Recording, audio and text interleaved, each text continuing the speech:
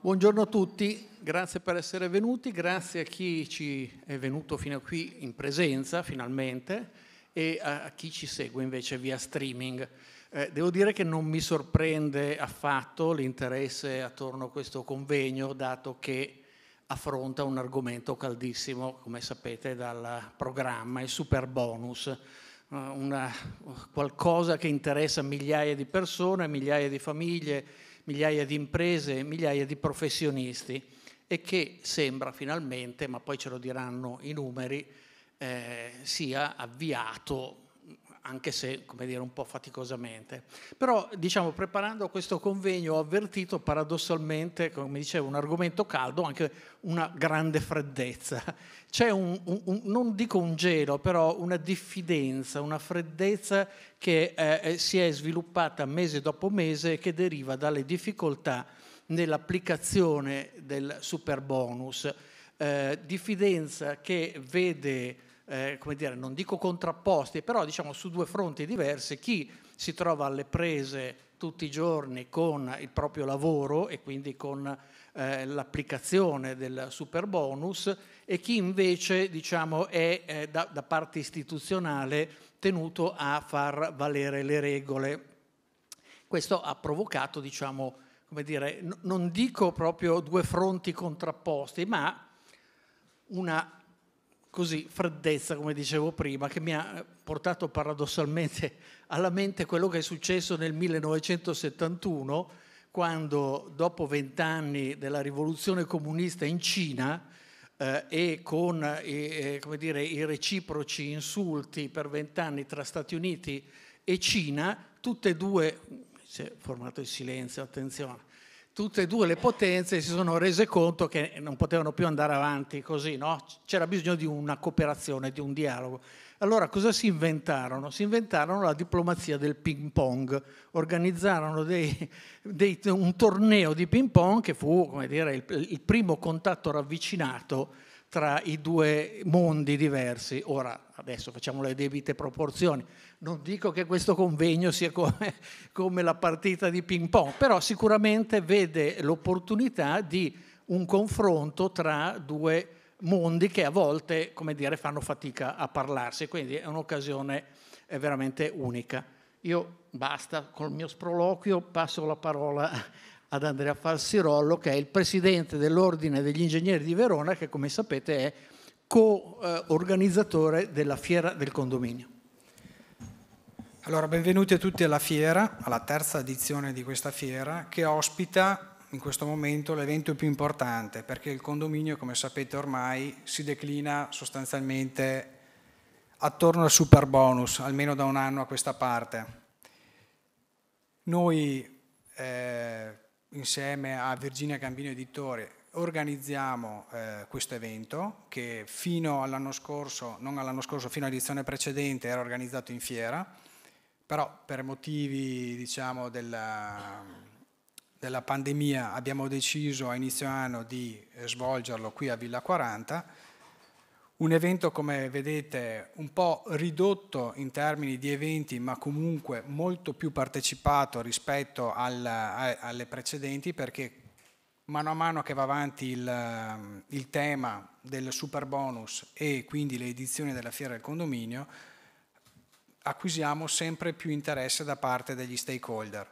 Sono qui quindi a, a darvi il benvenuto a questa fiera, sperando di ritrovarvi anche gli anni prossimi e adesso vi preannuncio che ci saranno comunque degli interventi molto interessanti, soprattutto relativi alle criticità e agli errori nelle richieste di incentivo, ma probabilmente avremo anche da qualche nostro rappresentante eh, in Parlamento qualche novità legata al futuro del super bonus. Speriamo positivo, speriamo una novità positiva, non vi voglio preannunciare niente, lascio la parola al moderatore e vediamo se riusciamo ad avere un loro intervento interessante. Grazie e buona giornata. Io mi limito a passare dire, la palla all'ingegner Matteo Limoni, e come dicevo all'inizio, eh, dire, due mondi contrapposti, ma anche un momento in cui ci possono essere delle proposte, no? non soltanto criticità. Certo, il convegno di oggi non è un convegno su nozionistico su come accedere al super bonus, che questo ormai già da un anno sappiamo quali sono le peculiarità di accesso, ma vuole essere un convegno pratico e di chiarimento avendo appunto a, disposizione eh, dei funzionari di Enea e di Agenzia delle Entrate ai quali abbiamo posto delle domande.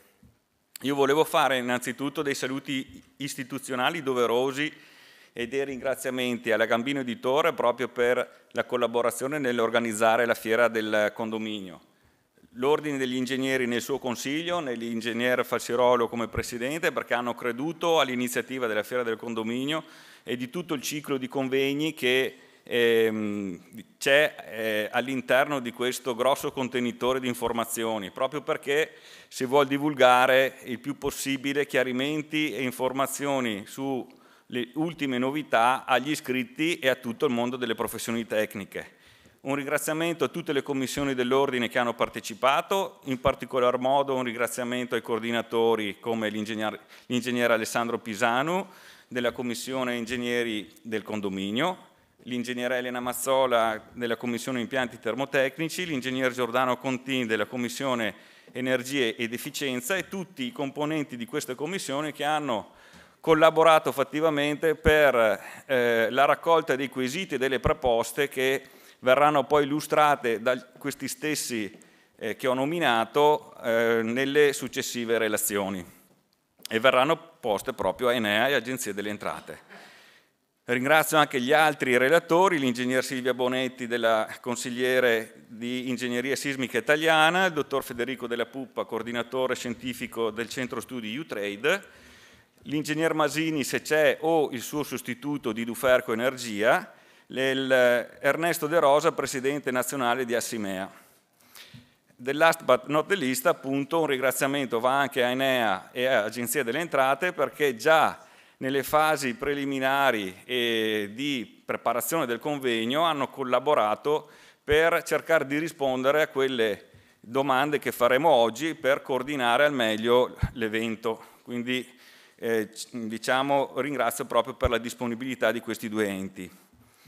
Inoltre ringrazio gli ordini professionali che hanno patrocinato questo evento e hanno anche consentito l'attribuzione dei crediti formativi ai loro iscritti Ricordo l'Ordine degli Architetti di Verona, il Collegio dei Geometri e Geometri Laureati di Verona, l'Ordine dei Periti Industriali e Periti Laureati di Verona, l'Ordine dei Commercialisti e Esperti Contabili di Verona e il, eh, che hanno appunto consentito eh, l'attribuzione dei CFP. Come introduzione al convegno mi sento di evidenziare alcuni aspetti positivi e alcuni aspetti negativi dell'incentivo del super bonus, anche per entrare nel tema e per scaldare un po' i motori. Allora, sì. Faccio appello, faccio appello. Dobbiamo collegarci. Dobbiamo collegarci, eh, c'è poco tempo e, e abbiamo Senz'altro, in linea... io riprendo dopo, sì, senza esatto. nessun problema. abbiamo in linea eh, Alessia Rotta, che è Presidente della Commissione eh, lavori pubblici e ambiente della Camera. Eccoci qua, grazie per essere con noi. A voi. A allora, io comincio, comincio, con un assist facile. Qui parliamo del super bonus. Eh, ci, ci faccia, diciamo, ci sono, ci sono, state discussioni, ci sono pareri eh, diciamo, differenti, però diciamo, unanimemente è riconosciuto che è stata un'iniziativa eh, valida, interessante. Può farci un bilancio del primo anno?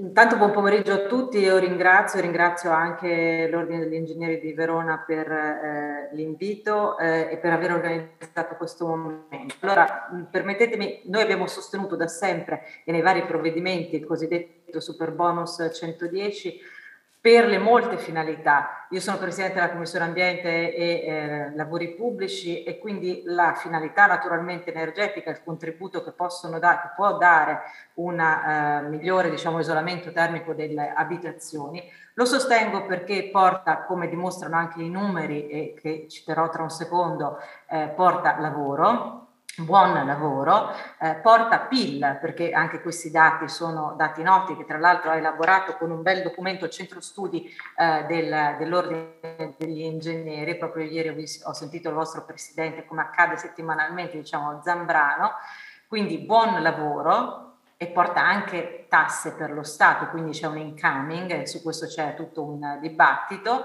eh, cioè su quanto costi allo Stato, se questa sia una misura che si autoripaga, come io sostengo, ma su questo sapete che non c'è unanimità, e soprattutto perché è una misura sociale. Per questo io sono molto felice di essere qui in particolare al, a parlare di condomini, perché io credo che sia una misura che abbia un carattere, un impatto eh, che dovrebbe essere particolarmente dedicato ai condomini e soprattutto alla universalità della misura. Che cosa intendo dire? Essendo 110 superiore al costo stesso dell'intervento, eh, risorse necessarie per anche eh, pagare il credito e poi la cessione del credito, eh, credo che questa sia una misura della quale dovrebbero eh, prioritariamente, in particolare, approfittare e beneficiare, diciamo così, i eh, condomini, i condomini non solo, ma anche appunto eh, le eh, residenze, quindi oltre ai privati cittadini. Credo molto in questo senso, diciamo, di ehm, giustizia sociale e ambientale. Noi non faremo una transizione se non metteremo a bordo tutti, se non consentiremo a tutti eh, le, stesse, eh, le, stesse, opportunità. Quindi ecco perché eh, l'abbiamo sostenuta. Il bilancio, il bilancio lo, fa, lo, faccio io insieme ai tanti numeri che sono stati dati eh, in questo, in, questo, anno. Ha detto il presidente eh, Buia qualche giorno fa, presidente di ANCE, che eh, ridotte, è stata ridotta la CO2 di 6.000 condomini in un anno. Normalmente i numeri erano invertiti, in sei anni quella forse di 1.000 condomini. Sono stati eh, creati 153.000 posti di lavoro, stiamo parlando di un settore importante, non solo quello delle costruzioni, ma ovviamente anche di quelli eh, legati eh, stiamo parlando di eh, numeri di movimentazione di PIL eh, particolarmente rilevante. Ehm, e qui appunto i numeri sono tanti e sono diversi, ma si stima che eh, fron- a fronte appunto di 7,5 miliardi spesi ci sia una movimentazione di 10 miliardi e che anche gli introiti per quanto riguarda appunto il fisco siano particolarmente rilevanti. Ora qui non voglio entrare in una polemica perché gli studi in realtà si dividono su questo, cioè ci sono studi eh, molto autorevoli, penso a quelli della LUIS, eh, che eh, dicono che il bonus ampiamente si ripaga, ma io credo che sia una misura eh, necessaria e è necessario ed è per questo che noi non solo ad ogni legge di bilancio, come si chiama oggi l'ex legge finanziaria, ma ad ogni provvedimento, eh, direi trasversalmente tutte le forze politiche lo chiedono. Voglio anche dire in questa sede, perché è importante dal mio punto di vista, che um, e qui le buone notizie che mi chiedeva il Presidente Falsirollo. Io dico e ripeto quello che ha detto il Ministro Franco. I Ministri dell'Economia sono quelli che rispetto a questa misura diciamo, sono eh, i più eh, attenti e, e, la, e, le trattative continuano e sono in corso. La notizia buona è che nella nota di aggiornamento di Economia e Finanza, la cosiddetta NADEF, è garantita la proroga fino al 2023. Um, Ora, il ministro Franco ha anche detto che dal suo punto di vista questa misura è troppo costosa e soprattutto c'è il discorso delle detrazioni, cioè che fino ad adesso sono previste per soli 46 mila interventi, detrazioni fino a 8,2 miliardi. E quindi c'è un tema che si deve, diciamo, stabilizzare nel medio periodo quantomeno, non solo nel breve, per quanto riguarda la cessione del credito. Io però su questo voglio dire che eh, noi dovremmo arrivare a ragione di, questa, eh, di, quest- di questi conti, no? non si può eh, viaggiare, e sono d'accordo su questo, non solo con le categorie, con gli ordini, ehm, con i quali il dialogo diciamo, con mh, la, il Parlamento è stato costante, perché noi abbiamo fatto un lavoro costante eh, di, ehm, come potremmo dire, eh, di cucitura ogni volta, di messa, messa in ordine, perché io penso che i provvedimenti non siano buoni per sempre e così come sono scritti. C'è bisogno cioè di un rammendo continuo, quello che abbiamo fatto io credo in questo anno insieme a seguito di cicli di audizione, a seguito di emendamenti, abbiamo, siamo andati a, eh, diciamo, a risolvere o provare a risolvere molte delle istanze che venivano presentate alla prova dei fatti, cioè alla prova della messa a terra di questa misura, salutata da tutti come una misura espansiva, quindi particolarmente positiva, la verità è che, e non lo dico quella quale, con la quale mi trovo appunto oggi a parlare, sono state modifiche. Questa per me è l'occasione anche di ringraziare della fattiva collaborazione estremamente importante di Enea e di Agenzia delle Entrate che settimanalmente, per non dire quotidianamente, vengono coinvolti eh, nel dialogo con noi, con le istituzioni, eh, sotto forma di eh, interrogazioni, sotto forma di richieste di chiarimento, sotto forma di emersione di problemi che poi noi cerchiamo di eh, risolvere per, andare, eh, su, per far sì che la norma sia effettiva, perché nel nostro paese dobbiamo decidere se noi facciamo una norma, noi pensiamo che la norma debba funzionare. Naturalmente, e faccio riferimento a quello che eh, il dottor De Rellis diceva prima, se c'è c'è una freddezza tra chi deve fare rispettare le regole e chi, eh, e chi invece dice ma io non riesco ad applicarlo oppure voglio, voglio farlo. Certamente eh, c'è stata non una farraginosità, ma io comprendo questo equilibrio, dell'equilibrio che dobbiamo trovare. A fronte di tante risorse dello Stato, e del tema centrale che ha la cessione del credito, dove il meccanismo diciamo, non è stato facile sin dall'inizio e non è semplice neanche eh, adesso, non dico l'erogazione, ma trovare capacità di erogazione del credito, un equilibrio tra quello che diciamo, lo Stato chiede e le asseverazioni necessarie e però l'effettiva praticabilità dell'intervento dove un fattore dal mio punto di vista è che dovrebbe esserci nel nostro paese l'equità, la possibilità diciamo, di accedere da parte di tutti i cittadini. Sappiamo che naturalmente non è così perché a seconda se uno abita in una zona vincolata o non vincolata, se uno poi abita a Brescia, scusate, ma con il teleriscaldamento, tante problematiche che non sto qui a dire che credo saranno anche poi eh, oggetto, ma sicuramente un equilibrio tra eh, credenziali che si chiedono, ma anche facilità di applicazione della norma, perché altrimenti noi facciamo una misura non perché non funzioni, noi facciamo delle misure perché ci auguriamo che funzioni, perché noi abbiamo bisogno estremo, visto che gran parte o comunque quota parte del tema dell'inquinamento, noi siamo anche in pianura padana per quanto riguarda la zona dove ci troviamo, dove, dove si trova il convegno dove viviamo, eh, in cui siamo in infrazione, ben tre infrazioni per emissioni di polveri sottili e sappiamo quanto il tema casa, il tema abitazione possono contribuire positivamente. Quindi noi dobbiamo farlo. Il nostro patrimonio edilizio è vecchio, c'era un settore che dal 2008 era gravemente in crisi ed andava non sussidiato, aiutato a ripartire, a ripartire con lavoro buono e la produzione di posti di lavoro buoni. Eh, quindi io credo che eh, bisogna sorreggere e far funzionare eh, assolutamente la eh, misura ed andare anche oltre. Cioè io questo voglio dire, io penso che noi dobbiamo chiedere sia e soprattutto la proroga e anche orizzonti temporali certi. Io nel dialogo che ho, ripeto, settimanalmente con eh, tutti gli ordini, con tutte le professioni coinvolte, eh, c'è questo tema dell'orizzonte temporale, che almeno si sappia per tempo se ci sarà un decalage quale sarà rispetto al 110, ma ovviamente in queste settimane siamo anche molto richiesti rispetto a che fine faranno gli altri bonus, il seasonal bonus e le, il bonus facciate al 90% che pure hanno prodotto grandi eh, risultati. Mi scusi, eh, no, no, io no, no, non voglio interrompere, però sennò cerchiamo di fare un dibattito così. Anche eh, sì, eh, io... l'ingegner Falsirollo voleva porle una domanda così cerchiamo di movimentare un po'. Sì, onorevole, una domanda. Intanto volevo, eh, prendiamo atto che comunque, cioè diamo atto che il, questa misura, il super bonus, sta aiutando notevolmente le categorie, quelle economiche e anche professionali e quindi bisogna darne atto che è una misura utile. Eh, sappiamo che Agenzia delle Entrate e Enea sono sottoposte a sollecitazioni anche da noi professionisti e imprese, quindi sappiamo che eh, sono diciamo, disponibili ma sono anche molto impegnati nel rispondere a tutti. Eh, sì, volevo fare una domanda, ma stava già rispondendo con, con il suo intervento. Eh, lei ha parlato di numeri di, di, occupazione del nostro settore, prendendo riferimento al presidente di ANCE. Effettivamente sì, c'è un maggior fermento, c'è maggiore occupazione, c'è maggiore interesse da parte delle categorie professionali e imprenditoriali.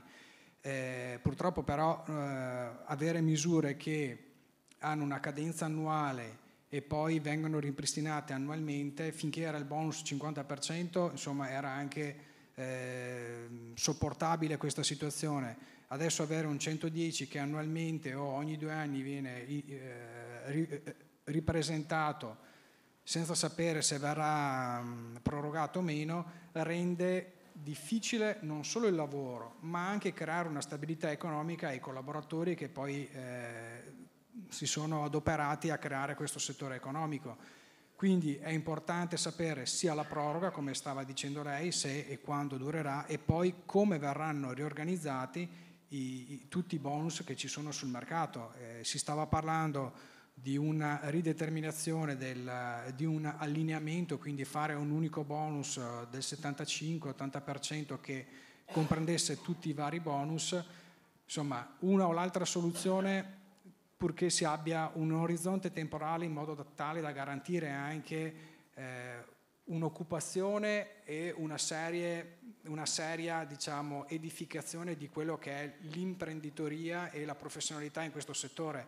Altrimenti, come in tanti casi, e non li sto qua a citare, ci sono quegli interventi a spot dati dalle normative che durano uno o due anni che non creano a formare ma solo a creare delle bolle che non servono a nulla. Ecco, questa era un po' il, la domanda, quindi si può sapere adesso o è troppo prematuro sapere l'orizzonte temporale al di là del, 23-24, del 2023-2024, ma quello che ci potrebbe essere al di là del super bonus e come potrebbe essere rideterminato? Insomma, se si ha già un'idea oppure se è troppo presto per parlarne.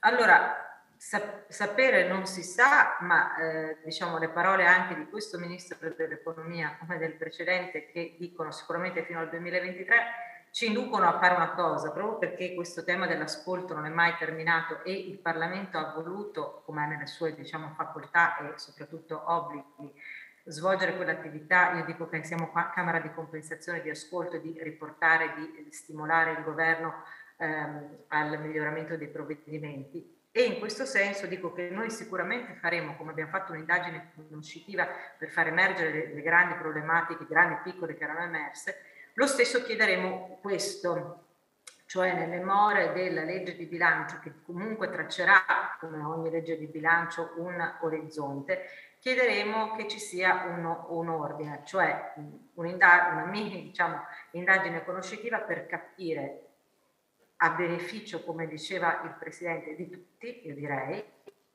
l'orizzonte in cui ci dobbiamo muovere, perché non ci sfugge né quello che molto importante diceva, cioè eh, che oggi non si trova un ingegnere, un architetto disponibile per nulla, ma non si trova neanche, o meglio, c'è un fenomeno di bolla di prezzi su materie prime e non solo diciamo per... Eh, non solo di energie, non solo per effetto di alcuni mercati o per effetto diciamo di, di eh, dazi eccetera, ma perché eh, ci possono essere delle, eh, degli intenti speculativi laddove non, ci sono, non si trova più un ponteggio, laddove i prezzi aumentano, adesso non sto qui a dire, le avete viste eh, molto bene anche voi, che, che, che, che c'è un aumento dei prezzi di tutto, ci può essere anche chi ne approfitta, ecco, compito dello Stato è anche in questo senso non tanto regolare i prezzi, ma far sì che questo non accada soprattutto eh, con soldi pubblici che non servono a fare questo e quindi a consentire azioni speculative.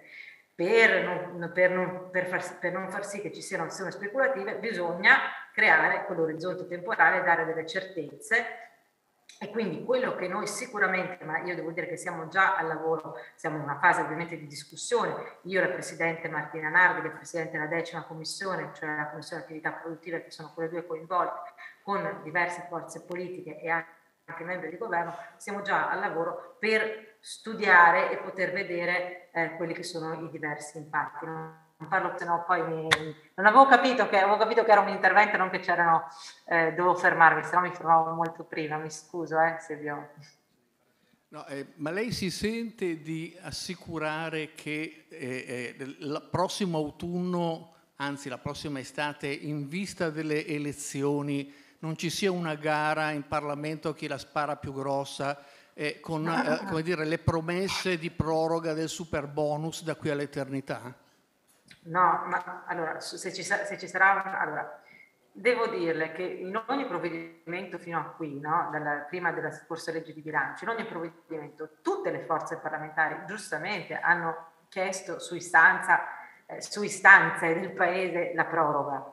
Quindi fin lì va bene. Dopodiché io credo che ci dovrà essere ordine e l'ordine io credo doveva farlo naturalmente nel dialogo il Parlamento, le varie forze politiche, il Parlamento e il governo per dare questo orizzonte temporale. Io credo che insomma sia una pistola a salve dire che tutti prometteranno la, la, la proroga del 110 mm, nel senso che se non, se, se, se non, è fattibile. Penso che sia più maturo, ma come siamo maturi tutti, eh, anche intendo dire tutti i cittadini, non solo tutti, tutti, tu, di, di, di, tutti i settori, anche quelli coinvolti, capire che Naturalmente, se si potesse, io sostengo che sia una misura espansiva e che quindi nel medio termine la misura si ripaghi. Non c'è unanimità su questo, lo sapete, nel senso lo leggiamo, leggiamo tutti i report. Eh, c'è anche una discussione, eh, non ultima da un rapporto di eh, Enea, perché poi noi dobbiamo rendere conto di questi soldi, parte di questi soldi che sono nel piano nazionale di ripresa e resilienza alla Commissione europea che dicono che non ci sia l'efficacia massima nel 110 come c'erano in altre misure, in altri bonus rispetto alla sua qualità ambientale, cioè oltre alle due classi energetiche che non abbia un grande impatto, allora dovremo prendere questo pacchetto di considerazioni diverse su diversi punti di vista e soprattutto poi decidere una strada che quella sia. Poi, ovviamente, eh, se, se, io dico questo, che sarei per il 110, per un 110 per, per un po' di anni, proprio perché c'è bisogno, c'è bisogno di programmazione. Ma meglio che si dica che si finisce il 2023 e poi si fa un bonus strutturale al 75%. Dico che la chiarezza è premiante per l'organizzazione di tutti e anche per la correttezza dei prezzi e tutto quello che abbiamo fin qui detto. Speriamo siano tutti d'accordo con lei. Prego. Sì, allora grazie per averci chiarito quello che potrebbe essere le dinamiche future. Se c'è un auspicio che posso fare, eh, visto che noi, ma anche gli enti come Enea e Agenzia delle Entrate hanno lavorato tantissimo per diciamo, adeguarsi alla nuova normativa, così anche noi è da due anni che praticamente sforniamo corsi e convegni solo sul super bonus, Ecco, se le prossime normative le fate un po' simili tra loro, perché altrimenti diventa difficile poi adeguarci, ma questo non solo per noi professionisti e aziende, ma anche per, per gli addetti ai lavori da, par- da, parte dello Stato che devono dare risposte, devono dare interpretazioni. Diciamo che questo ci dà un impegno veramente gravoso nel, nel gestire il nostro lavoro. Diciamo che ormai è diventato l'85% del nostro lavoro. Ecco, mi fermo qui, era solo un auspicio, dopo se, se dobbiamo strappare qualche ah. punto percentuale in più per l'efficienza energetica va bene, però insomma buttate un occhio anche... Condivido, condivido. Grazie per la disponibilità, veramente molto cortese, eh, sicuramente avremo modo di confrontarci su questo e altri temi in futuro. Le auguro una buona giornata e un buon lavoro. E... Buon lavoro a voi, buon, buon convegno, arrivederci, grazie a voi. Arrivederci. arrivederci.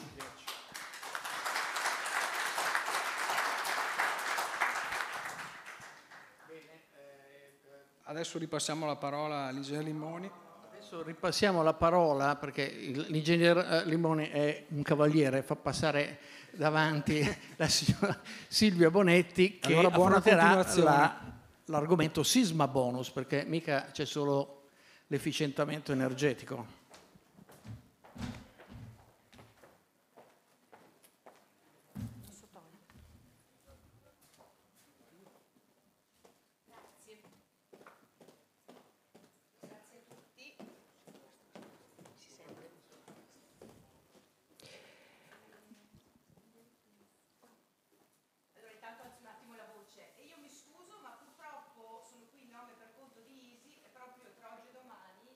Mia associazione, ISI, Ingegneria Sismica Italiana, mm, festeggerà il decennale. Quindi abbiamo appuntamento tutti a Roma, io ho un treno dopo le 4, quindi faccio il mio intervento, poi volo in stazione. Quindi chiedo scusa se sono un po' entrata a gamba tesa senza attendere che il collega Limoni finisse il suo intervento e poi purtroppo devo, devo andarmene dal, da questo interessantissimo convegno. Sono qui e porto i saluti del nostro presidente, l'ingegnere Andrea Barocci e di tutto il Consiglio. Che cos'è EASY? Il nome mm, magari eh, rimembra eh, qualcosa di particolarmente sinistro, però in realtà è un'associazione che è stata voluta diciamo, all'indomani del terremoto dell'Aquila e che mette insieme tutti quelli che sono gli attori principali che si adoperano per la sicurezza sismica. Quindi abbiamo la parte delle università per quanto concerne la ricerca, infatti abbiamo un comitato scientifico di altissimo livello, abbiamo i professionisti che sono il cuore pulsante della nostra associazione perché sono quelli che tutti i giorni lavorano nell'ambito sismico e eh, progettano quella che è la sicurezza dei nostri fabbricati e poi abbiamo le aziende che sono quelle che producono software, tecnologia, eh, per esempio le fibre di carbonio, per fare un esempio un pochino noto a tutti, o comunque elementi strutturali di nuova generazione che consentono di applicare tecnologie antisismiche che sono sempre più attuali e che rendono il problema sicuramente risolvibili anche con costi che comunque cominciano a diventare contenuti rispetto alla realtà, diciamo al panorama di eh, una ventina d'anni fa. Sisma bonus e, so, e, super sisma bonus, è un titolo tremendo, infatti io mi domando chi, chi, voleva farmi del male con un titolo del genere, perché? Perché mette insieme due degli elementi principali dell'ingegneria sismica degli ultimi cinque anni, cioè il eh, sisma bonus classico, quello che è entrato in, viga, in vigore con la finanziaria del 2017 e il sisma bonus, il super sisma bonus, quindi quello che conosciamo oggi, l'argomento di questa, di questa conversazione, però dal punto di vista dell'ingegneria sismica, quindi per ora di efficientamento energetico non parliamo. Attenzione però perché parliamo di sismica, parliamo di strutture, quindi di un concetto che è totalmente diverso da quello che si è soliti eh, discutere quando si parla di isolamento, diciamo di eh, miglioramento delle prestazioni energetiche. Perché? Perché il freddo c'è tutti gli anni, tutti noi sappiamo perfettamente quanto consumiamo alla fine dell'inverno, sappiamo perfettamente che se la nostra casa ha il cappotto avremo determinati consumi, un determinato comfort, se non, la nostra casa non ha il cappotto avremo un altro tipo di consumi, un altro tipo di comfort. Di terremoto però non sappiamo esattamente se la nostra casa eh, è in grado di eh, assorbire le azioni, le accelerazioni sismiche o non lo è, perché per fortuna il terremoto non avviene tutti i giorni e di conseguenza per fortuna potremo non accorgerci mai, per assurdo, di vivere in un ambiente sismico oppure purtroppo per tutta una serie di ragioni di vivere una, una crisi sismica magari particolarmente intensa nell'arco della nostra vita oppure di viverne più di una. E questo è il problema dell'Italia, il problema della sicurezza sismica dell'Italia e entriamo nel primo problema del sisma bonus, il tempo. Il tempo perché, bene o male, le nostre costruzioni non sono come le costruzioni giapponesi o americane, sono costruzioni molto molto antiche. I nostri centri storici hanno, io adesso sto facendo un intervento nel centro storico di Verona, abbiamo trovato una muratura che comunque arriva fino al tetto del 1200 che ovviamente è in insalata assieme a altri tipi di muratura, quindi noi ci troviamo ad avere un territorio che al suo interno, nella sua storia dell'architettura comunque nella sua eh, peculiarità e quindi anche per i nostri condomini, perché i nostri condomini possono essere palazzoni fatti nel 1982, ma possono essere anche dei palazzi nei centri storici che hanno elementi sicuramente molto antichi o comunque molto vecchi. Quindi di fatto nostri, eh, il nostro costruito risente sì della storia dell'architettura, ma risente soprattutto della storia sismica italiana. Perché che è successo in Italia? In Italia non è che nel 1909 fossero tutti molto impegnati a parlare di sismica e avevano avuto una bella disgrazia a Messina qualche giorno prima, perché nel 1908 a Messina c'è stato un violentissimo terremoto, uno dei più violenti della nostra storia.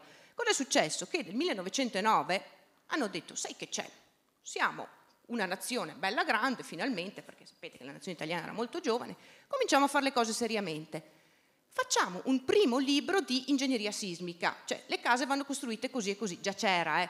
però cosa hanno fatto?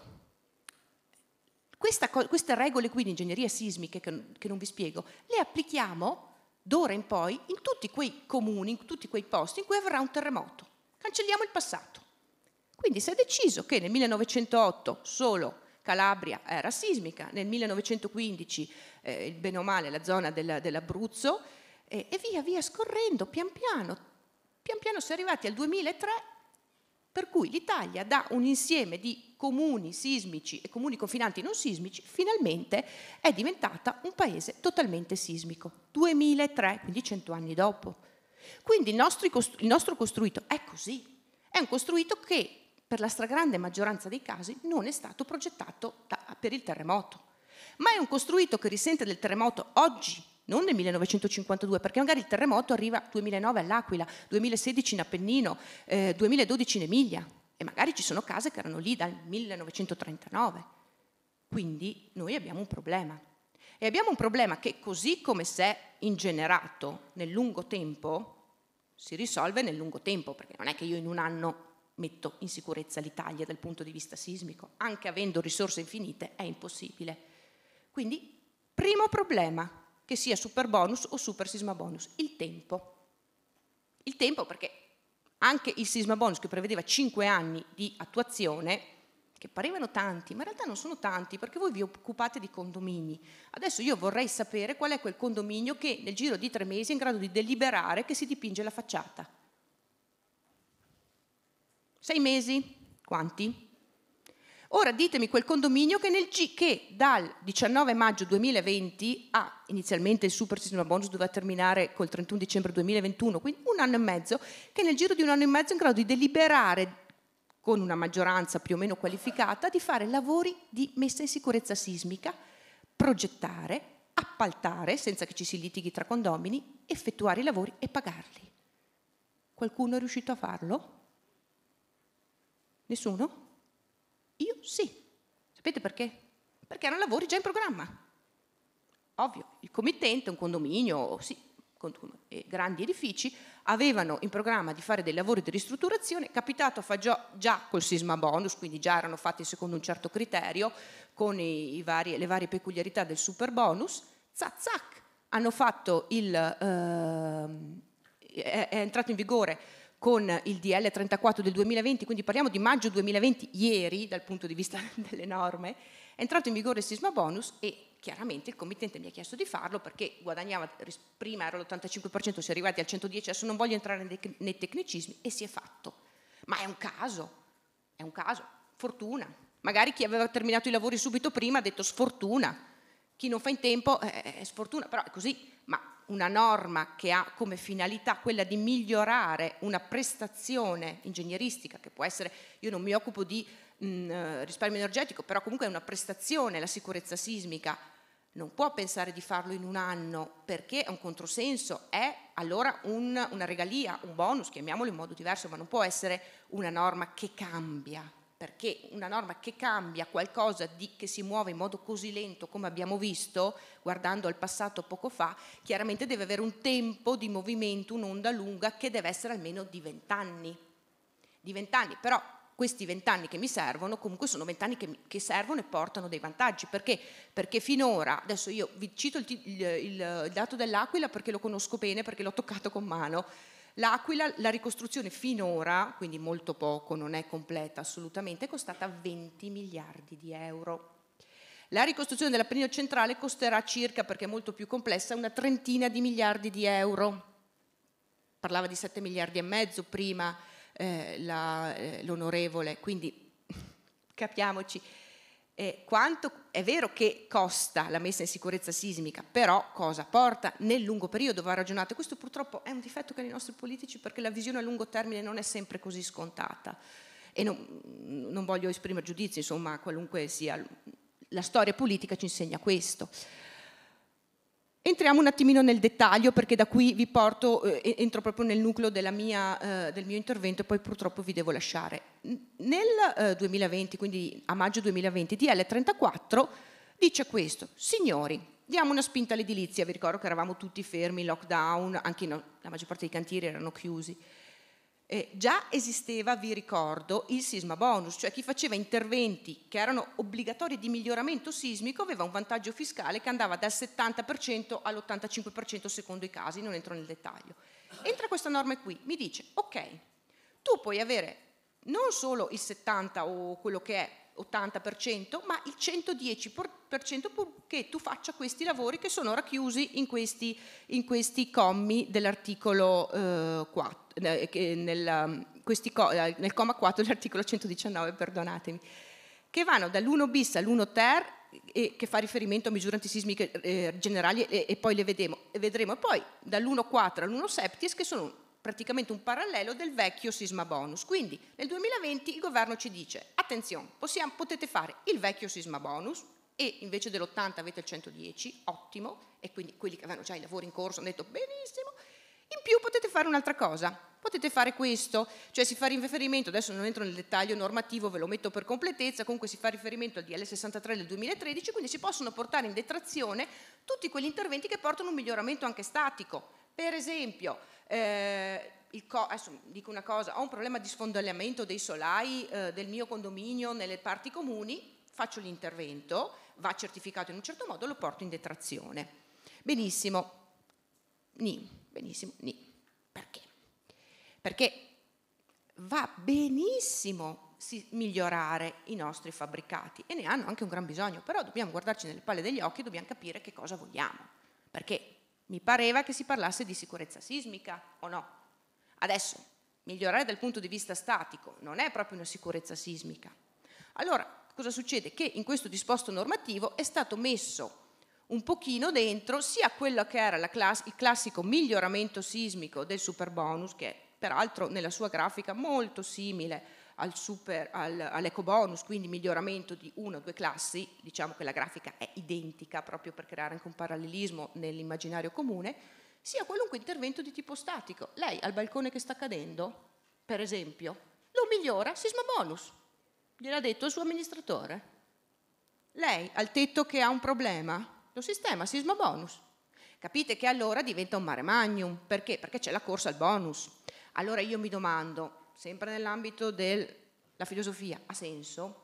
E qui quindi vengono fuori tutte quelle che sono le criticità, perché in realtà poi non è tutto o nero o bianco, nel senso che i nostri centri storici non sono come i centri storici degli Stati Uniti o i centri storici della Germania, sono fatti così. Queste sono foto prese a caso, nord, centro e sud Italia, cioè togliete un sasso da una parte e viene giù la casa dall'altra parte.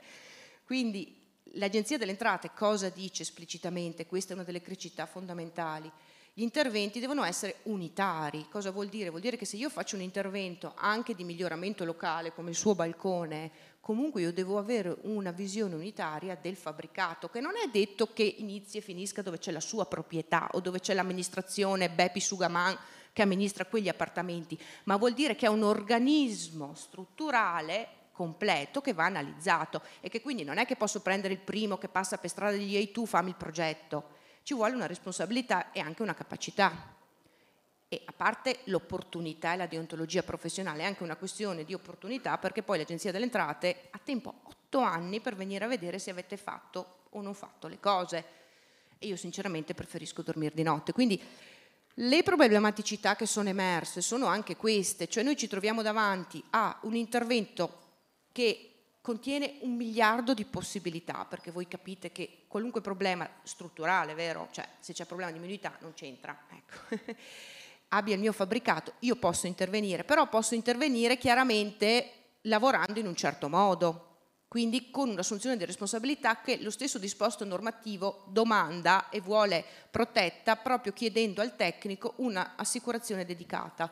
Ora io volevo mh, presentarvi, proprio per eh, dettagliarvi la questione, eh, non è ancora pubblico, quindi questo è un attimino un'anteprima, un questionario che abbiamo fatto ai nostri iscritti. I nostri iscritti sono principalmente, come detto poc'anzi, eh, professionisti che si occupano di sicurezza sismica totalmente, quindi o nell'ambito della progettazione oppure nell'ambito della produzione di tecnologie, quindi conoscono il problema estremamente a fondo e abbiamo fatto un questionario estremamente dettagliato ma che offre veramente uno spunto molto molto interessante al di là di quelle che sono le, le questioni ovvie, il tempo, l'assicurazione, queste cose qui, veramente fa capire quali sono le problematicità e eh, l'auspicio che vi porto subito alla conclusione, l'auspicio che noi di ingegneria sismica auguriamo è ovviamente che il bonus continui, perché altrimenti non avrebbe senso averlo fatto, secondo noi, perché un anno di interventi dal punto di vista sismico è una goccia del mare, tanto valeva non farlo e mantenere il vecchio sisma bonus. Ma quindi un, una, una, premialità va benissimo anche se estendibile agli, anche agli interventi statici come il suo balcone, chiaramente, adesso io non vorrei che lei mi, lui mi odiasse, ma eh, con una premialità economica un pochino più bassa, perché talvolta si è visto anche in ambito di ricostruzione post-sismica che effettivamente ehm, riuscire a tirare fuori qualche soldino, magari poco, responsabilizza non solo il cittadino ma anche il progettista rispetto ad una visione un pochino più coerente del problema. Perché se io un vestito, eh, ho bisogno di un vestito e vado da Tizio che me lo regala, da Caio che mi, che mi fa tirare fuori 5 euro, è ovvio che io eh, a Tizio non gli chiedo neanche com'è, me lo prendo e vado a casa. Magari a Caio, dovendo tirare fuori 5 euro, mi interessa un pochino di più della qualità. È un esempio banalissimo, ma è per farvi capire effettivamente il problema. Ai nostri mh, questionari hanno risposto anche dei liberi, dei liberi cittadini, dei cittadini che, che, comunque non erano dei tecnici, perché comunque era un questionario open, anzi se volete è ancora pubblicato sul sito se avete piacere di, di compilarlo, e comunque abbiamo diviso le risposte sia per quello che riguarda il cittadino, adesso io dico cittadino perché non era chiesta la professione, ma poteva essere chiunque fosse interessato al tema, quindi dal cittadino che voleva fare il sisma bonus su casa sua, all'amministratore condominiale, al commercialista, a quant'altro. Quindi come vedete le, le, le risposte, bene o male, sono anche molto scontate perché dai media non si parla d'altro sui media, quindi la fonte mh, di conoscenza è quella. Eh, interessante questa slide qui, mm, tutti conoscono il Sigma Bonus, ma alla fine quelli che hanno deciso o comunque hanno provato ad applicarlo sono la minoranza. Quindi effettivamente se è una, una, una proposta così allettante, così interessante, come mai una minoranza? Poi eh, qui ci sono le motivazioni, chiaramente eh, il tempo e eh, il problema della complessità della, diciamo, della macchina messa, messa, in campo è, è, è, ciò che ha fatto propendere per il no, perché tante volte anche il comune cittadino di fronte alla complessità e, e anche ai costi iniziali di una pratica fa un passo indietro.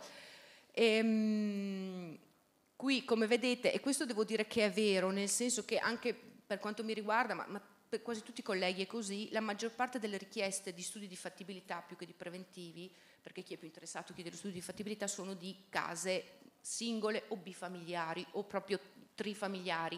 I condomini sono la minoranza e, perché molto di solito occorre avere l'ok dell'assemblea per, per, chiedere uno studio di fattibilità, quindi diventa tutto, questi sei mesi già ce li siamo mangiati per cominciare. Quindi anche questo è un bel problema, eh, il problema della detrazione fiscale, quindi cessione del credito e quant'altro, e chiaramente è un, sicuramente migliora. La cosa più, più interessante è la sezione professionista, eh, per cui la maggior parte, eh, anche questo è un grosso problema, e l'ingegner Farsirolo l'ha sollevato, eh, la mancanza di chiarezza nei provvedimenti. L'Agenzia delle Entrate fa degli interpelli, risponde anche, devo dire, molto molto velocemente, però eh, gli interpelli sono delle opinioni, tra virgolette, quindi eh, non è un valore, cioè io non posso dire ho fatto così perché me l'ha detto l'Agenzia delle Entrate sull'interpello, chiaramente poi successivamente ci fossero contestazioni, l'interpello non ha valore probatorio. O ni quindi è, estremamente, talvolta le incertezze sono molte, vi faccio un esempio su tutti, eh, non sempre si riesce, a, poi dipende dai casi, però eh, ci sono dei casi per cui si hanno eh, dei benefici di altro tipo, oppure c'è il 50%, ci si chiede se si può contestualizzare nella stessa pratica il 50% o il 110%, non è una risposta semplice, ma è ovvio che una persona che magari, eh, una persona, un condominio che decide di mettere in sicurezza sismica lo stabile, magari rifà i marciapiedi, non mi sembra sbagliato avendo già l'impresa e un cantiere pensare di fare, che ne so, i marciapiedi o l'impermeabilizzazione del tetto, quindi voci che non sono eh, detraibili col super sisma bonus, ma che potrebbero, eh, nell'ambito di una ristrutturazione, eh, rientrare nel 50%, per esempio. Eh, poi vabbè, il numero degli incarichi alla fine mh, dipende dalla grandezza dello studio, quindi è poco probante. Eh, secondo me particolarmente interessante è, eh, la, sono le, le, cioè le critiche che secondo me mh, vanno, poi possono essere trasmesse direttamente sia agli organi legislativi che comunque al, a chi, come l'Agenzia delle Entrate. Io adesso non mi riferisco all'Enea, ma perché chiaramente per noi l'Enea non è salvo per qualche intervento per cui si fa contestualmente miglioramento sismico e risanamento energetico, ci sono delle tecnologie sul mercato oggi per farlo, si fa soprattutto sulle scuole, comunque noi ci rivolgiamo all'Agenzia delle Entrate perché chiaramente non ci occupiamo di miglioramento delle prestazioni energetiche, i tempi e eh, soprattutto i colleghi ritengono che dovendo esserci un contributo, e chiaramente questo non è potere dell'Agenzia delle Entrate, ma è una decisione del Go, per cui Easy poi si farà partecipe, sarebbe anche giusto differenziare in modo premiale, nel senso che se lui fa un intervento per il suo balcone e magari l'ingegner Limoni fa un intervento per cui migliora di due classi un fabbricato, è chiaro che a parità di spesa l'intervento dell'ingegner Limoni, adesso ho detto Limoni perché ce l'ho davanti, ma di chiunque è... Mh, merita di più, rispetto, non perché il suo balcone non meriti, ma perché dal, siccome la finalità è la sicurezza sismica, è chiaro che in caso di terremoto il suo balcone sta bene di com'è. Quindi eh, sarebbe anche opportuno, un altro suggerimento che arriva, avere una, ma questo è molto più complesso, avere una premialità in relazione a quanto più è sismica una zona. Che ne so, a Messina magari avere una premialità diversa da Verona, ma questa sarebbe davvero difficile da eh, mettere in campo. Cosa dicono i colleghi? Allora, innanzitutto legge non chiara, eh, questo è vero perché mh, finché dobbiamo fare il condominio casermone singolo non vincolato con la sovrintendenza né con un vincolo ambientale, che non ha problemi di nessun tipo per quanto riguarda i centri storici, meno male, si riesce anche abbastanza.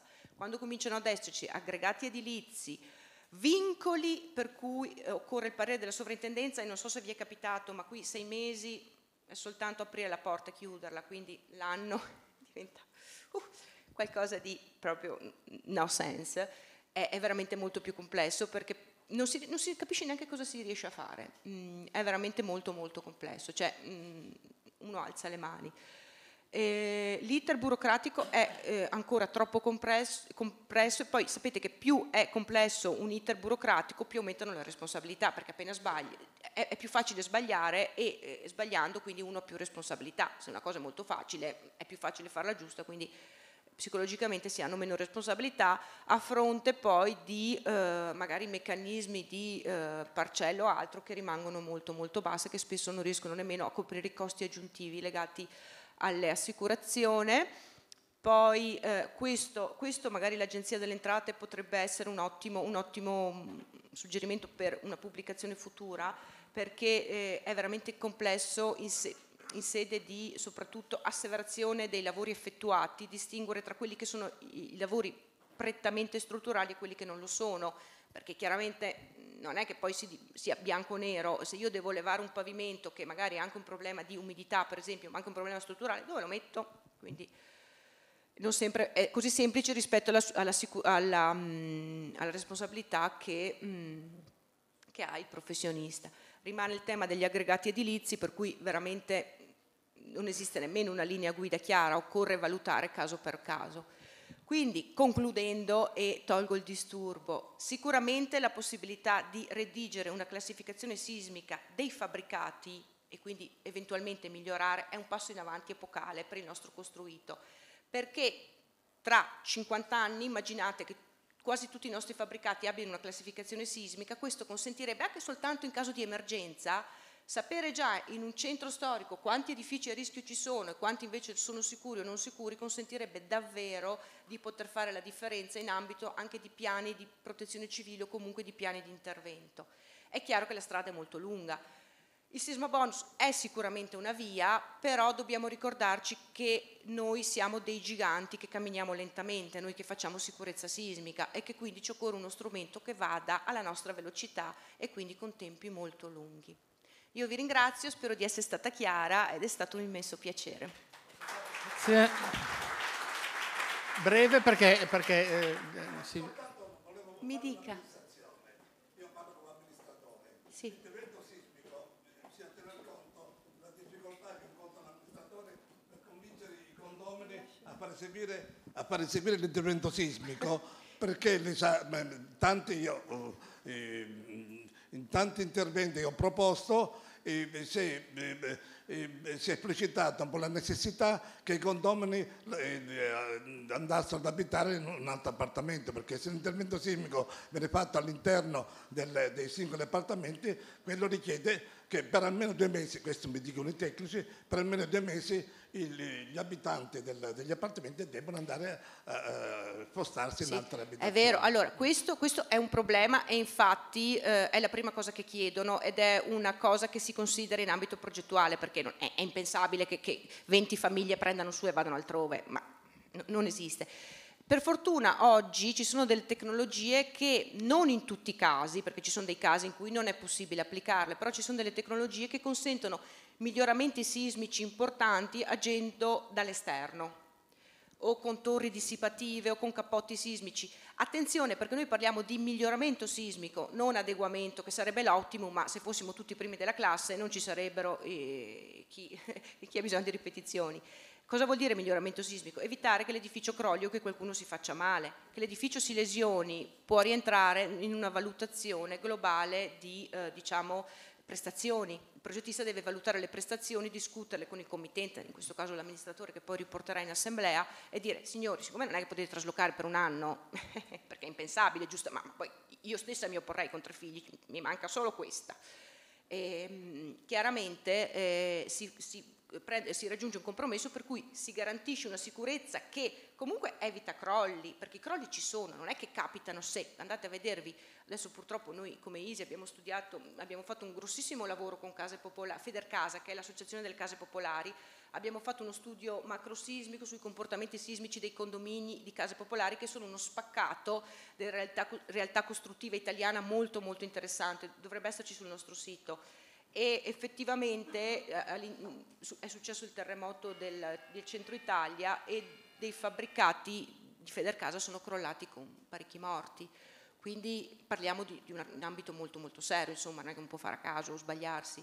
Si può evitare questo. Se un edificio è molto vecchio ha dei problemi, non puoi raggiungere. Oppure ci sono delle, delle, degli, delle tecnologie ancora più, più innovative che sono per esempio gli isolatori sismici, ma non possono essere applicati sempre per esempio su Villa 40 non possono essere applicati, e che consentono di isolare il fabbricato rispetto, quindi disaccoppiare il moto del fabbricato rispetto a quello del terreno, consentendo quindi una prestazione, consentendo quindi che il fabbricato rimanga quello che è anche con le sue debolezze, però lavora con accelerazioni sismiche molto molto più basse. Io scusate, ma ho tre minuti un'ora al treno, quindi... Grazie, grazie. Prometto di acquistare un appartamento con balcone prossimamente. Ingegnere Limoni, nessuno la interromperà.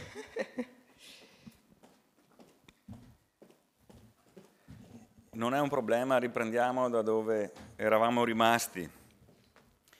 Allora, dato appunto che eh, ci sarà la presenza di Energy delle entrate, eh, io volevo evidenziare quali erano aspetti posit- alcuni aspetti positivi e alcuni negativi. Alcuni sono già stati detti negli interventi precedenti, li faceva notare anche il Presidente Facirolo nel collegamento con l'onorevole Rota.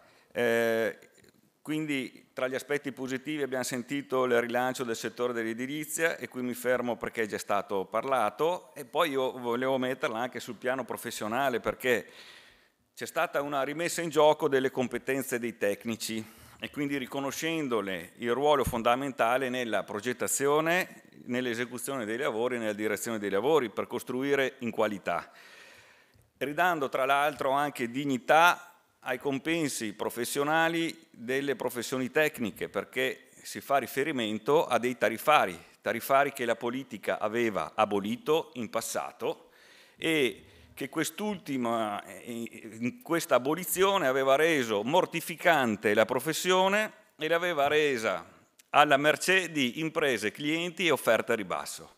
Quindi su questo il super bonus ha messo un punto fermo anche di riconoscenza dell'operato dei professionisti.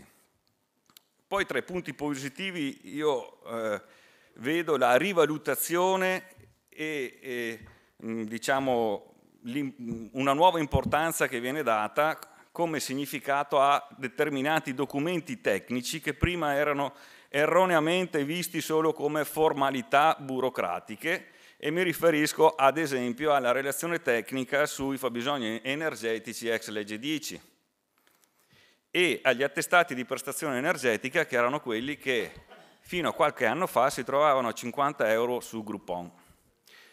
Questi qui sono dei documenti che sono fondamentali per capire come accedere e proseguire in tranquillità in questo tipo di incentivo. perché vanno a valutare con coerenza la, la situazione ante operam e post operam, individuando quei miglioramenti che siano miglioramenti sismici o energetici, e in particolar modo per la parte energetica, il salto delle due classi o ancora di più la miglioria che si vuole apportare a quel fabbricato in tutti i termini. Significa materiali, isolamenti, correzione dei ponti termici, verifica di non formazioni di muffe e condense e la parte impiantistica con l'utilizzo di fonti rinnovabili.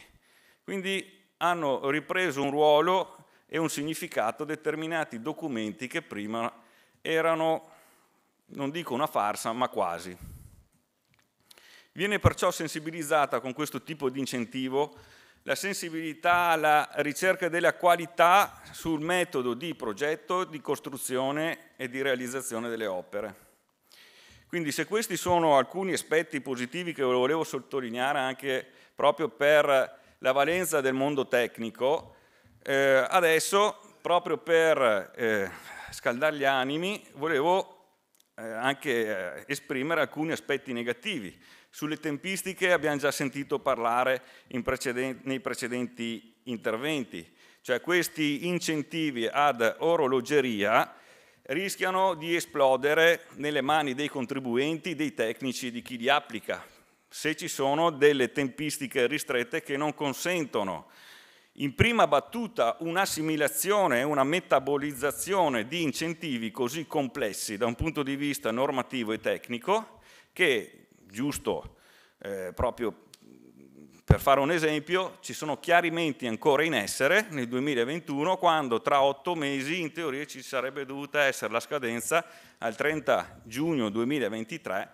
del super bonus per le unifamiliari. Siamo ancora qua a ricorrere FAC chiarimenti su un incentivo che è quasi, sarebbe quasi alla fine se non si se no avrebbero proposto proroghe di cui si parlava prima al 2023.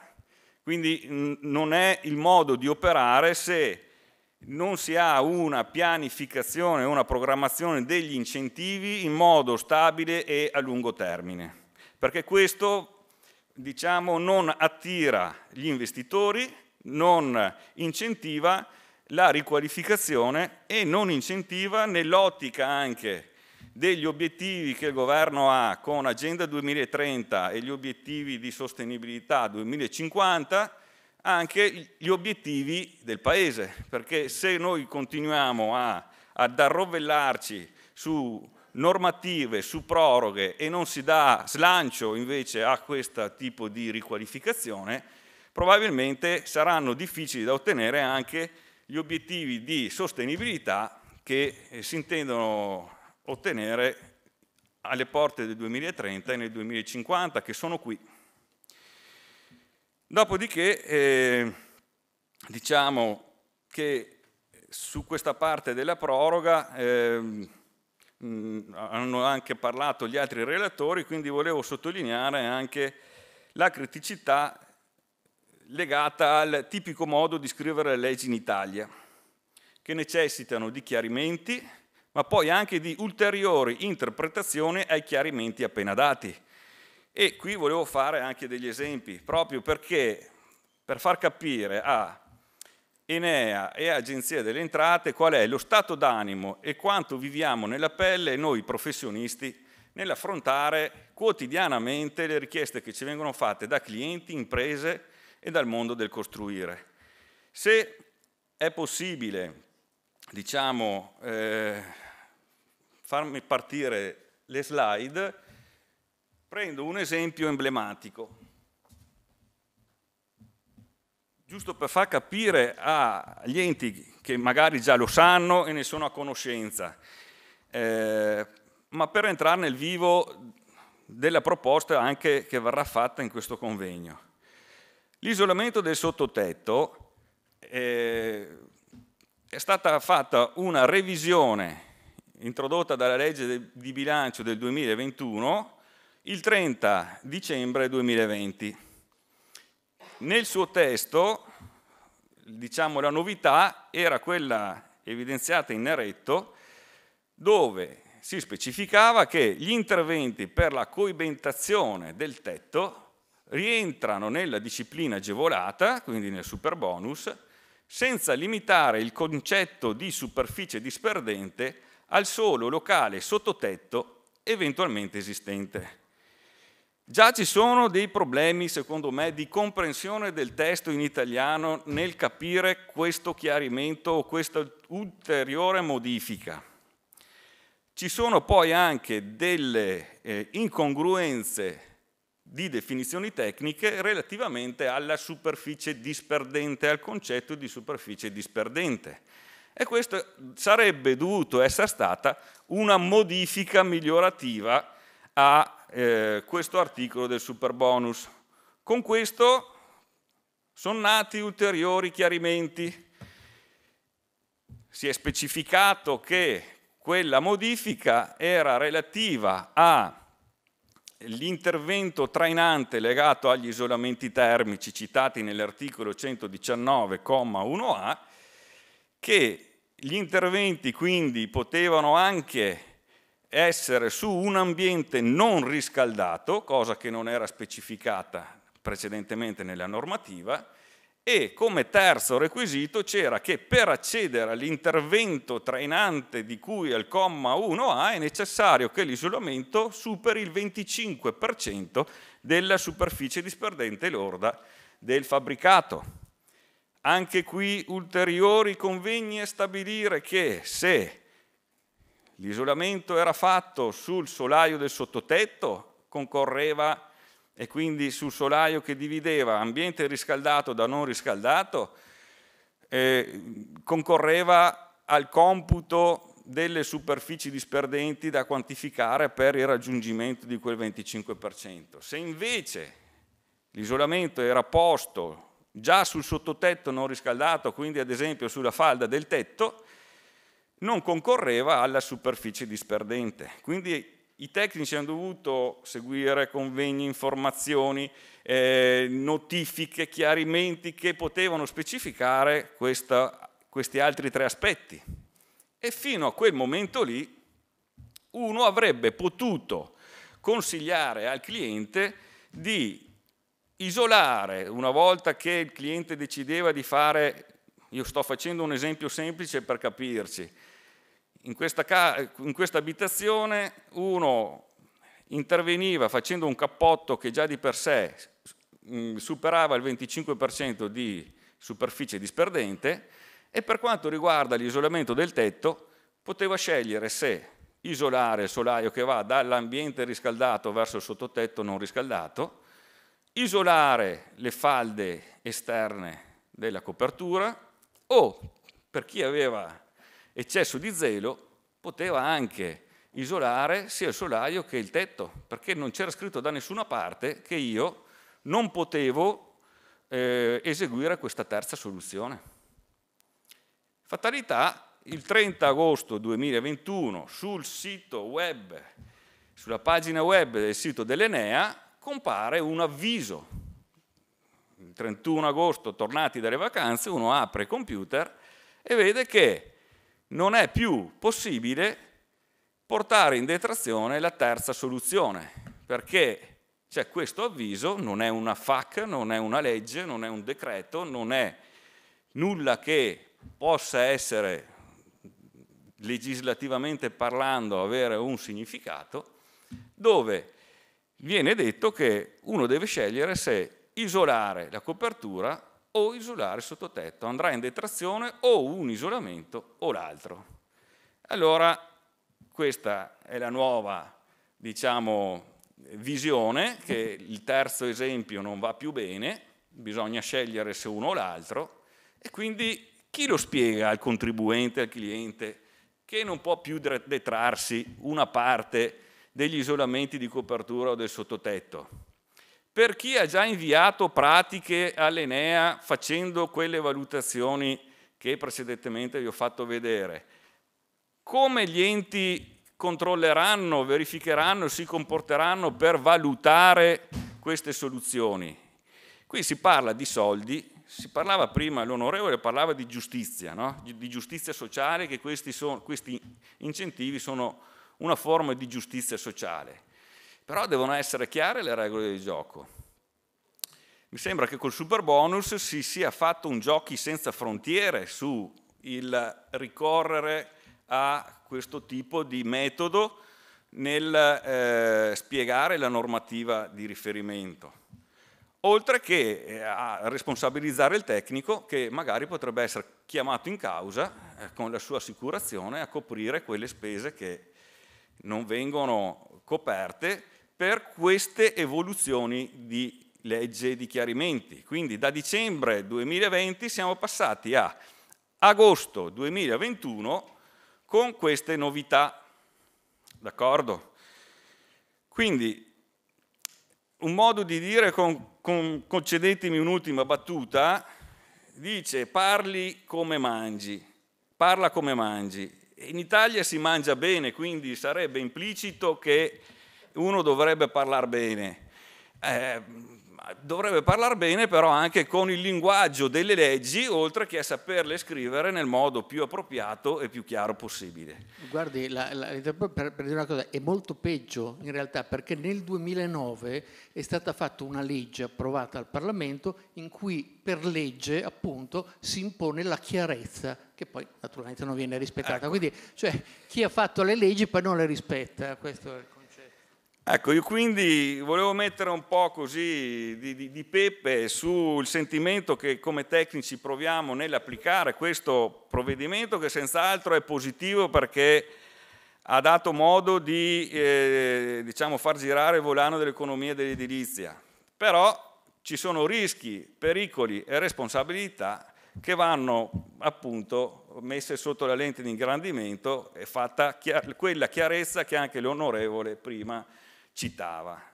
Lascio diciamo, eh, il microfono al prossimo relatore. La parola ai numeri, il paradiso degli ingegneri. Ecco qua, Federico della Puppa.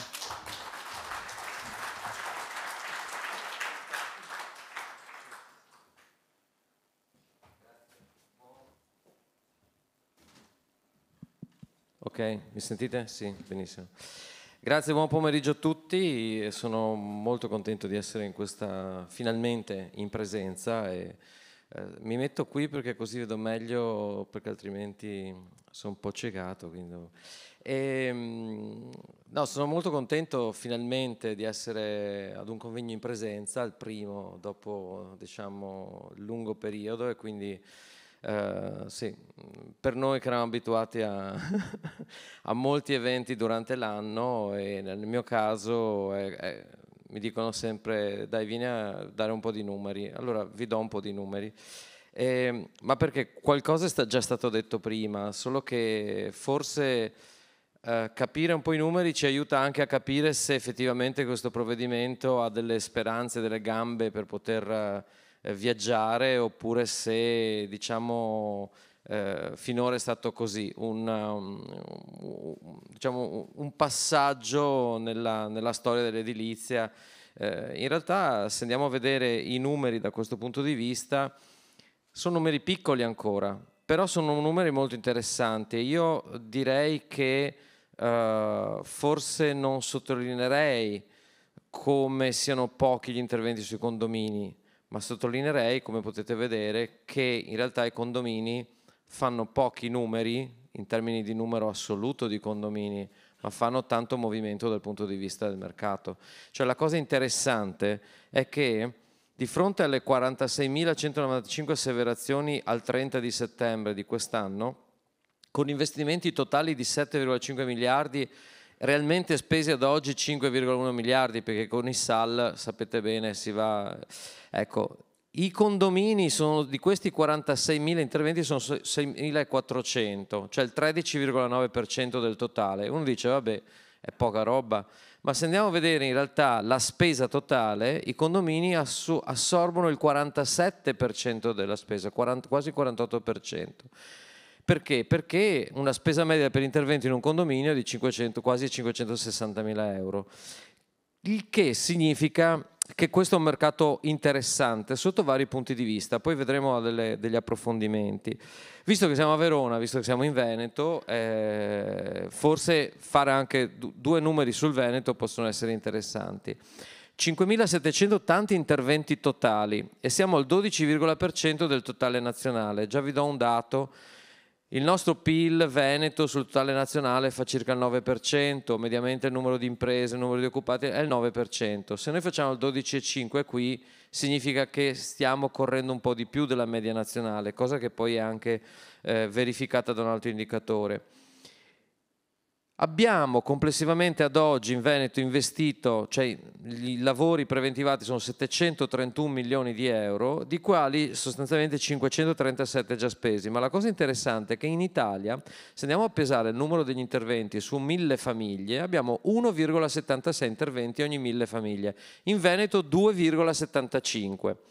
Come al solito la nostra regione di fronte a degli incentivi fiscali o volumetrici voi conoscete la Veneto 2050, l'ex piano casa Veneto, tanto per dirci, di fronte agli incentivi, allora il Veneto risponde sempre molto positivamente e in fretta e velocemente. E poi vedremo qualche altro dato interessante su questo. Però c'è anche al qualche altro luogo comune da sfatare, perché è vero che gli incentivi in questi anni sono stati utilizzati sopra i, i bonus, quelli normali, soprattutto nelle regioni del, del nord, nord-ovest, nord-est e centro, un po' meno al sud. Però guardate che di fronte all'incentivo del super bonus si è svegliato anche il sud e questo è interessante perché significa che è uno strumento che è stato capito, ma soprattutto alcune eh, diciamo, località del sud, in modo particolare le grandi città, hanno iniziato ad utilizzarlo perché lì hanno grandi condomini e grandi condomini vecchi e da questo punto di vista i dati positivi sono che al sud mediamente si spende un po' di più della media nazionale per singolo intervento e addirittura il Molise, che è questa fantomatica regione che non esiste, cioè scherzo ovviamente, no? cioè, di solito si dice no, il Molise non esiste, eh, eh, ovviamente una battuta, eh, cioè, lo ripeto, vorrei qualche molisano, eh, in realtà il Molise è la regione nella quale la spesa media per intervento sulle abitazioni monofamiliari, sulle villette, è la più elevata di tutta Italia. La media è 101.000 euro, in, Veneto siamo a 102.000 euro, in Molise 125.000 euro. Allora questo, ah, qua vedete dei numeri un po' piccoli, ma eh, dopo magari le, le, slide saranno disponibili, quindi le vedrete. Eh, però la, la cosa interessante è che se noi mettiamo in fila eh, e mettiamo, cominciamo a confrontare mese su mese il numero di asseverazioni, guardate che la crescita è esponenziale. Tra la fine di agosto e la fine di settembre più 24,4% le asseverazioni, quindi i cantieri, più 31,8% la spesa, cioè il volume generato.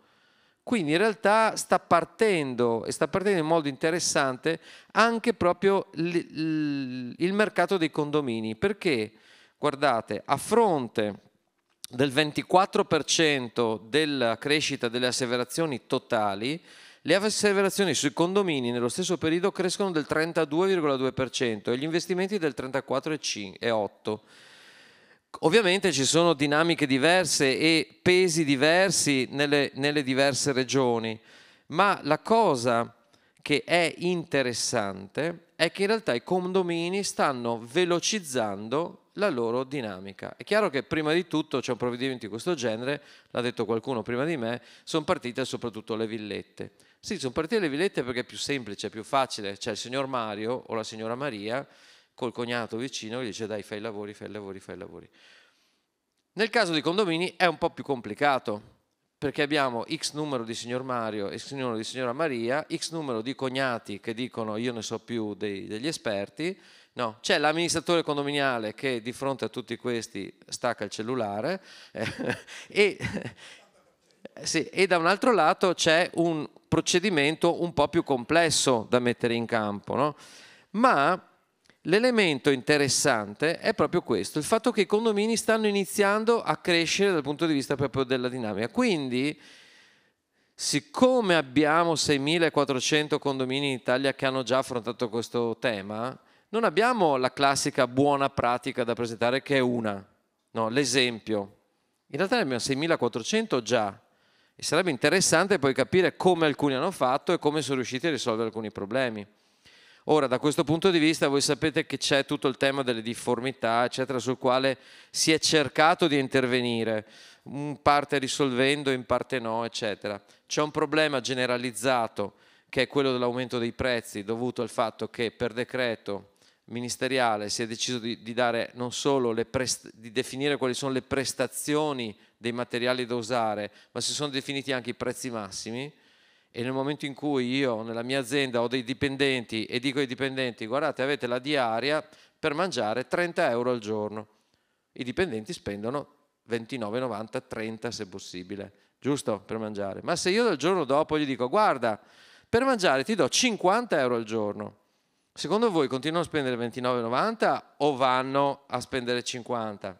È chiaro che questo è un meccanismo dove non si può imputare solo alla speculazione del mercato, eh, ci sono anche degli elementi dove, e concordo, parla come mangi, forse eh, ecco, qualche volta chiedere ai tecnici come funziona il mercato aiuterebbe anche a fu- far funzionare meglio le leggi da subito, anche se questa legge sta funzionando, guardate il, la, il numero di eh, investimenti, cioè la, la, la, diciamo, la, dimensione degli investimenti e soprattutto il numero degli interventi sono molto rilevanti in tutte le regioni. È chiaro, ogni regione c'è alcune piccole, alcune grosse.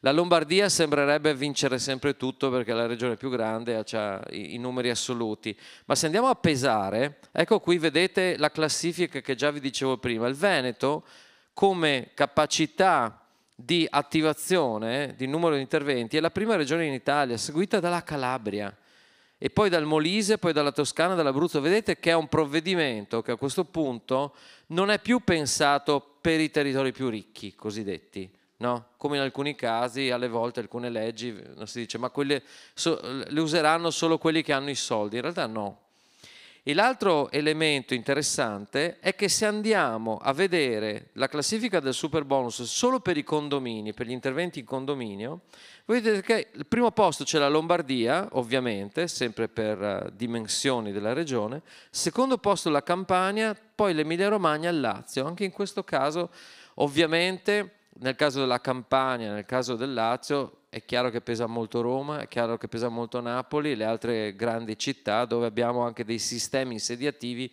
diversi da quello ad esempio delle, dei luoghi di urbanizzazione diffusa come il Veneto, ma come sono anche molte, molte aree di altre regioni. Ecco, tanto per dire, lì sotto vedete nel riquadro, in Veneto ad oggi comunque 200 milioni di euro di investimento solo nel super bonus 110% per i condomini. Non è poca roba. Sì, forse rispetto al totale del mercato delle costruzioni in Veneto può sembrare una goccia, secondo me è una goccia, è un bel bicchierino questo, perché considerate che mediamente abbiamo tra gli 11 e i 12 miliardi di investimento all'anno nelle costruzioni in Veneto, quindi ad oggi i 500 milioni rappresentano circa il 4-5% di crescita in un anno e non è ancora finito l'anno, arriveremo al miliardo. Quindi quelle crescite dell'8-10% del mercato che si diceva all'inizio dell'anno sono sicuramente raggiungibili. Significa più lavoro per tutti, ovviamente, ma significa anche eh, capire che dietro a queste opportunità in realtà la filiera deve organizzarsi, deve in qualche modo organizzarsi meglio, eh, sia dal punto di vista dei... perché il punto chiave, lo ricordo sempre, è che verranno fatti i controlli e oggi intervenire con que- fare interventi col super bonus significa ovviamente rispettare tutte le regole che ci sono date, ma significa che tra cinque anni l'Enea potrà bussare alla porta di casa del condominio e dire siamo venuti a vedere se il cappotto è da 8. Adesso scher- cioè. E se per caso l'impresa che ve l'ha venduto da 8 l'ha messo da 6, in realtà l'agenzia, quel, l'Enea chiama l'agenzia e dice oh, fatevi dare i soldi indietro, più tutte le multe che bisogna pagare, essendo il super bonus moneta fiscale, cioè genera la cosiddetta moneta fiscale, che non è un termine, cioè lo uso io, eh, cioè non, ehm, perché con la cessione del credito, eccetera, abbiamo creato un sistema dove noi con, diciamo, contrattiamo no, bonus fiscali, io cedo a lui un credito, lui cede a lui un altro credito e questo elemento ovviamente ha a monte che cosa? non il fatto che dobbiamo avere i soldi in tasca, ma il fatto che dobbiamo avere fatto bene i lavori che abbiamo dichiarato che erano stati fatti bene.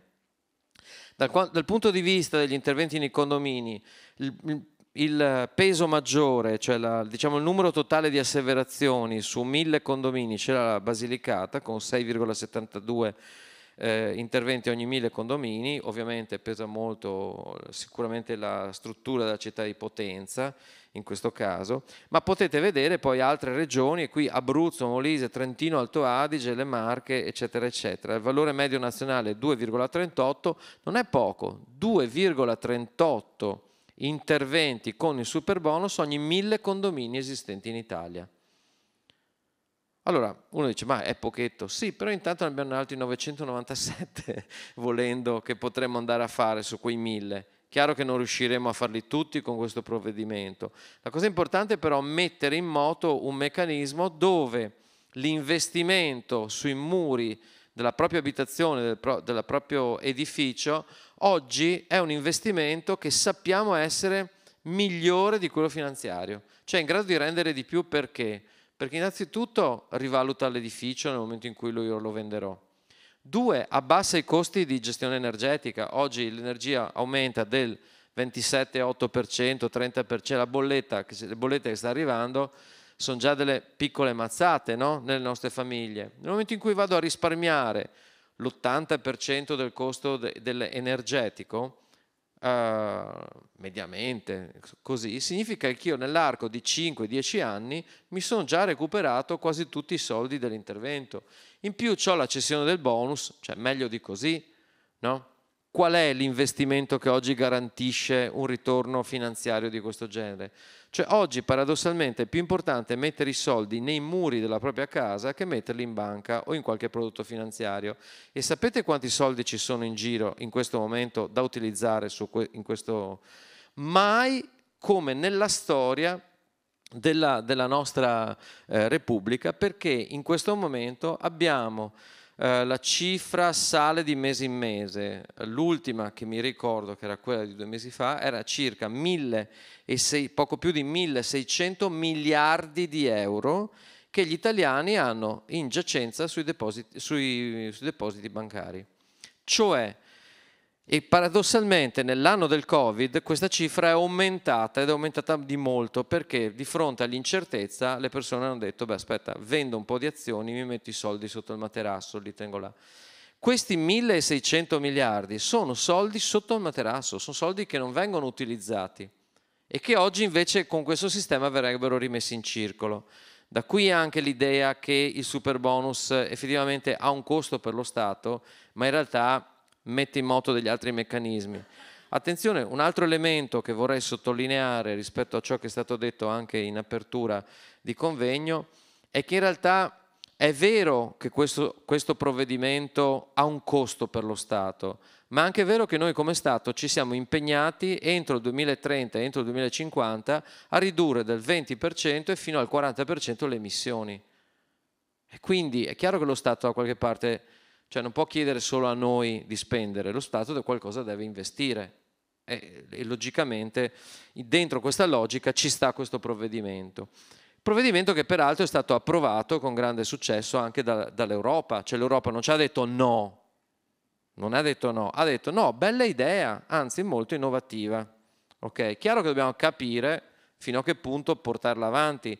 Io sono d'accordo che probabilmente il 110 adesso lo usiamo un po', che è una, una buona partenza, poi diamo tutti al 75 che comunque è conveniente lo stesso. Però dateci il 75 per sempre, questo è una, una, un elemento sul quale tutti dobbiamo concentrarci. Ecco, se mettiamo gli interventi sulle unifamiliari e interventi sui condomini a confronto, qui abbiamo i vari pesi, le varie cose, vediamo che addirittura il Veneto sugli unifamiliari rispetto alla media nazionale di 3,6 interventi ogni mille unifamiliari, noi siamo a 4,38, ne abbiamo tante, villette eccetera. Ma dove il Veneto primeggia, in una classifica particolare. l'altro caso, quello delle unità immobiliari funzionalmente indipendenti. Classica casetta eh, di tre appartamenti, quattro appartamenti, tre appartamenti, dove ognuno ha il proprio contatore, il proprio gas, eccetera. No?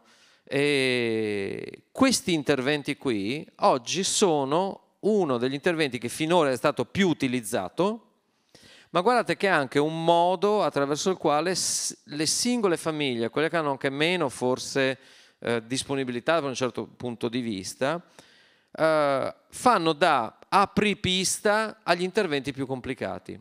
Per quello dico che la dinamica dei condomini è interessante vederla adesso, perché significa che se mia zia o mio cugino, il famoso cugino, no, ha eh, fatto l'intervento a casa sua in una condizione di questo genere, è chiaro che me lo dice e il passaparola per come funziona, io che abito in condominio a quel punto comincio a dire al mio dirimpietario, ma hai letto questa cosa? Guarda, c'è la possibilità, eccetera.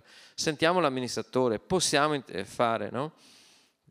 E questo è un meccanismo che eh, oggi troviamo non solo sui super bonus, ma ad esempio sul bonus facciate cosa che peraltro eh, sta facendo sì che tra super bonus e bonus facciate in questo momento in Italia non ci sono ponteggi.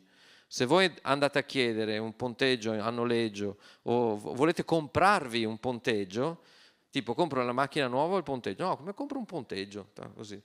Ecco, voi andate, no, non ci sono ponteggi, né a noleggio né... cioè in questo momento non si trovano, perché non eravamo pronti a un boom di questo genere e chiaramente non era possibile pensarlo.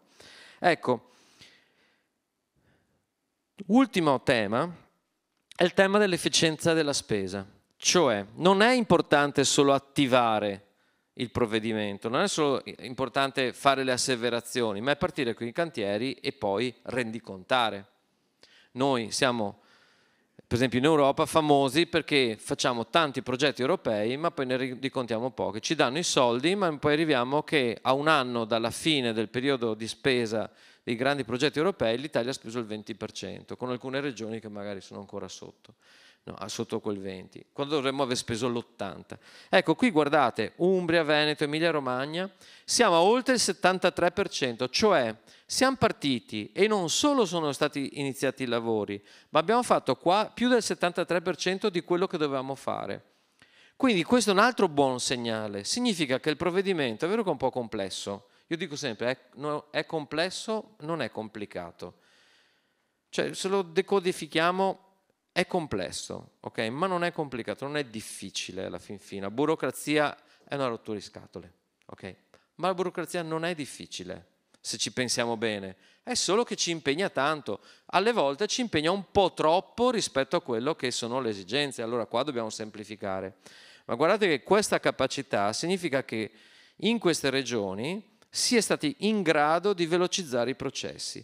Allora qui direi che eh, la cosa interessante sarebbe proprio andare a imparare da chi sta facendo, da chi sta facendo bene. Se pensate che in Veneto comunque, visto che siamo qua, abbiamo ad oggi 389 condomini che hanno utilizzato questo sistema, voi dite ma poca roba. Oddio, in Veneto abbiamo poco più di 500 comuni, significa che diciamo, non dico che un condominio per comune c'è, ma ci stiamo avvicinando, significa che nel mio comune probabilmente un condominio che ha fatto questi lavori c'è. Quindi c'è uno, devo andare a cercarlo e dirgli come hai fatto. Chiudo perché sono stati presentati dei dati anche prima su un'indagine, su, però erano 39 intervistati, eccetera. Noi con un osservatorio che personalmente coordino, è sul mercato delle costruzioni del Veneto, ogni tre mesi intervistiamo 600 imprese di costruzione. La cosa interessante che è emersa in queste rilevazioni che abbiamo fatto quest'anno, questa è l'ultima, la del secondo trimestre, guardate che chi è già partito con i cantieri sono quasi un terzo delle imprese, no? circa il 28%, ma, cantieri col super bonus, ma sono soprattutto le imprese più strutturate. Guardate, un'impresa su due di quelle con più di sei addetti sta lavorando. Quindi questo è un provvedimento che necessita organizzazione e necessita molta organizzazione. Non si può pensare che sia la piccola impresa fatta da due, tre dipendenti che può risolvere questo problema, perché c'è bisogno di struttura. C'è un'altra cosa eh, che è interessante, è che nel mercato ancora è presente una forte percentuale di soggetti che fanno domande ma non fanno partire i lavori. Cioè c'è ancora un po' di incertezza e l'incertezza il cliente a chi è che ve la va a chiedere? A chi conosce, all'impresa, al geometra, all'amministratore, a, ai soggetti che pensa di, che siano esperti in questo senso. Appena uno dice ma io questa cosa la conosco, No, infatti io quando sono mm, so, a tavola, eccetera, sto zitto, non dico mai niente, perché sennò praticamente sono tutte le domande, ma come funziona? E, fa, e, ti fanno le domande, ma io, allora arrivano col foglietto disegnato, così, ma io ho una casa fatta così, qua c'è mia zia, così, ecco. Allora, chiudo su questo. Dobbiamo essere tutti molto più informati, molto più consapevoli sulle opportunità della norma, su come funziona. Certamente non possiamo sapere a memoria tutte le risposte degli, inter- degli interpelli dell'Agenzia delle Entrate, cosa che oggi sta diventando diciamo, quasi la normativa ufficiale. No? Però è anche vero che oggi se io so dove andare a informarmi posso trovare la risposta. Magari non la so subito, però per tutto ciò che è di fronte a me, il condominio fatto in certo modo, la casa con la piccola difformità, posso alle volte trovare del, degli elementi. Se non li trovo, la cosa principale è alzo il dito e faccio la domanda, faccio l'interpello, chiedo. Le risposte ci sono, molte verranno date anche tra un po' e penso che la cosa importante in questo momento sia proprio questo, far girare le informazioni, far girare qualche numero e anche qualche riflessione. Grazie per l'attenzione. Abbiamo detto, abbiamo detto che questo è un convegno che fa proposte ma fa anche delle richieste e alcune le farà Alessandro Pisanu che oltre a essere un ingegnere ha anche il vantaggio di conoscere da vicino il mondo del condominio, quindi ha una marcia in più. Grazie. C'è qualche slide delle mie?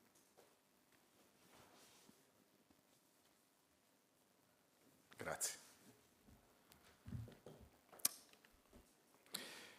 Allora, buongiorno a tutti.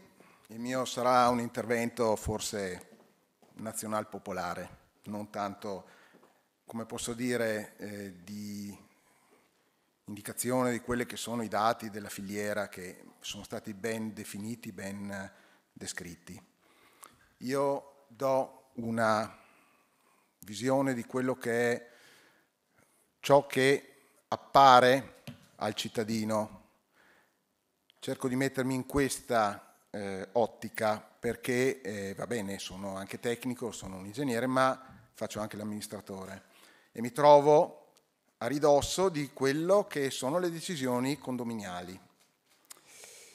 Allora, ovvio, in questo abbiamo visto, ci sono eh, numeri interessanti, numeri che danno eh, valori eh, positivi alla, alla filiera, è altrettanto vero che vi sono alcune problematiche in essere. Una, quella che affrontiamo come, come, ingegneri, come tecnici, quella delle norme in continua evoluzione, quella di continui chiarimenti che arrivano da tutte le parti, siamo bombardati dai chiarimenti, dalle pubblicazioni, talvolta anche in contraddizione l'una con l'altra, dalle famose FAC che ci andiamo a vedere a destra e a sinistra, e poi abbiamo anche questo terreno che è in qualche maniera un terreno molto molto friabile perché è quello delle scadenze. Allora, le scadenze, noi vediamo i numeri che dava prima il dottor Dalla Pupa, che sono ad esempio sui condomini 6.406 a livello nazionale. I condomini sono circa 1.200.000.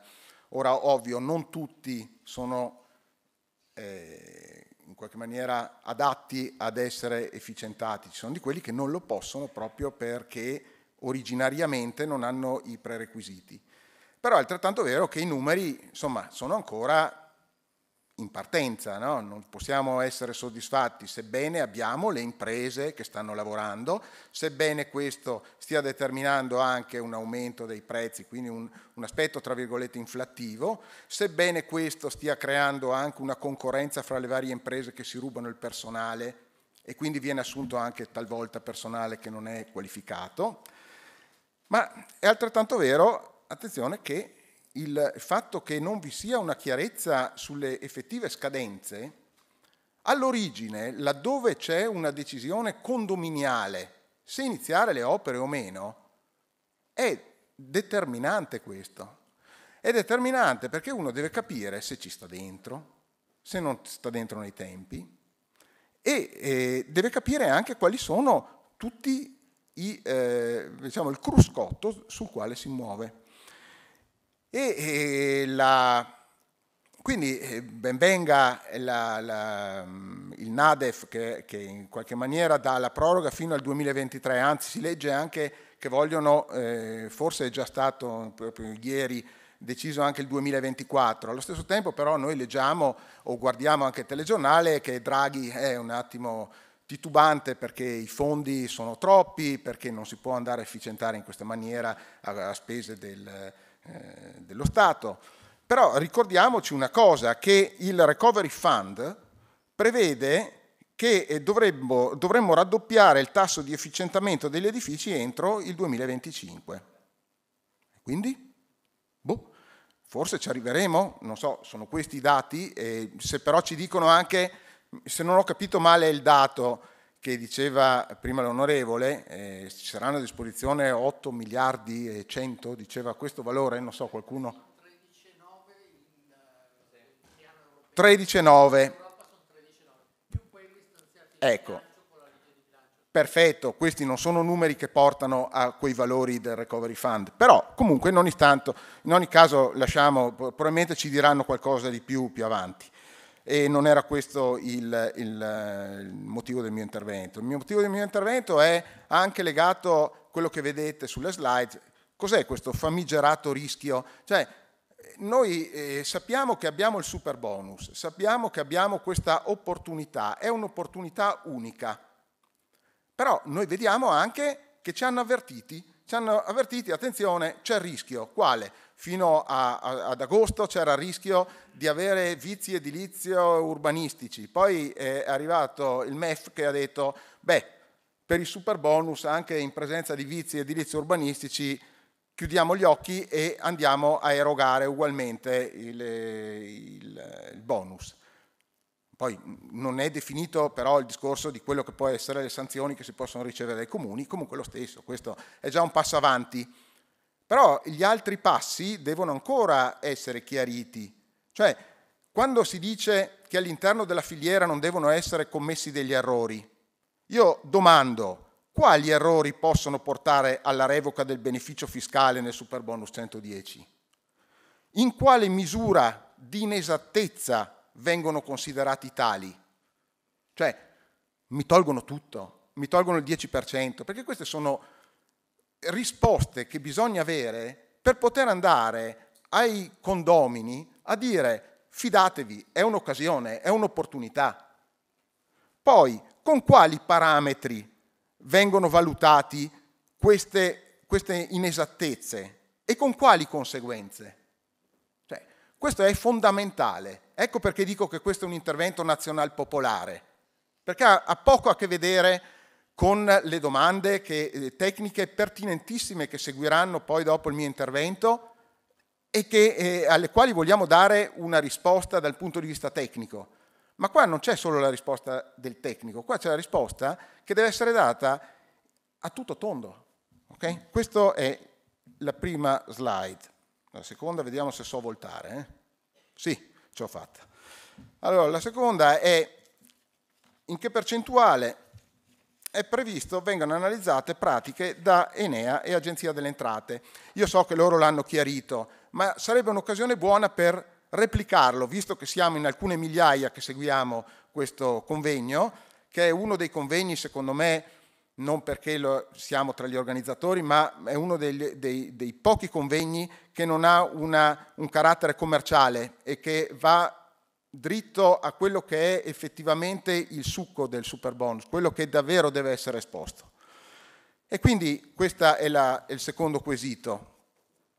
E il terzo quesito, eccolo qua, le pratiche già presentate, pratiche di super bonus, no? Già presentate prima dei chiarimenti che via via si stanno susseguendo tramite FAC o altre fonti? Come verranno considerate se alcuni contenuti risultino difformi da quanto successivamente ivi chiarito? E questa è una domanda secondo me fondamentale. Cioè, dal, il, il super bonus c'è dal primo luglio del 2020. Io vedo, non so, per chi legge Sole 24 ore, veramente ogni, ogni due o tre giorni mi vedo il bollino, quello verde e rosso con scritto 110 e Dio mio trovo continuamente cose che mi danno delle risposte ulteriori. Allora io mi domando, chi ha operato dal primo di luglio e magari ha già presentato la domanda e poi si scopre adesso in una delle FAC, oh porca miseria ho sbagliato, che cosa fa? Cioè gli viene tolto tutto? Non gli viene tolto? Cioè queste sono le cose che secondo me con chiarezza devono ricevere una risposta. Guardo se ho finito un attimo. Sì, l'ultima cosa, considerazione, quale sarà il destino di eh, questa filiera al termine del super bonus. Perché è vero che questo sta dando una fiammata, è altrettanto vero che di fiammate, con le fiammate, se facciamo un paragone molto, molto proprio nazional popolare, se io faccio una grigliata, spero che la carbonella un po' alla volta prenda fondo e poi dopo mi cucini bene la carne.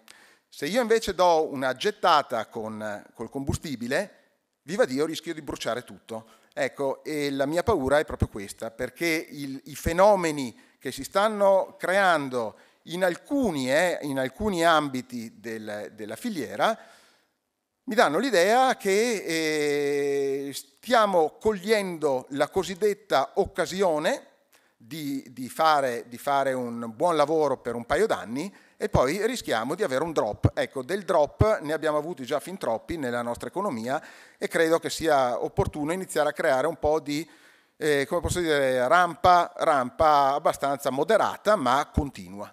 Grazie, ho finito. Grazie. Per, per, quanto riguarda, io direi che gli, gli argomenti sono stati molto stimolanti, per quanto riguarda l'aspetto quattrino, bisogna rifare il punto. Io non sono, eh, come dire, non conosco la, l'onorevole che è intervenuta prima, quindi faccio interpreto il pensiero, ma come dire, da quanto ho sentito prima. Eh, quando c'è stato il lockdown, un anno e mezzo fa, vi ricordate tutti fermi, tutti a casa, chiusi, ecco purtroppo. Allora, il governo ha avuto l'idea di aumentare quelli che c'erano già, cioè i bonus casa, che per i condomini arrivava, se non ricordo male, fino al 75%, e cioè facciamoli fino al 100%, anzi qualcosa in più, perché così le banche danno i soldi e ci guadagnano qualcosa.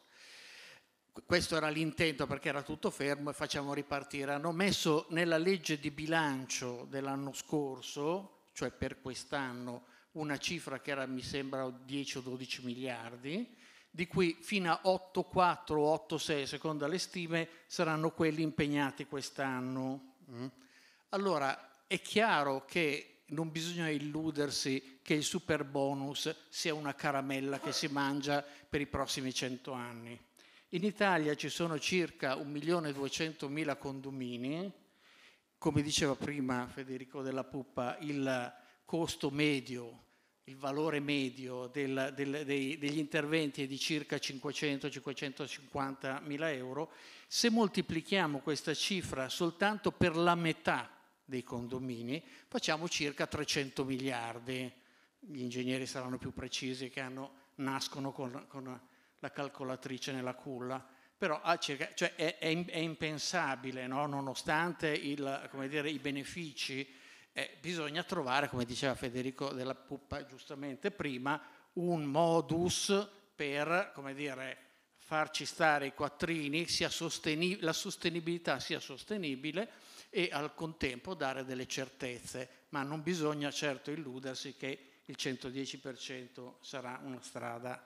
Comunque diciamo che l'ingegnere Pisano ha posto un sacco di interrogativi, io adesso passo la parola invece a Elena Mazzola e Giordano Contin, due ingegneri che porranno altri, altre domande per Enea e Agenzia delle Entrate.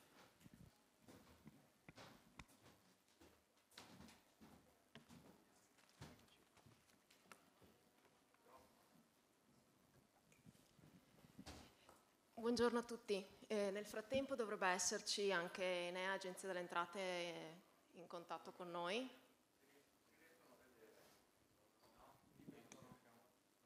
Sì, mm, perché l'idea era quella che il nostro intervento sarebbe stata una serie di quesiti eh, posti direttamente sia a Enea Agenzia delle Entrate. Questi quesiti sono stati raccolti eh, negli ultimi mesi eh, nostri, dalle nostre commissioni eh, tramite i nostri colleghi. Vi segnalo già che non sono nessun quesito ordinario, quindi non ripasseremo trainanti, trainati, eh, quello che ormai sappiamo e è da un anno che parliamo, ma invece sono quesiti che secondo noi hanno bisogno di un approfondimento perché magari il chiarimento o l'interpello non, ancora, non ci hanno ancora convinto, diciamo così. Partiremo da quesiti un po' più semplici, fino ad arrivare a dei quesiti un po' più complessi che riguardano invece le tempistiche e anche le asseverazioni e la compilazione della pratica Enea, quindi molto pratico. Eh, partirei con il primo quesito, se sono in collegamento. Ci siamo? Ah, perché... Sì, sì, ci siamo. Ecco, perché eventualmente c'erano anche i quesiti dell'ingegner Pisanu da rispondere. Era per quello non volevo passare oltre con i nostri più tecnici.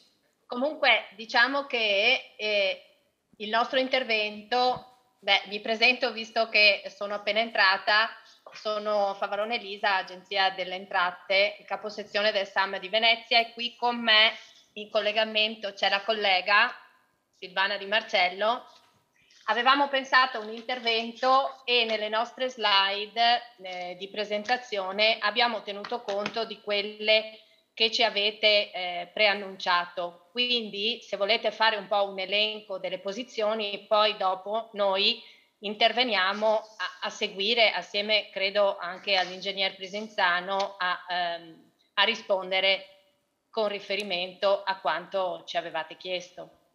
Ok, allora esponiamo tutti i quesiti, poi in caso... Sì, l'idea era questa. Nel momento in cui darete la risposta, se abbiamo bisogno di ulteriori chiarimenti, in caso vi chiediamo. Certo. Allora, eh, partiamo, eh, le, se mi date le slide, per favore.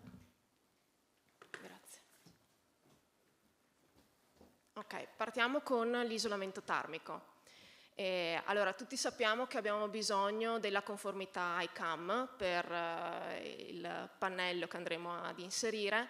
Chiediamo però di rassicurarci un po' su quelli che sono i tipi di certificazione che noi dobbiamo andare a controllare e quindi a chiedere al, alla ditta fornitrice e al forni, eh, quindi al fornitore e alla ditta installatrice. Mi riferisco soprattutto al fatto che spesso vengono date delle schede tecniche ma vi ricordo che la scheda tecnica arriva direttamente dalla ditta e quindi è essa stessa a crearla e quindi non sempre eh, riporta quello che effettivamente è il materiale. Non voglio fare cattiva pubblicità a nessuno, però insomma eh, il tecnico è giusto che sia conscio di questa cosa e quindi chiediamo anche a Enea quello che eh, poi ci verrà richiesto nel momento in cui farà il controllo e poi di poter fare degli esempi di costi ammissibili. Vedete l'immagine, eh, è un, esempio, eh, immaginate un edificio unifamiliare, eh, abbiamo una soffitta non riscaldata e un garage sottostante, è chiaro a tutti che l'isolamento della porzione riscaldata è compresa nel super bonus, avremo una porzione dovuta alla soluzione del ponte termico che vedete in verde, Chiediamo però cosa fare nella parte con il punto di domanda, cioè eh, per terminare la parte del sottotetto io non ho, non ho la possibilità di eh, finire in quel modo, ma ho bisogno di prolungarlo fino al colmo del tetto e se posso detrarre poi al 50% per la parte non riscaldata. Sembra quest'ultima una, un quesito semplice, in realtà vi ricordo che con la CILA Super Bonus sarà necessario richiedere e fornire al comune due pratiche separate, una per solo ciò che dovrà andare nel 110 e tutto ciò che è estraneo. Quindi ad esempio quella porzione che andrà al 50% dovrà andare con una pratica parallela. Prossimo quesito. Sì, poi tutta una serie di quesiti eh, riguardo al fotovoltaico e alle batterie di accumulo, quindi eh, li elenco, poi magari quando risponderà cercherò di ehm, capire un attimino meglio rispetto a, a quanto eh, anche la risposta penso di eh, Enea. Eh, la prima è se è possibile eh, fare un secondo impianto fotovoltaico, se vi è un altro impianto esistente e cosa cambia se quest'ultimo è incentivato. Chiaro che anche qui ci sono già delle risposte, ma magari cerchiamo un po' di far chiarezza. Poi eh, la, volevamo chiedere se l'attuale eh, normativa prevede l'obbligo delle linee vite per ottenere super bonus e, e, magari anche qui cerchiamo di fare qualche esempio laddove magari è anche eh, contestuale con eh, un uh, cappotto e quindi c'è già eh, un'impalcatura eh, il caso una, eh, in caso della sua installazione se è possibile inserire il suo costo tra le spese eh, del fotovoltaico. E inoltre se è possibile ottenere il super bonus su batterie d'accumulo su impianti già esistenti e eh, se è possibile installare batterie di accumulo successivamente alla chiusura del super bonus. Qui mi riferisco anche a, una, diciamo, eh, a quello che è scritto, cioè contestuale o successiva di sistemi di accumulo, eh, già, eh, la frase che è scritta diciamo, sulla, mh, sulla legge. E, ehm, e, dopo per ottenere lo sgravio fiscale del super bonus è necessario avere l'allaccio dell'impianto ed aver ricevuto comunicazione di, eh, di avvenuto ottenimento del regime eh, di cessione parziale da parte del eh, sì, scusate, eh, ottenimento del regime di concessione parziale da parte del GSE oppure, per ottenere, eh, oppure se per ottenerlo è sufficiente allegare la richiesta di cessione parziale. Qui mi riferisco a una cosa che eh, purtroppo anche noi tecnici dobbiamo un po' viaggiare a, non solo sui siti ufficiali, ma è una risposta questa che è stata data sul telefisco dall'Agenzia delle Entrate in cui eh, chiarisce che eh, l'allaccio, quindi la fine dei lavori del, eh, de, del fotovoltaico sono eh, avere il, il, possesso della comunicazione e accettazione da parte del GSE, dell'istanza. Da, sì, dell'istanza. Eh, poi successive. Eh, la faccio sempre io, scusate. Ehm, poi sulla sostituzione dei, dei generatori in quale massimale rientrano i, eh, i, cambi del sistema di emissione e qui mi riferisco anche e soprattutto diciamo, al condominio. Eh, no, scusate. Ehm, quindi, eh, ad esempio, eh, alcuni casi pratici, un condominio che mh, mm, sostituisca il generatore condominiale, eh, se chi eh, vuole sostituire il proprio sistema di emissione internamente alla propria abitazione abbia eh, anche questi costi ammissibili al 110 e lo sviluppo è se vuole passare ad esempio da eh, sistemi di emissione a radiatori a sistemi radianti, che anche questo sappiamo che aumenta l'efficienza dei, dei generatori piuttosto che altri casi specifici che magari mentre eh, parliamo direttamente con ehm, Enea proviamo a, a porre.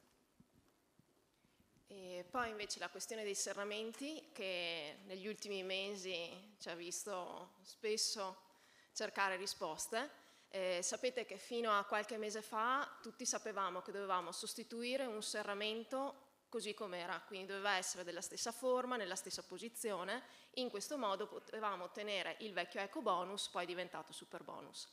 Agenzia delle Entrate con questa risposta, la 524 del 2021, dice invece che l'importante può essere eh, anche che spostiamo i serramenti, li cambiamo completamente, l'importante è che la situazione ante opera veda del, una superficie totale dei serramenti che sia più grande di quella che invece viene sostituita alla fine.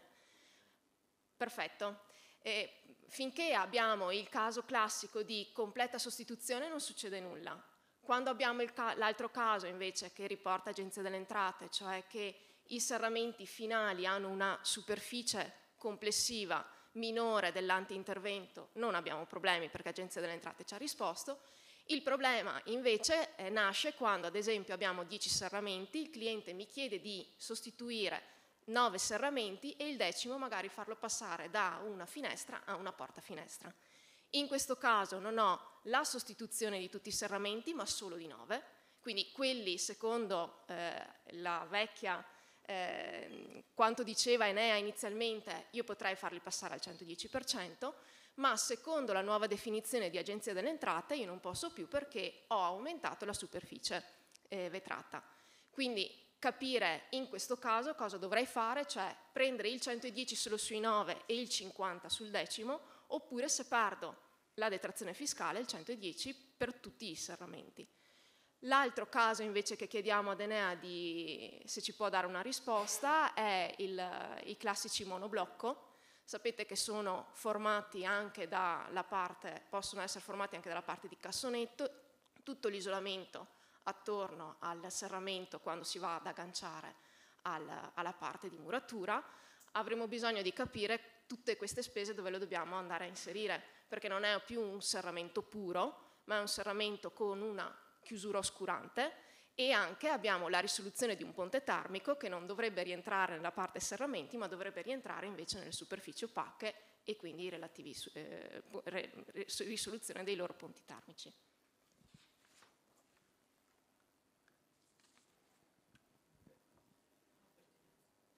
Un'altra domanda, questa penso che risponderà l'Agenzia delle Entrate, invece è eh, con un intervento di sisma bonus ed eco bonus sullo stesso edificio. Eh, la domanda che ci poniamo è se parte dell'incentivo del super bonus eh, sia possibile riceverlo terminati i lavori di sisma bonus che solitamente chiaramente sono i primi a finire trattandosi di struttura e eh, magari con la data del collaudo e capire se, eh, come fare nel caso, anche perché diciamo quella che tanti di noi, mh, eh, tante, mh, una cosa che noi vorremmo sapere è eh, abbiamo un intervento combinato, possiamo con quello che riceviamo del sisma bonus poi girarlo sull'eco bonus per andare avanti, c'è questa possibilità, non c'è, è, è escludibile a priori oppure c'è la possibilità. E questa è un po' la domanda, poi casomai eh, ne approfondiamo. E... Sì, poi invece per la parte di pertinenze, anche qua negli ultimi mesi ci sono stati un po' di cambiamenti. L'ultimo è con un chiarimento del 6 ottobre, quindi è molto recente, eh, in cui Agenzia delle Entrate dava delle risposte per valutare poteva, quali potevano essere i moltiplicatori dei vari massimali. E quindi qui chiediamo di, eh, chi, di chiarire, e quindi soprattutto Agenzia delle Entrate, di chiarirci per i singoli casi, quindi edificio unifamiliare, eh, condominio minimo fino al condominio vero e proprio, e anche se ci siano dei requisiti per poter avere questo moltiplicatore, perché si era discusso solo se le pertinenze sono all'interno della sagoma dell'edificio, poi invece potevano essere anche esterne ma all'interno dello stesso lotto. Quindi chiarire che cosa noi dobbiamo controllare effettivamente e se ci sono dei casi invece che dobbiamo escludere a priori come sembrava dovesse essere ad esempio quello degli edifici unifamiliari che non potevano avere altri moltiplicatori.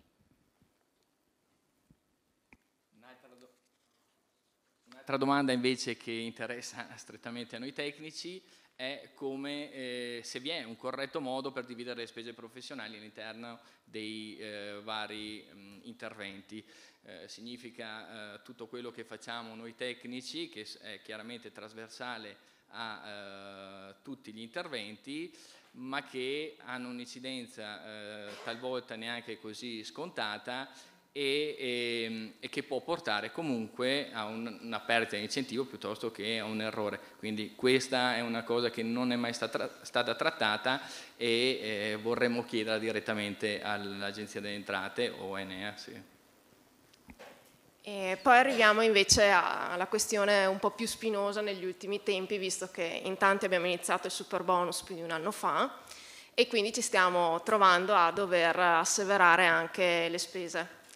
Eh, tutti ormai insomma, sappiamo che dobbiamo prendere il prezzario DEI o il prezzario regionale, eh, i quali, soprattutto il prezzario DEI, viene semestralmente aggiornato. Siccome eh, l'intervento del super bonus non è una cosa che inizia e finisce in qualche mese, ma spesso ci vogliono anche un anno, un anno e mezzo, eh, molto probabilmente il tecnico si è trovato a valutare i preventivi con un prezzario e magari nel momento in cui farà l'asseverazione avrà un nuovo prezzario, magari due edizioni successive. Quindi abbiamo l'esigenza di capire intanto se quello che noi avevamo valutato inizialmente può comunque andare bene, dimostrando magari che i preventivi erano arrivati un anno fa e quindi noi li avevamo valutati con quel prezzario DEI. Nel caso invece se dobbiamo utilizzare l'ultimo prezzario nel momento in cui noi facciamo l'asseverazione e qual è il metodo di controllo che farà Enea, siccome è un file che noi inviamo nel momento dell'asseverazione, se dobbiamo inserire che tipo di prezzario abbiamo fatto e di quale edizione, perché appunto dovremo spiegare com'è che noi pensiamo che siano congrui quei prezzi che abbiamo inserito.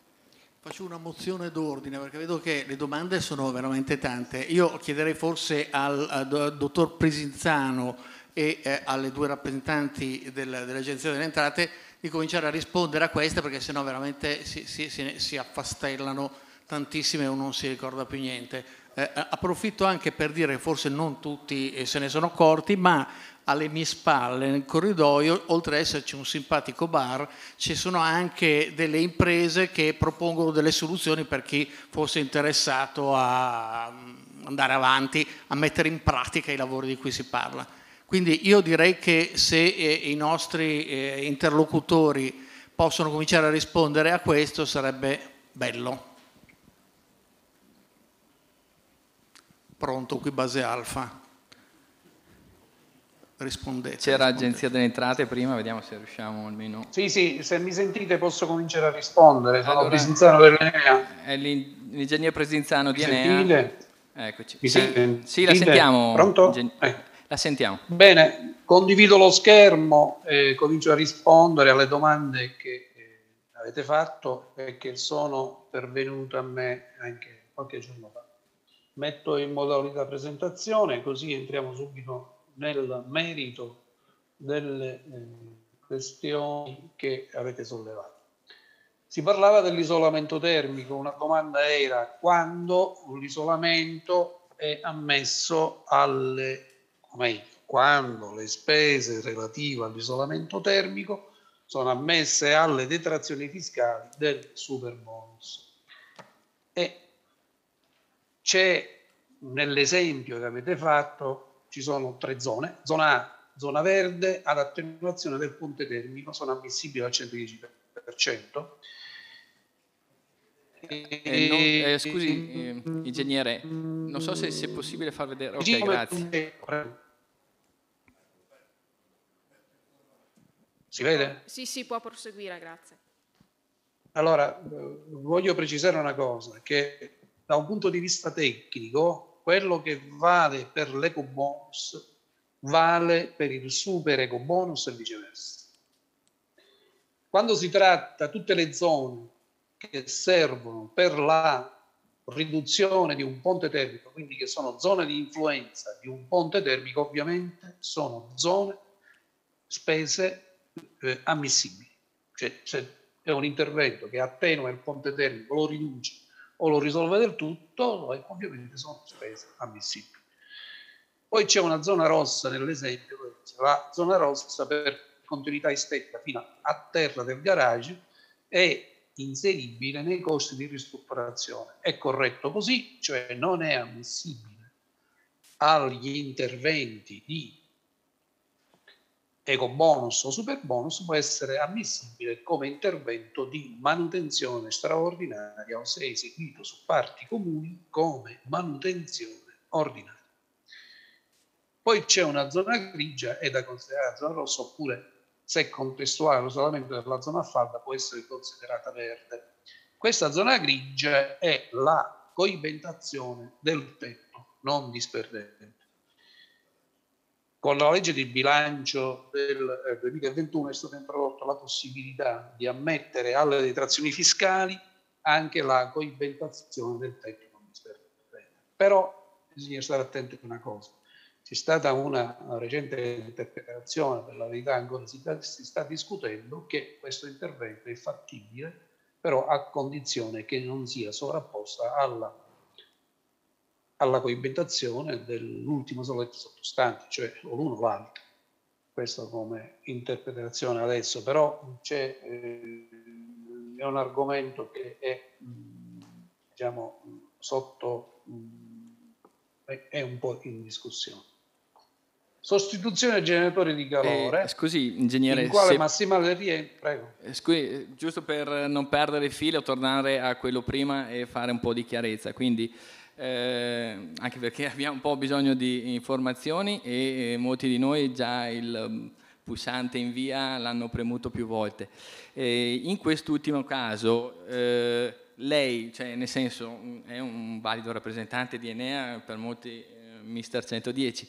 Eh, la parte grigia, laddove contestualmente ha una superficie pond, quindi quella superficie, eh, l'isolamento del tetto su sottotetto non riscaldato, lei la considererebbe all'interno dei costi ammissibili, laddove chiaramente non è ancora stato chiarito, o, o avrebbe qualche allora, remora?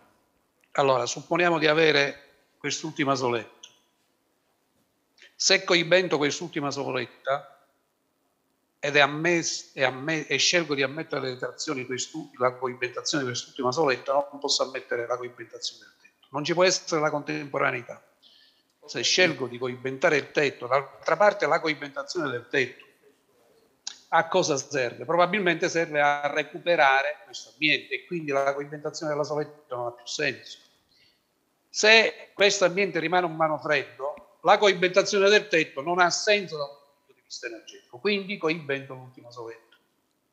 Siccome sono interventi di efficienza energetica, la coibentazione di entrambi contemporaneamente non ha granché senso. Quindi chiaro qual è il discorso. Fermo sì, restando una condizione che l'intervento della coibentazione, questa superficie di coibentazione di una parte che inizialmente non è dispertente, non contribuisce, non viene calcolata nella superficie per verificare che si raggiunga la condizione che il 25% della superficie complessivamente dispertente sia raggiunta la mia... stato chiaro? Sì, sì, sì, certo. La domanda era però, laddove non vado a isolare eh, la soletta che dà sul vano non riscaldato, ma uso eh, la pond, diciamo. È ammissibile. È, ammissibile secondo lei?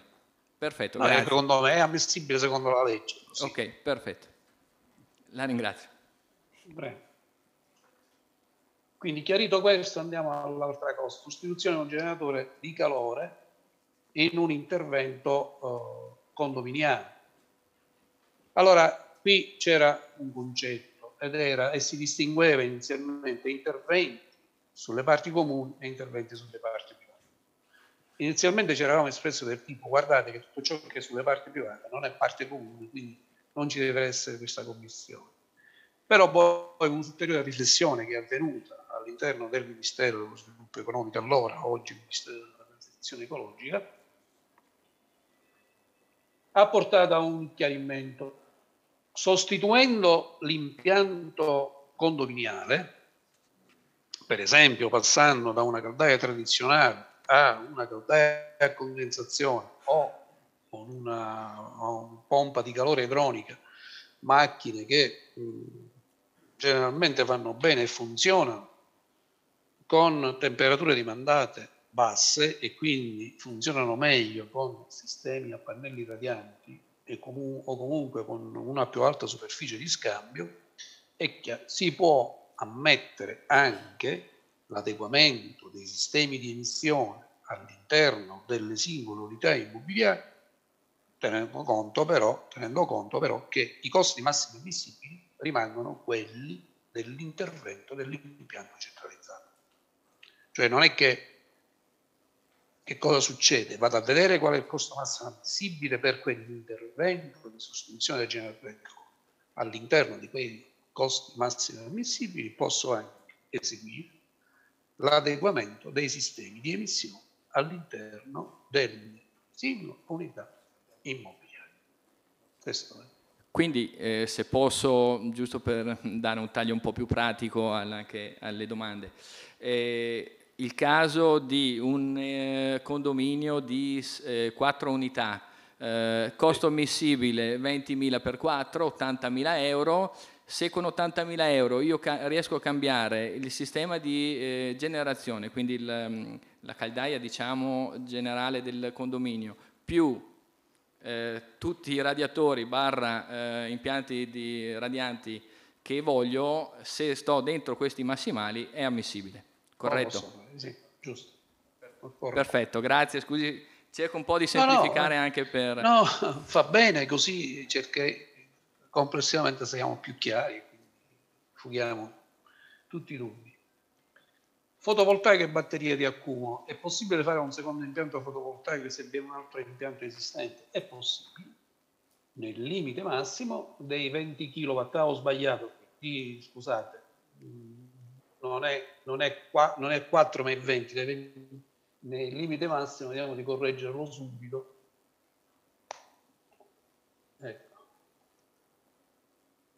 Ehm, di, dei 20 kW di picco di potenza complessiva e nei limiti previsti dai commi 5 e 7, cioè seguendo la regola generale che eh, finanzia gli impianti fotovoltaici.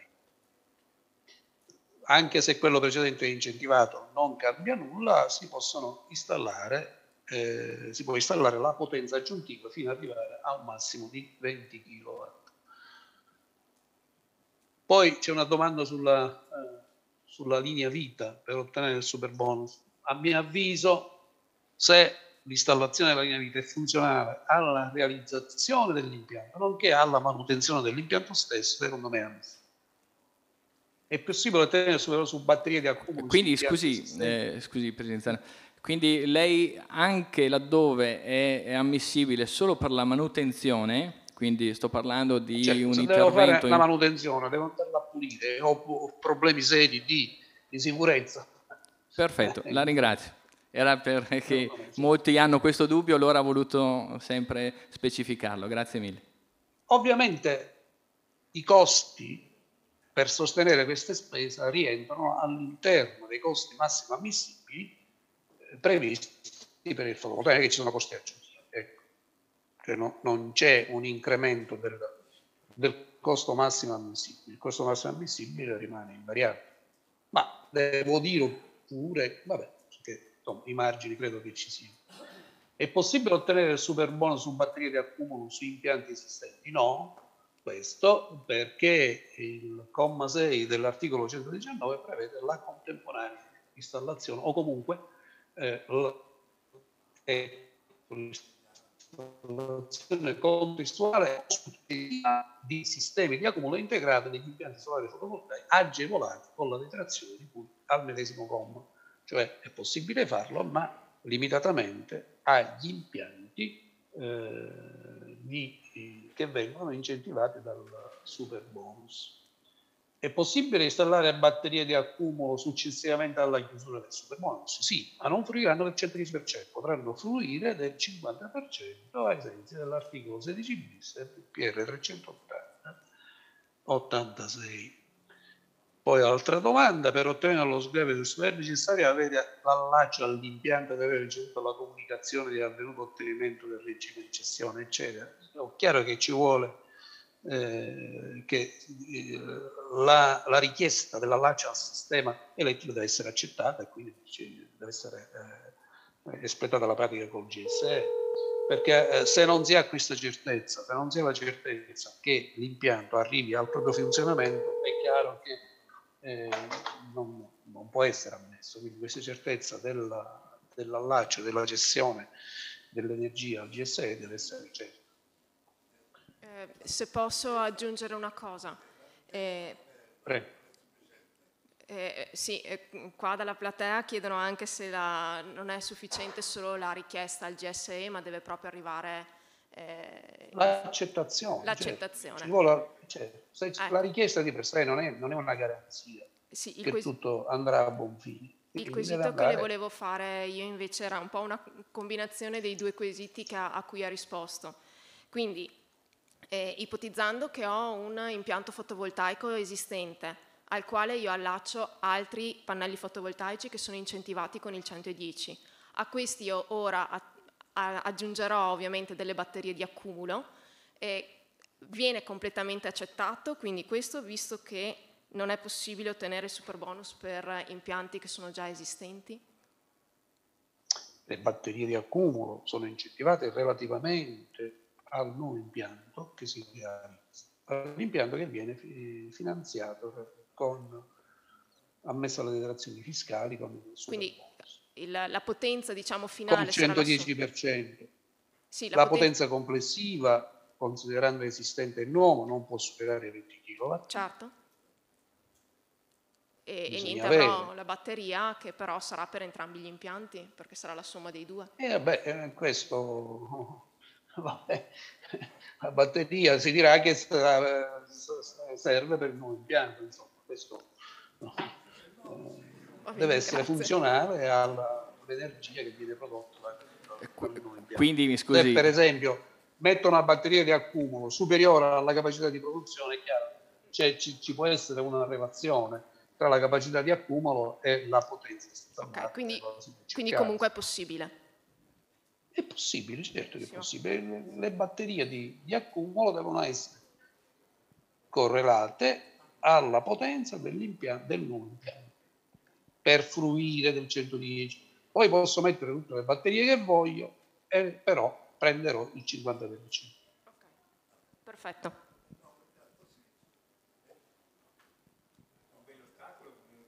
Per quanto riguarda serramenti infissi,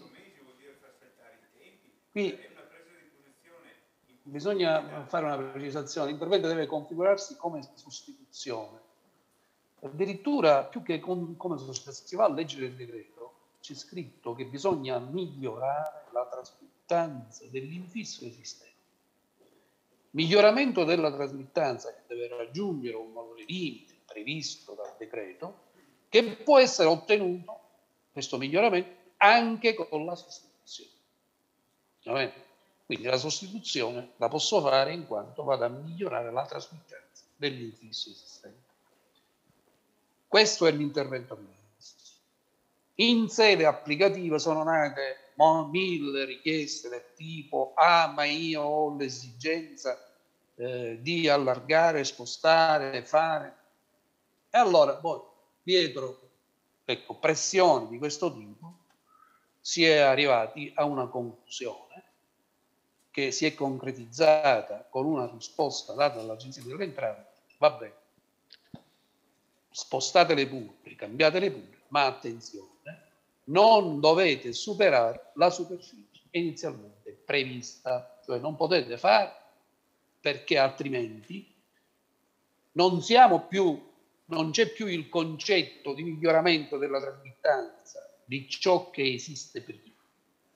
Ecco. Quindi è, è stata una concessione nel dire, vabbè, siete costretti o volete cambiare qualcosa, ma a quel punto c'è da fare un'osservazione. La, molte cose che non si capiscono perché si dimentica un obiettivo. Il super bonus e l'eco bonus sono stati messi in campo e sono stati previsti per raggiungere degli obiettivi, che erano gli obiettivi del risparmio energetico, obiettivi e consuntivazione del risparmio energetico anche, che lo Stato italiano è chiamato a fare è da, da portare in ambito comunitario. Prima c'è l'obiettivo 2020, ormai passato, ora abbiamo l'obiettivo al 2030, poi l'obiettivo al 2050. Quindi l'obiettivo è sempre migliorare ciò che esiste, perché le altre cose non si chiamano interventi di efficienza energetica, si chiamano interventi di ristrutturazione. E gli interventi di ristrutturazione prendono il 50%, non il, il, il 65% o cioè, o anche il 110. Il super bonus si inquadra esattamente nelle norme previste dalle commossi, cioè le norme dell'efficienza, del risparmio. C'è stata quindi questa concessione di dire va bene, ti concediamo anche di fare qualche piccola ristrutturazione rispetto a prima, a condizione che non si superi la superficie inizialmente Che significa questo? Se si supera la superficie inizialmente prevista, non si ha più diritto al super bonus per nessuno degli infissi. Non fino a 9 sì, il decimo poi si vede, ma per nessuno. O si mantiene quella condizione, altrimenti lo si perde. Ma dirò di più, non è che solo si perde solo sul su, super bonus, si perde anche, questo concetto vale anche per il semplice eco bonus, per l'eco bonus, eh, o anche per la ristrutturazione, perché anche nel, nella ristrutturazione si rientra in un concetto più ampio e allora manutenzione straordinaria, ristrutturazione, allora in quel caso si prende il 50%. Quindi questo è stata la concessione, si è passato dal concetto di miglioramento della trasmittanza esistente, perché questo è l'intervento ammesso, miglioramento della trasmittanza esistente. Miglioramento della trasmittanza esistente che si può ottenere anche con la sostituzione e sotto è stata fatta poi questo allargamento dicendo vabbè, puoi pure cambiare di posizione a condizione che la superficie finale non sia superiore a quella iniziale. Sì, spero di essere stato chiaro. È stato, è stato chiaro. Se posso però uh, intervenire, eh, stiamo parlando della risposta 524 che mh, mm, non è mh, mm, più vecchia di eh, due o tre mesi fa, adesso non ricordo neanche più eh, quando è venuta fuori, però antecedentemente a questa, laddove uno avesse presentato una pratica, eh, nel caso pratico che, che, è stato indicato, cioè 10 infissi, di cui 9 vengono sostituiti con degli infissi con migliori prestazioni e uno per esigenze personali, barra anche di magari eh, accesso per eh, diversamente abili, eh, hanno trasformato un infisso in porta finestra, si trova ad avere una superficie totale sicuramente maggiore, però probabilmente, mh, mm, parlo per me stesso, ma penso anche per molti dei miei colleghi, eh, si è sempre pensato che i nove potessero almeno essere, diciamo,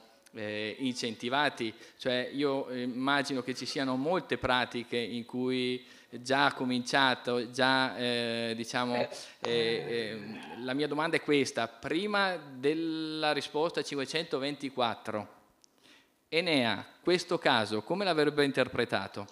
Nel, caso, nel modo come l'ho detto, perché era di sostituzione, nel momento in cui c'è qualcosa di ampliamento non è più sostituzione. Io ho l'interpretazione a mio avviso. Sì, ma a Enea, a Enea sarebbero arrivati, eh, sarebbe arrivata una pratica in cui non c'era il decimo infisso, ma c'erano i primi nove che hanno un'efficienza migliore delle, eh, dei precedenti. Eh, e quindi dov'è il problema? Cioè il decimo non è stato sostituito, è rimasto così com'è. Eh, non lo so, poi sono queste cose che si vedono, si vedono in fase di verifica, perché sì, no, eh, francamente eh, la vedo ancora una situazione borderline che non eh, riusciamo sì, ma, a, a, Allora, ragioniamo al limite, ad ammettere il suo ragionamento, tutto è possibile. Partiamo il discorso, io sono abituato a fare proprio il limite in senso matematico. Supponiamo che sia possibile avere una situazione dove la superficie degli infissi può cambiare in modo a piacere allora parto per esempio da due metri quadrati fissi, alla fine ottengo tutta la casa, sto facendo un discorso al limite, tutta vetrata, no? I, I, due metri quadrati iniziali me li pago, tutto il resto, ma qui sto cambiando completamente il concetto di sostituzione dell'edificio. Quindi a mio avviso quello non è un intervento ammissibile. Quindi allora, ho fatto il discorso proprio al limite per far capire se il ragionamento è corretto oppure no. Quindi se parliamo di sostituzione dell'esistente, lo dobbiamo, dobbiamo limitarci alla sostituzione. Delle, se poi apriamo e facciamo dei distinguo, delle eh, vabbè, allora poi si apre un mondo, per, perché possiamo arrivare anche al limite che vi ho fatto. Trasformo, tolgo tutti i muri perimetrali, li faccio diventare vetrati e posso dire eh, la sostituzione dell'esistente. Insomma, qui stiamo facendo è un intervento completamente differente di quello che era diciamo, nello spirito della legge che mira ad incentivare la sostituzione degli infissi esistenti. Quindi, confermo quello che ho detto anche. Ok, però le, le, mh, ripeto il fatto che mh, ritengo che il, la sostituzione degli infissi, parliamo di tre anni fa ad esempio, giusto per andare fuori da, dai super bonus, laddove uno decidesse di sostituire nove infissi con altri nove di migliori ehm, prestazioni, Enea eh, lo incentivava rimane trainato. Ma noi non è che sapevamo uguale. poi cosa succedeva, perché nella pratica ne risulta 9 sostituzioni di infissi con 9. Poi l'altro intervento è una cosa che noi ignoravamo.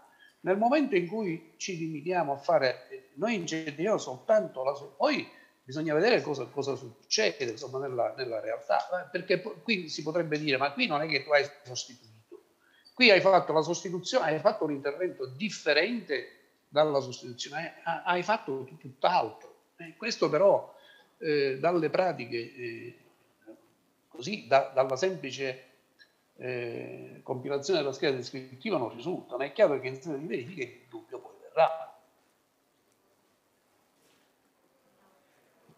Perché eh, noi per quale motivo non era consentito l'allargamento? Perché a seguire il suo ragionamento, che significa l'allargamento non te lo consento, però se di un semplice infisso, però se fai tutto quello che vuoi, almeno non me lo comunichi, è ammissibile. Mi pare che c'è una contraddizione di fondo. Perfetto, grazie mille.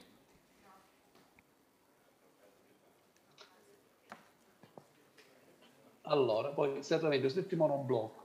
Per quanto riguarda il monoblocco, è un problema che ci siamo posti quando è stato emanato il decreto 6 agosto 2020 sui requisiti. Perché nel vecchio decreto 19 febbraio 2007 il, cassonetto non era previsto e quindi non si sapeva se, come considerarlo, se considerarlo parte opaca oppure parte trasparente, eccetera. Per poi arrivare al caso anch'esso limite che è dell'infisso uh, monoblocco, che è un tutt'uno, sostanzialmente un infisso o un foro che vado a riempire con un manufatto che è monoblocco costituito dall'infisso più cassonetto. Il decreto 6 eh, agosto 2020 ha detto una cosa molto semplice. Tutto ciò puoi considerare il cassonetto come parte dell'infisso, anch'esso deve soddisfare agli stessi requisiti tecnici, quindi tutto va considerato la superficie complessiva, l'ingombro complessivo di eh, infisso e cassonetto va considerato come se fosse tutto infisso e deve rispondere ai requisiti previsti per gli infissi in termini di trasmittanza, ovviamente anche in termini di costi ammissibili per unità di superficie.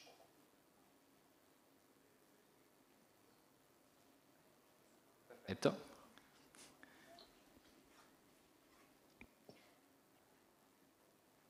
Pertinenze.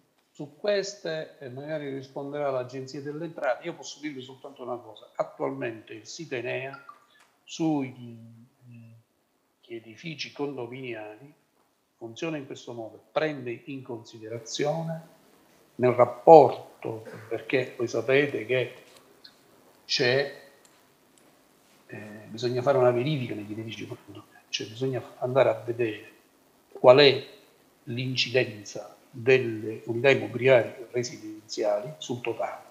Quindi bisogna andare a considerare le superfici catastali delle unità immobiliari residenziali e la restante parte.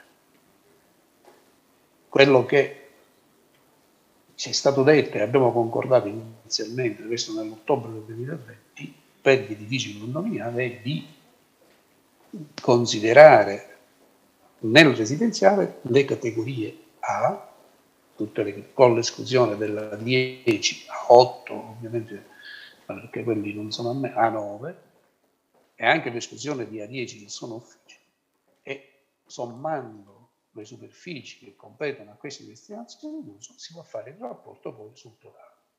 Se questo rapporto supera il 50%, sono ammissibili relativamente alle spese sulle parti comuni, tutte, ecco, le spese sulle parti comuni si possono ripartire su tutte le unità immobiliari secondo le politiche che si fanno.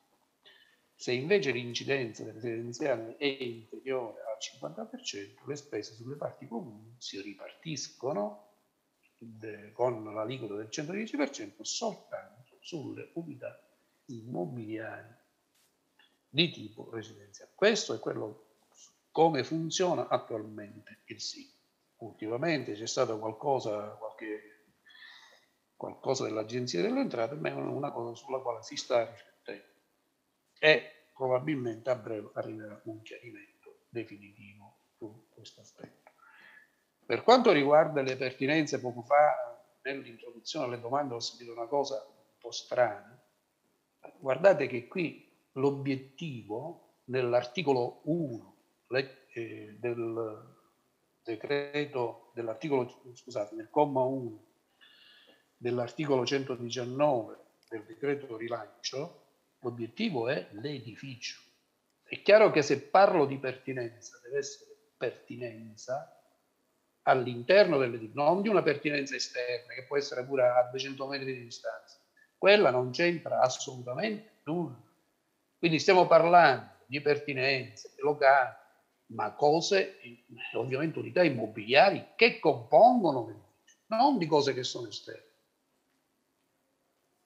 Quindi attenzione a questo.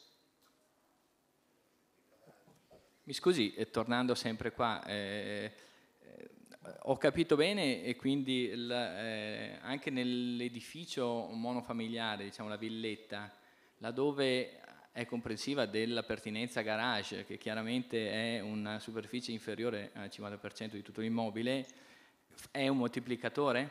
Cioè, nel senso... No, allora se è una villetta non c'è nessun fattore di moltiplicazione, è una villetta a sé stante e conta con una singola unità immobiliare a sé stante, poi può avere 50.000 pertinenze, ma conta sempre per una sola villetta.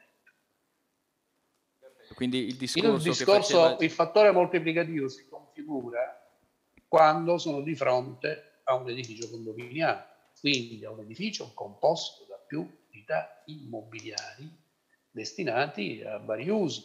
Ma se è una villetta, io eh, quella è edificio composto da, singola unità immobiliare destinata, quindi lì ho una villetta assistente, posso avere le pertinenze, tutto quello che voglio, ma in quel caso conta e applico eh, le... Eh, le detrazioni e i costi massimi previsti per, un, per una singola unità immobiliare a sé stante.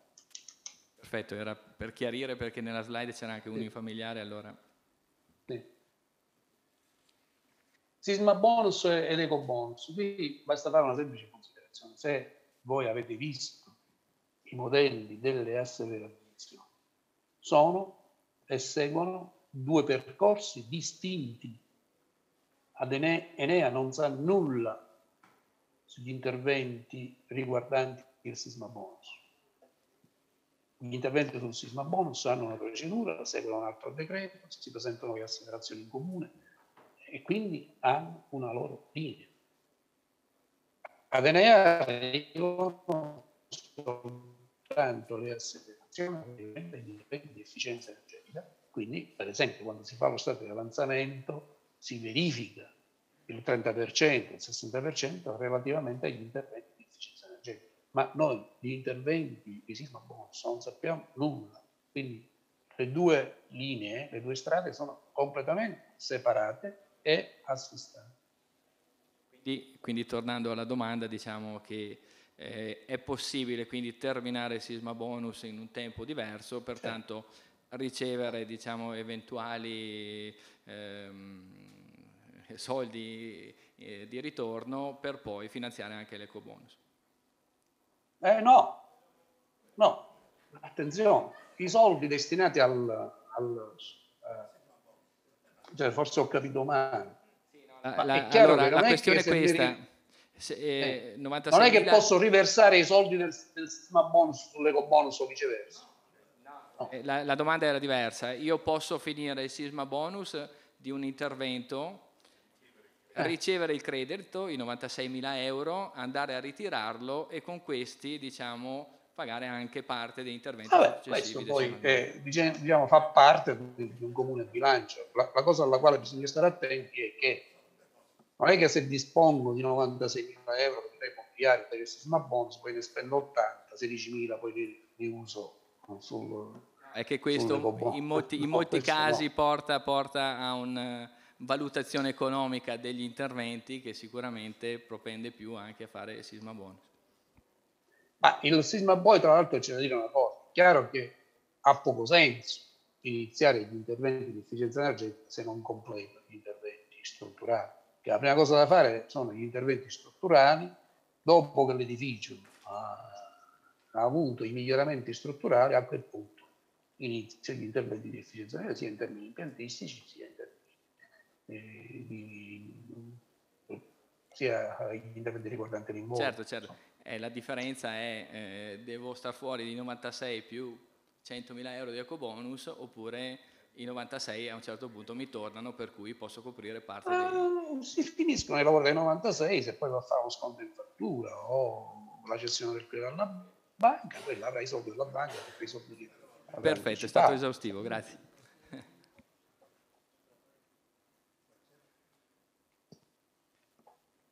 Spese professionali. Le spese professionali eh, come si suddividono?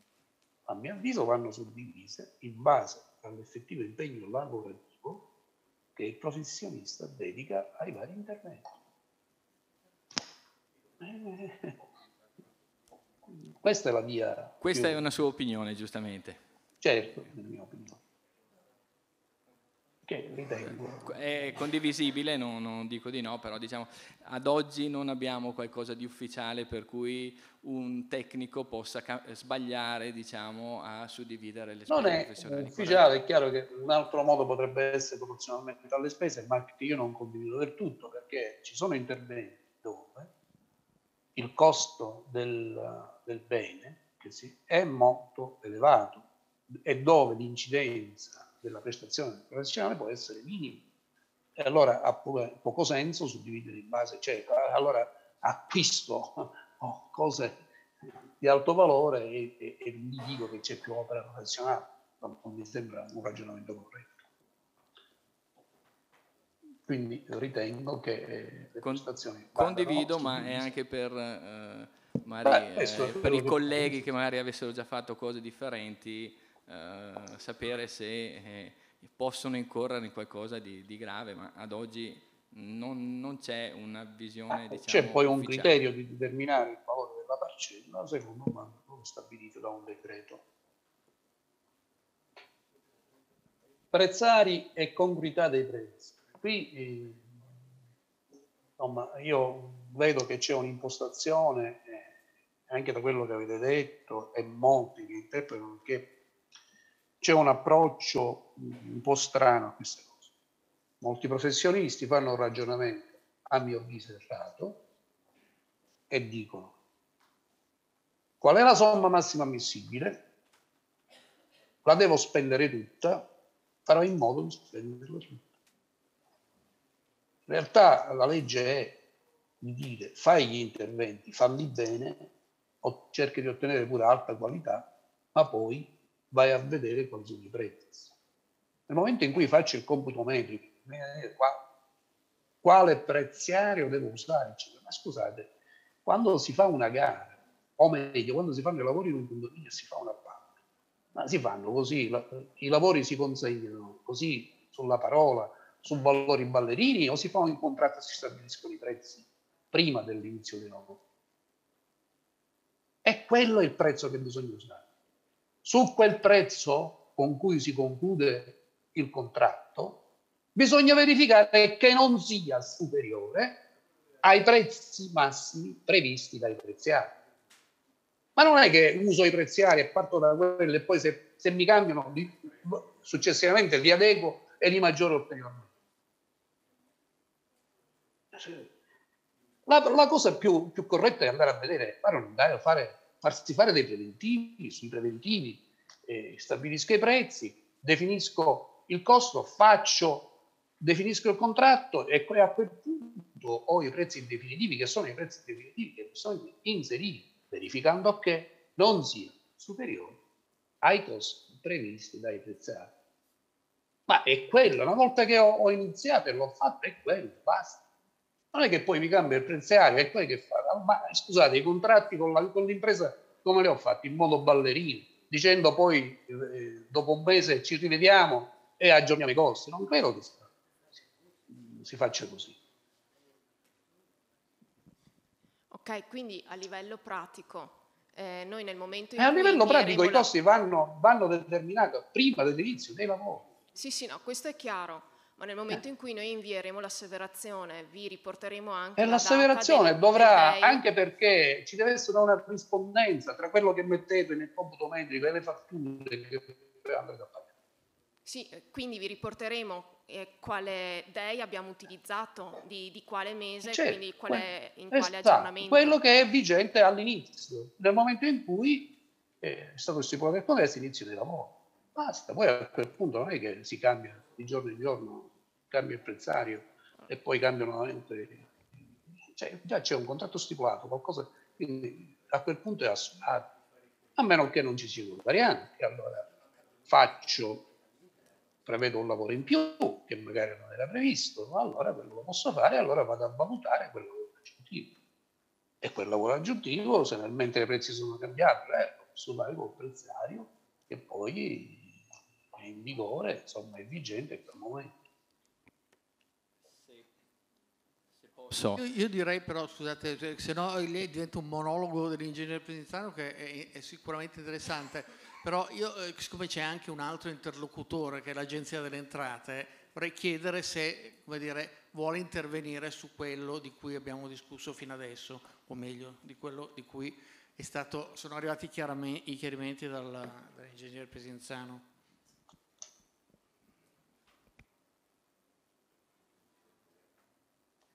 Pronto? Prego l'Agenzia delle Entrate. Sì. Diciamo che noi ci eravamo strutturati un po' nel lasciar parlare Presenzano e poi arrivavamo noi. Comunque posso tranquillamente cominciare a, ehm, a discutere di alcune delle domande anche che lo stesso ingegnere aveva lasciato. Mm, partirei un po' dalla fine. Eh, quando si, pa- si, è discusso di sisma bonus ed eco bonus, io vorrei rimarcare il fatto che ehm, in molti interpelli dove si parla di uh, interventi che possono rientrare in un ambito piuttosto che in un altro, si è sempre detto che devono essere tenute distinte eh, le, i, le fatture e quindi ci terrei a ribadire, aggiungendo a quello che già ha detto l'ingegner Presenzano, che va benissimo, ma bisogna ricordarsi che la fattura deve riguardare l'intervento di sisma bonus e deve completare quell'intervento. Oppure la fattura deve riguardare successivamente l'intervento di eco bonus e riguardare quell'intervento. Non può essere a mezzo perché altrimenti non funziona. In questo caso. Allora, eh, condivido lo schermo, ma credo che l'ingegnere dovrebbe lasciarmi libero il posto.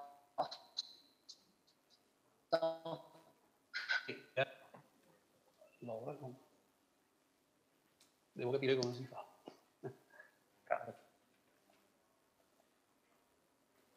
Vediamo. Abilità. Fino, finché aspettiamo, e io chiedo all'Agenzia dell'Entrata, visto che eh, diciamo sono stati loro a un po' sollevare la questione infissi, ecco, se sono consapevoli del fatto che la loro risposta chiaramente avrà eh, agevolato alcuni, per molti invece ha interrotto le, l'incentivazione sugli infissi. Guardi, sulla, sulla, risposta ho ascoltato anch'io con molto interesse la posizione di, eh, dell'ingegner Presenzano.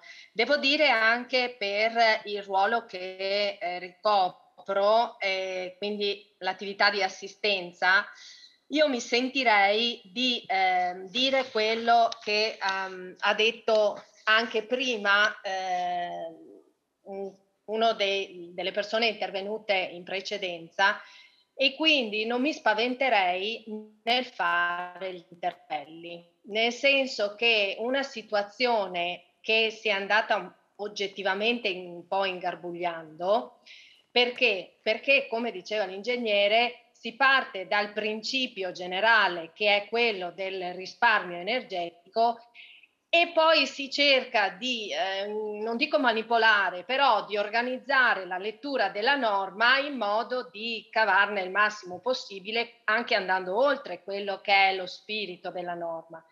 E quindi eh, sul discorso che è stato presentato prima, ne presento solo nove, ne presento nove più la porta finestra. Ecco, io mi permetterei di... Eh, di, pro, di presentare l'interpello. Ecco. Eh, perché ehm, si fanno anche dei ragionamenti e si stimola anche una riflessione e delle volte, come un po' è successo con quell'interpello 524, si va anche un po' oltre, però dopo bisogna stare attenti di non andare a forzare lo spirito dell'interpello e andare a forzare la fattispecie dell'interpello, cioè bisogna ricordarsi di guardare bene l'inizio dell'interpello, il caso descritto. La risposta è di quel caso, non è che si può operare in analogia sempre, anche se sembra simile, non è corretto, perché o è quel caso oppure e, c'è quella risposta, oppure gli altri casi sono fuori. Non si può operare in analogia. Allora, adesso... E, qui vado... solleva un po' quello che è i dubbi e le perplessità di tutti noi che operiamo nel settore, eh, sì. che è quella che manca una, eh, delle FAC corrette, perché effettivamente sono delle risposte, ma non sono diciamo impugnabili se non in parte. Ecco. Quindi questo... Guardi, io poi sulle FAC sarei ancora più, ehm, più tranchant, nel senso che l'interpello è comunque la risposta della divisione contribuenti, è un, però per quanto riguarda l'Agenzia delle Entrate, ed è una risposta che viene valutata, viene valutata eh, nel suo profilo giuridico, nel suo profilo fiscale e quando è necessario, soprattutto sul supermodus si vede, sentito Enea, sentito la commissione, cioè c'è, c'è anche una, un tentativo di coordinarsi con, con, gli altri enti. La FAC la vedo quasi di un livello inferiore, io non mi soffermerei troppo sul rilievo della FAC, almeno per quanto riguarda eh, le eh, situazioni fiscali gestite da Agenzia delle Entrate. Capisco che non è una risposta che forse può soddisfare tutti, però è anche corretto sapere lo stato dell'arte, la realtà. Ci sono delle situazioni che, eh, appunto, ridico, uno tende a, a, guardarle per cercare di trovare il cavillo, per eh, andare oltre, ma questo non è possibile. Dobbiamo sempre rifarci a quelle che sono le condizioni generali e ribadisco quello che ha detto eh, l'ingegner Prisenzano, cioè il super bonus non ha introdotto una nuova agevolazione, ma ha aumentato l'aliquota di agevolazioni esistenti. Quindi quello che è stato detto per quelle agevolazioni, la razio di quelle agevolazioni deve continuare a essere quella prevalente. Allora, guardiamoci un po' la parte sulle pertinenze. Allora, scusate.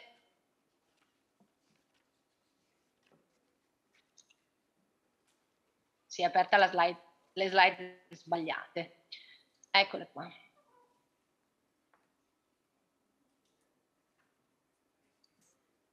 Un attimo che vediamo, ecco. Sì. Prego. Allora, qui eh, io avevo fatto una parte di intervento ehm, anche pensando ad alcune domande che non erano state presentate in precedenza, ma eh, anche tenendo conto dell'ampia platea che eh, ci era stata preannunciata, vediamo ritornare eh, molto spesso in sede di assistenza e una di queste riguarda la eh, demolizione e la ricostruzione. E poi vengo a parlare anche della parte delle pertinenze dopo magari eh, lasciamo nuovo la parola a, all'ingegner Presentano o, o come ritenete voi, insomma.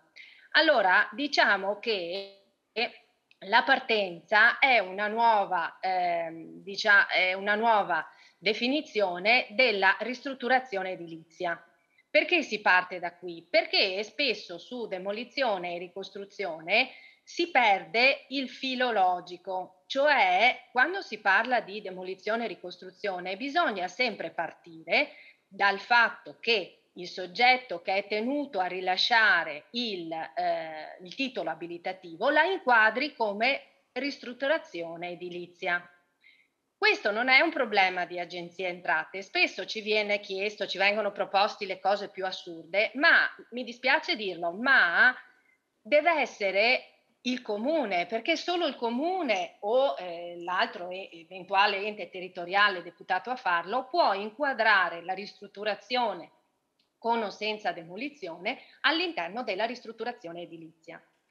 Allora, vediamo, il primo caso è quello deciso già l'anno scorso, insomma, la ristrutturazione senza demolizione, si dice chiaramente che intanto deve riguardare edifici esistenti, ma soprattutto se non c'è la demolizione, la parte dell'ampliamento non può essere considerata ristrutturazione edilizia e quindi è considerata ampliamento e quindi esce fuori da queste, dalla possibilità di usufruire del bonus ristrutturazione o bonus super bonus. Fa eccezione un po' eh, l'impianto fotovoltaico che è possibile, eh, si potrà beneficiare della detrazione per l'intera spesa anche sulla parte già esistente.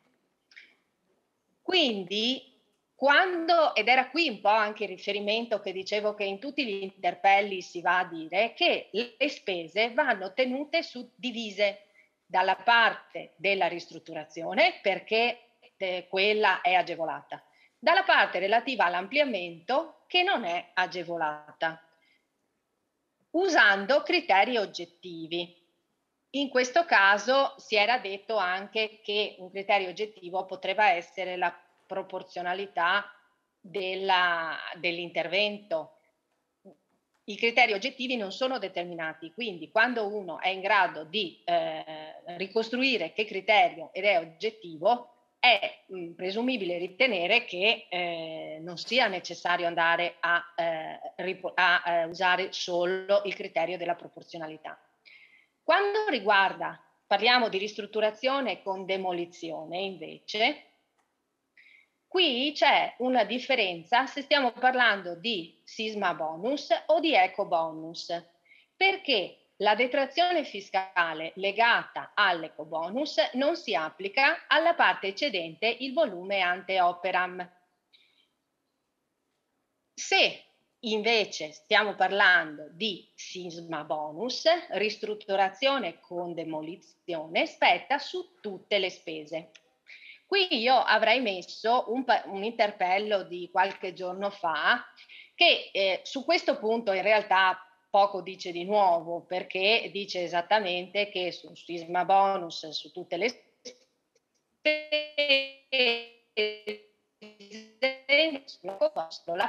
la eh, ristrutturazione ma la cosa interessante, ed è qui che vi dico di quando si vanno a vedere gli interpelli, eh, bisogna sempre andare a vedere qual è il dato, qual è il dato di partenza all'inizio.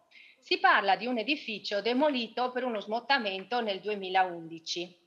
L'intervento dice che è necessario andare, per quanto riguarda l'ecobonus, bisogna andare a evidenziare eh, che ci sia eh, un edificio dotato di impianto di riscaldamento. Ma questo interpello va un po' oltre e va a dire che, appunto, sentita Enea, gli interventi di efficientamento energetico, sulla base, di, lo, lo, leggo insieme a voi giusto per non eh, essere eh, poco precisa, sulla base di una relazione tecnica che eh, stabilisca che nello stato iniziale l'edificio era dotato di un impianto idoneo a riscaldare gli ambienti sottoposti all'agevolazione, in tali ipotesi non sarà necessario produrre l'APE iniziale.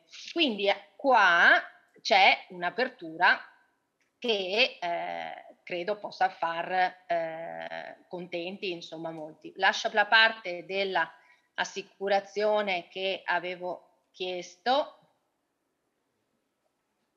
e magari non so la vedremo più avanti. Allora, eh, questa riguarda le spese, ma magari se volete possiamo guardarla più avanti. E qua andiamo ehm, a vedere la parte sulle pertinenze. Allora, come già detto, la parte, quando si parla di edificio unifamiliare, la pertinenza è rilevante per quanto riguarda i limiti. Invece, quando si parla, e qui stiamo parlando dell'interpello 397, nel, eh, per quanto riguarda gli eh, edifici che eh, sono da 2 a 4, che si comportano come condomini, le pertinenze non vengono incluse nel conteggio del, ehm, della, di questo limite. Il caso, eh, adesso vediamo, eh, questo è l'interpello 608 che avevate anche voi già evidenziati. Abbiamo un'unità immobiliare a 2, abbiamo un garage C6 e abbiamo un'unità immobiliare a 2. In questo caso e con il cambio di destinazione e la richiesta è anche per il cambio di destinazione d'uso del garage accorpandolo all'unità abitativa situata al piano terra. Allora, in questo caso, andando a rivedere la, eh, anche la risposta della Commissione Finanze, si fa riferimento come limiti a quelli iniziali del, rispetto agli interventi edilizi e, ehm, eh, e quindi in questo caso andremo a eh, evidenziare la situazione prima dell'accorpamento. Una cosa particolare di questo interpello, che forse non è stata evidenziata, è che quando si parla da due a quattro unità immobiliari, si dice in questo caso l'edificio viene considerato come un condominio. Ma questo interpello fa presente che per i condomini è stato determinato che possono eh, prorogare diciamo, la fruizione della detrazione del 110 per le spese sostenute entro il 31 dicembre 2022.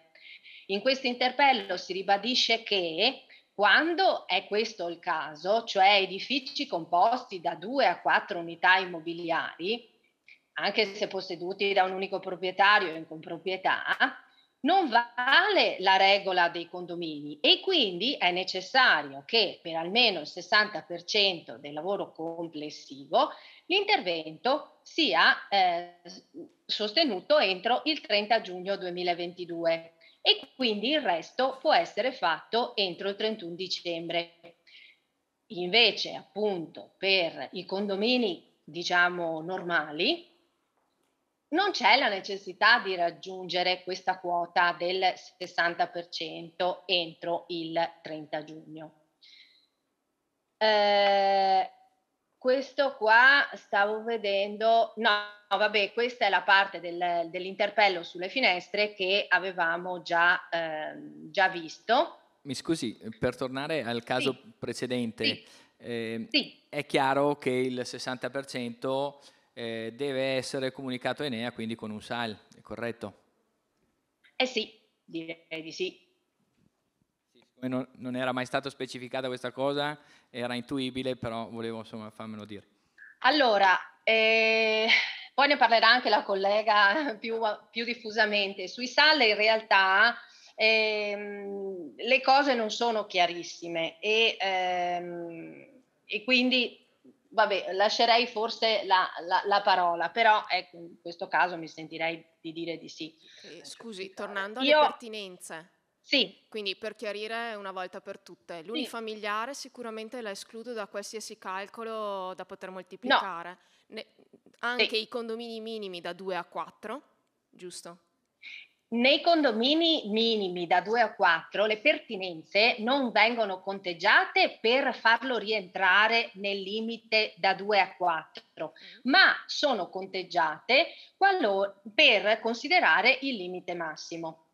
Diciamo che eh, quando si ha un, un edificio dove eh, si ha un, eh, una 2 e un C6 pertinenziale e si ha un C2 che non è pertinenziale, in questo caso si considera comunque un edificio che, ri, che ricalca diciamo, la, ehm, la disciplina di quelli da 2 a 4 perché la pertinenza non è pertinenza, è un, un'unità immobiliare distinta. In questo caso ci si bisogna però riallacciare al discorso che faceva prima l'ingegner Prisenzano, per cui eh, complessivamente dobbiamo re- considerare che la residenzialità deve essere superiore al 50% altrimenti non, eh, non, si ha la possibilità di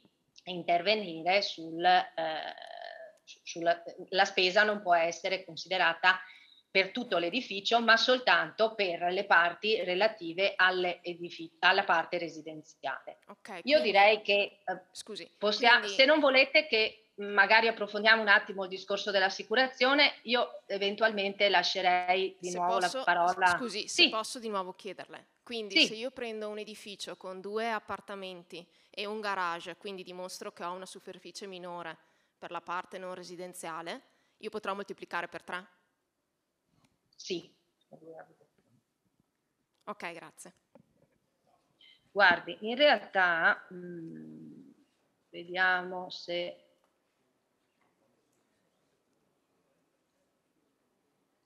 vediamo se l'avevo. No questo è un altro interpello. Questa è un'altra cosa che ma forse potrei anche dirla subito eh, questo interpello qui sempre un'altra domanda che è un po' fuori dal, dal, da quello che avevate presentato ma credo che possa avere una, una valenza eh, generale perché ci viene fatta continuamente e riguarda eh, nelle le spese che ehm, vengono deliberate dal condominio, ma eh, vengono suddivise in maniera diversa. Il caso è il condomino che non vuole o non può partecipare alla spesa e ehm, ci viene chiesto è possibile, non è possibile, cosa deve fare il condominio, eccetera. Qui c'è anche qui un interpello molto recente, eh, eh, anche questo di qualche giorno fa, dove proprio l'istante è una pubblica amministrazione che sta facendo un'opera di dismissione dei beni pubblici e si arriva ad avere un condominio misto, quindi si ha una parte di appartamenti, eh, tra l'altro era un condominio molto grande, su, sopra i 100, sopra le 100 unità immobiliari, e una parte dove si ha ehm, la proprietà privata e una parte si ha la proprietà pubblica. La proprietà pubblica non può utilizzare il super bonus e non è interessata a fare questi interventi, ma il resto dei condomini effettivamente potrebbero essere interessati. In questo caso l'interpello arriva che di liberare si può determinare che le spese vengano ripartite non in base ai millesimi, ma a diversi criteri. Questo diceva già anche la circolare.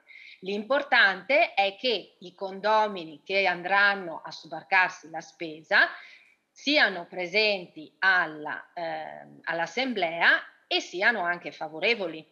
Qui ho eh, un po' eh, riepilogato quelle che sono le disposizioni che sono state aggiornate per quanto riguarda le delibere assembleari e quindi eh, cosa succede? Che in particolare poi il eh, condomino i condomini possono eh, manifestare appunto in sede assembleare l'intenzione di, accoller, di accollarsi l'intera spesa e se ehm, succede qualcosa ne risponderanno i condomini che hanno usufruito del super bonus.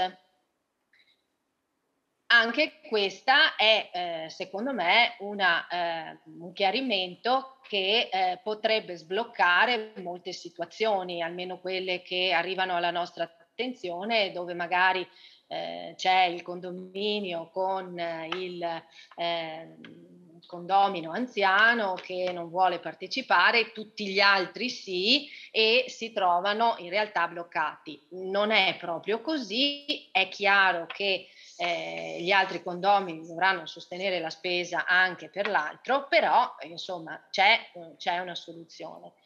Io lascerei forse la parola a, al dottor Presenza, all'ingegner Presenzano, poi se volete ci fermiamo un attimo per, per parlare eh, del, avevo fatto due piccoli accenni all'assicurazione, oppure se no vediamo direttamente la parte della cessione o dello sconto, ditemi voi insomma. Ah, sì, io In, finirei quasi quasi con Presinzano che così ha alcune diciamo, cose pratiche proprio da, da mostrarci e, ehm, e, poi magari torniamo su quello che è invece la parte eh, sconti fattura. E, eh, sì. Va bene? Ok, allora se okay. è possibile va bene, va bene. riavere l'ingegnere Presinzano. Eccoci. Eh, riprendiamo la nostra chiacchierata mm, a proposito di prezzi e congruità. Vediamo dove. Sì, questo.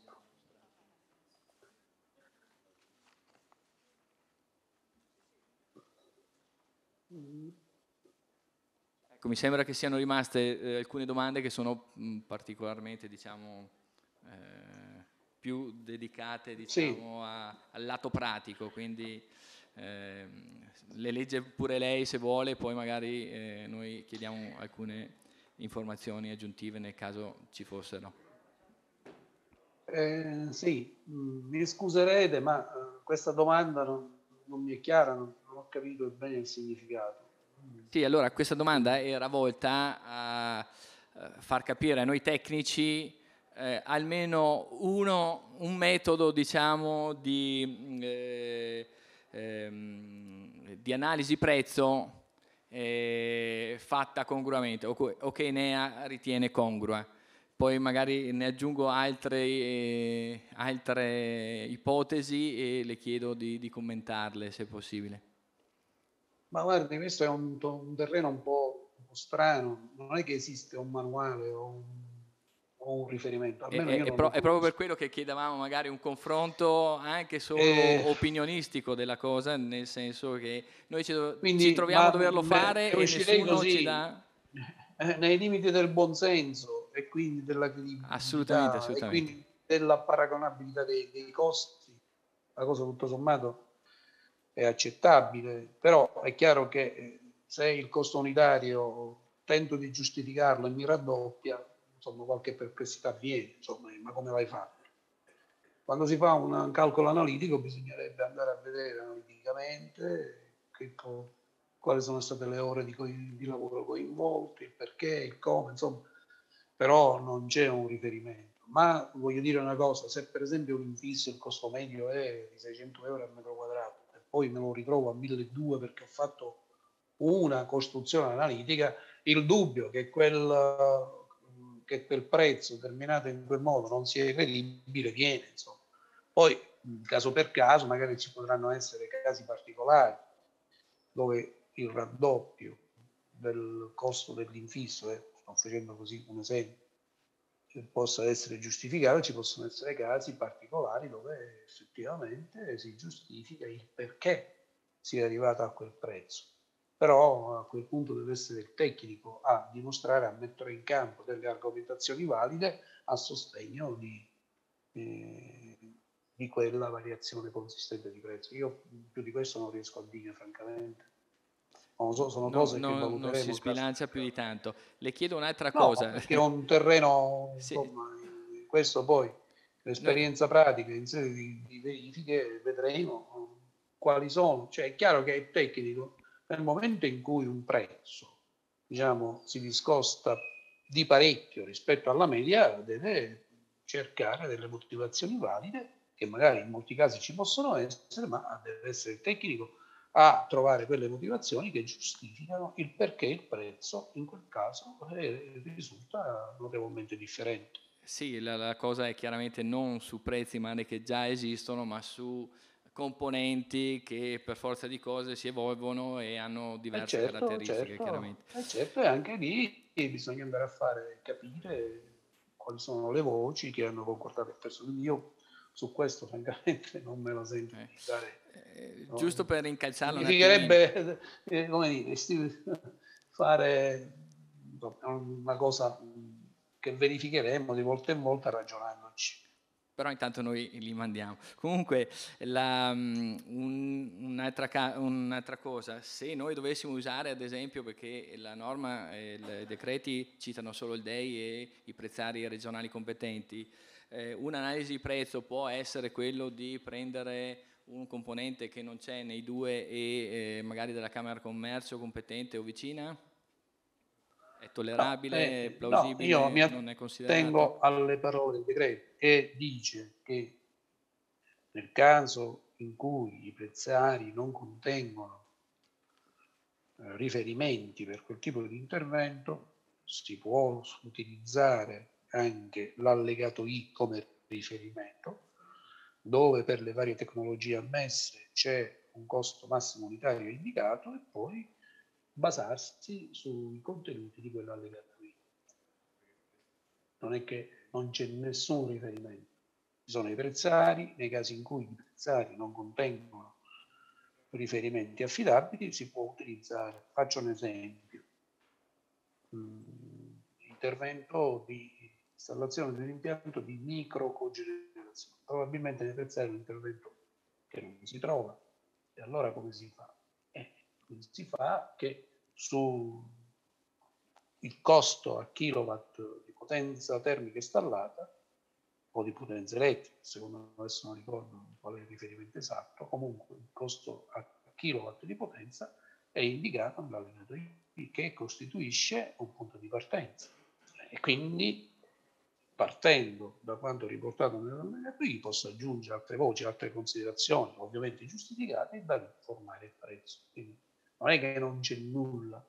Quindi o mi baso a, per giustificare i prezzi, perché poi i prezzari, l'allegato I, si usano per giustificare il prezzo sostenuto, non per formarlo. Che la prima cosa da fare è andare a vedere cosa offre il mercato e qual è il costo è quello. Poi vado a, vedere se quel prezzo è congruo oppure no. Per vedere se è congruo vado, uso i prezzari della regione, della DEI o l'allegato I se non ho, non ho altri eh, riferimenti. Perfetto, grazie. Altra cosa eh, che è un aspetto generale che eh, c'è nei modelli di asseverazione. I modelli di asseverazione che cosa fanno? E il nostro sito che cosa fa? Prima, inizialmente, tende a verificare se le spese che vengono imputate siano inferiori o superiori alla spesa massima. La spesa massima ammissibile viene determinata tenendo conto del numero di unità immobiliari se si tratta di un edificio condominiale oppure della spesa massima ammissibile nel caso di edifici unifamiliari. Quindi la prima cosa è spesa massima ammissibile di lavoro sulle parti opache, per esempio, su cui calcolare l'operazione è pari a, e questo è un dato in automatico che la procedura determina, tenendo conto anche delle unità immobiliari. Poi, che il costo complessivo previsto in progetto dei lavori sulle parti opache, in questo caso, ammonta a. Ora, questo costo complessivo, teoricamente, potrebbe anche essere superiore alla spesa massima possibile. Potrebbe, in generale, può capitare, a seconda delle circostanze, che magari si sostengono costi superiori a quelli massimi. Ovviamente Nella voce successiva, che è una cosa qui piccolina perché non è ingrandita, la, perché non sono stati compilati gli altri campi, il passo successivo è la spesa ammessa è, e qui ci andrà il minimo tra la spesa, del, eh, tra il costo massimo ammissibile e il costo di progetto. E quindi si determina la spesa ammessa. E ovviamente è il minimo tra il costo di progetto e la spesa massima ammissibile.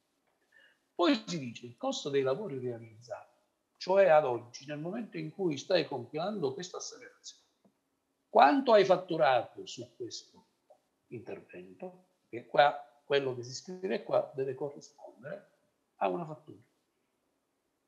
Ovviamente l'importo di questa fattura va confrontato sempre con il costo massimo ammissibile e ovviamente si determinerà in questa voce di cui è ammessi, qui ci andrà il minimo tra l'importo della fattura e l'importo del costo massimo ammissibile. È chiaro che a fine lavori questa voce sarà uguale al costo complessivo previsto in progetto. Alla fine, durante i saldo possono differire, ma nello stato finale, questa qui, il costo dei lavori realizzati e il costo complessivo previsto in progetto, ovviamente devono coincidere. Questo è il criterio. Tutte le altre domande successive sono simili, ma se si ha chiaro questo, questi concetti, sono poi, diciamo, il resto sono considerazioni banali, possono essere fatte. Qui si ha il caso del sallo al 30% delle opere compiute, quindi c'è un sallo al 30, superficie totale di spertente oggetto dell'intervento, 100 metri quadrati. Da qualche parte eh, si è dichiarato pure qual è la superficie disperdente complessiva. Intervenendo sull'involucro, la procedura va a sommare tutte le superfici oggetto di intervento e verifica che sommandole di, si ottenga un risultato che sia maggiore o uguale al 25%, altrimenti l'intervento non può essere trainante.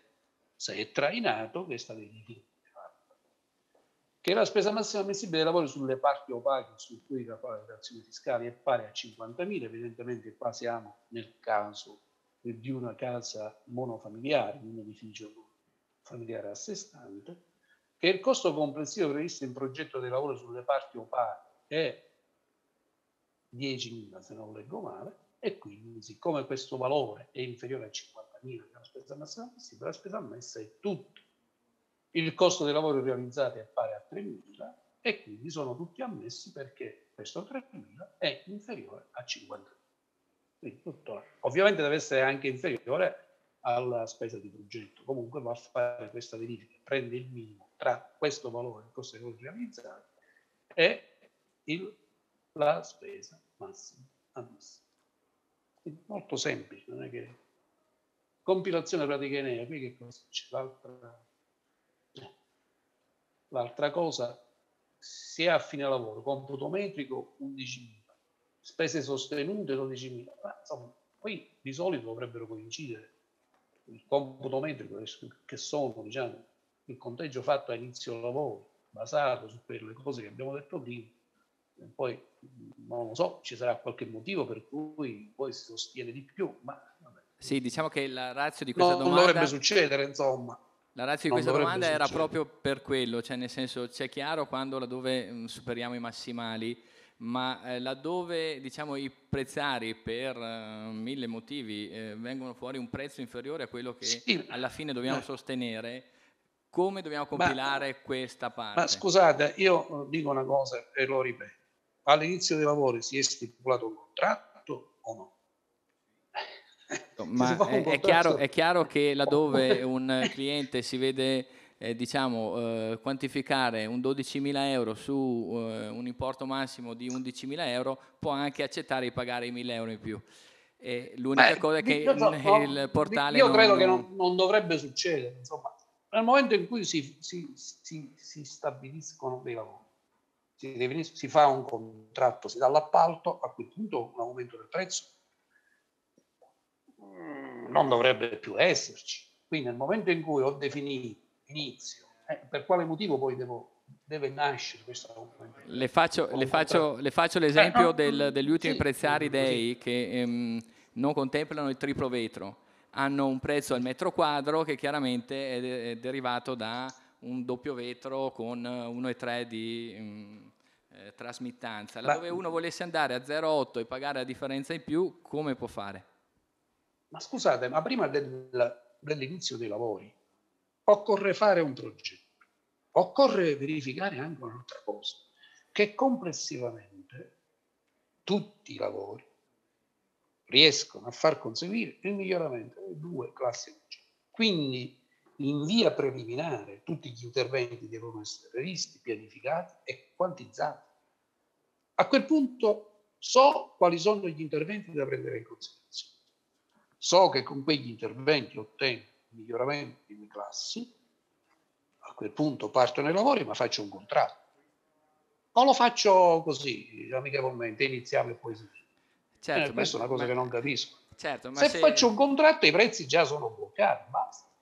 Sì, per quale motivo uno, poi una... in corso d'opera una finestra che dovevo pagare 1000 euro la devo pagare 1200 euro? Eh, è una cosa che non capisco. Non è, non è che deve pagarlo a 1000 euro, è che il preziario mi dà 1000 euro come costo. Ma che c'entra il preziario? Il preziario io già l'ho, l'ho fatto, l'ho utilizzato inizialmente, poi il preziario può cambiare 3000 volte, ma non me ne frega più niente. Eh, scusi, la, la, la, facciamo un esempio pratico. Voglio cambiare un infisso. Okay? Il preziario mi dice che ho un prezzo di 1000 euro per quelli, eh, quell'infisso lì, eh. trovo uno che me, eh, me, lo installa per 900, sono tranquillo. E lei metterà nel computo metrico 900. Perfetto.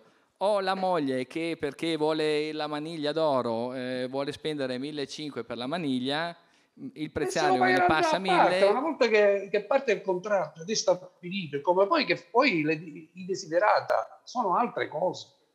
Cioè qui l'obiettivo certo, è fare... È, per, quello, è per quello, che le dico, i 500 eh. euro del, in più del desiderata come è ammissibile inserire? Ma qui può anche non, non dichiararla, li pagherà a parte, non c'è bisogno manco di dichiarare, che ce ne frega. Cioè, qui il problema è di vedere. Ok, facciamo una fattura a parte dell'eccedenza. Eh, Perfetto. Eh, quindi ci conviene fare la fattura a parte e neanche metterli qua, no? non ha senso.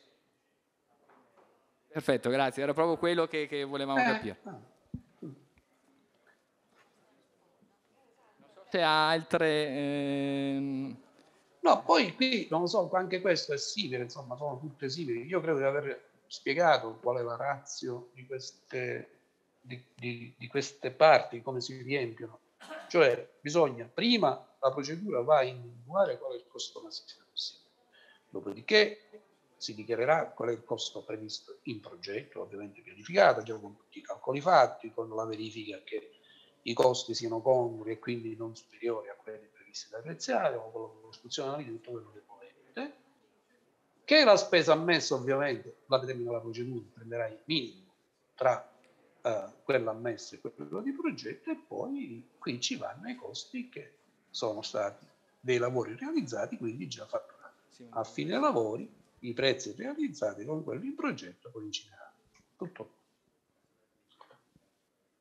per quanto riguarda, qui c'è un esempio di come stimare i costi mediante i preziari dei preziari mediante i prezzi di alcuni componenti. Va bene questa giustificazione. Poi è chiaro che in sede di verifica si andrà a vedere caso per caso come sono venuti fuori i singoli prezzi dei vari interventi.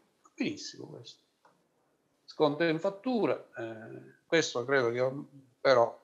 Questo risponderà all'Agenzia di Entrate poi, credo. E se inve- ecco, qui ah. invece ci interessava più. Sì, sì rispondiamo L'ultima noi. cosa che potrei dirvi, sì, sì, questo ovviamente è un aspetto fiscale.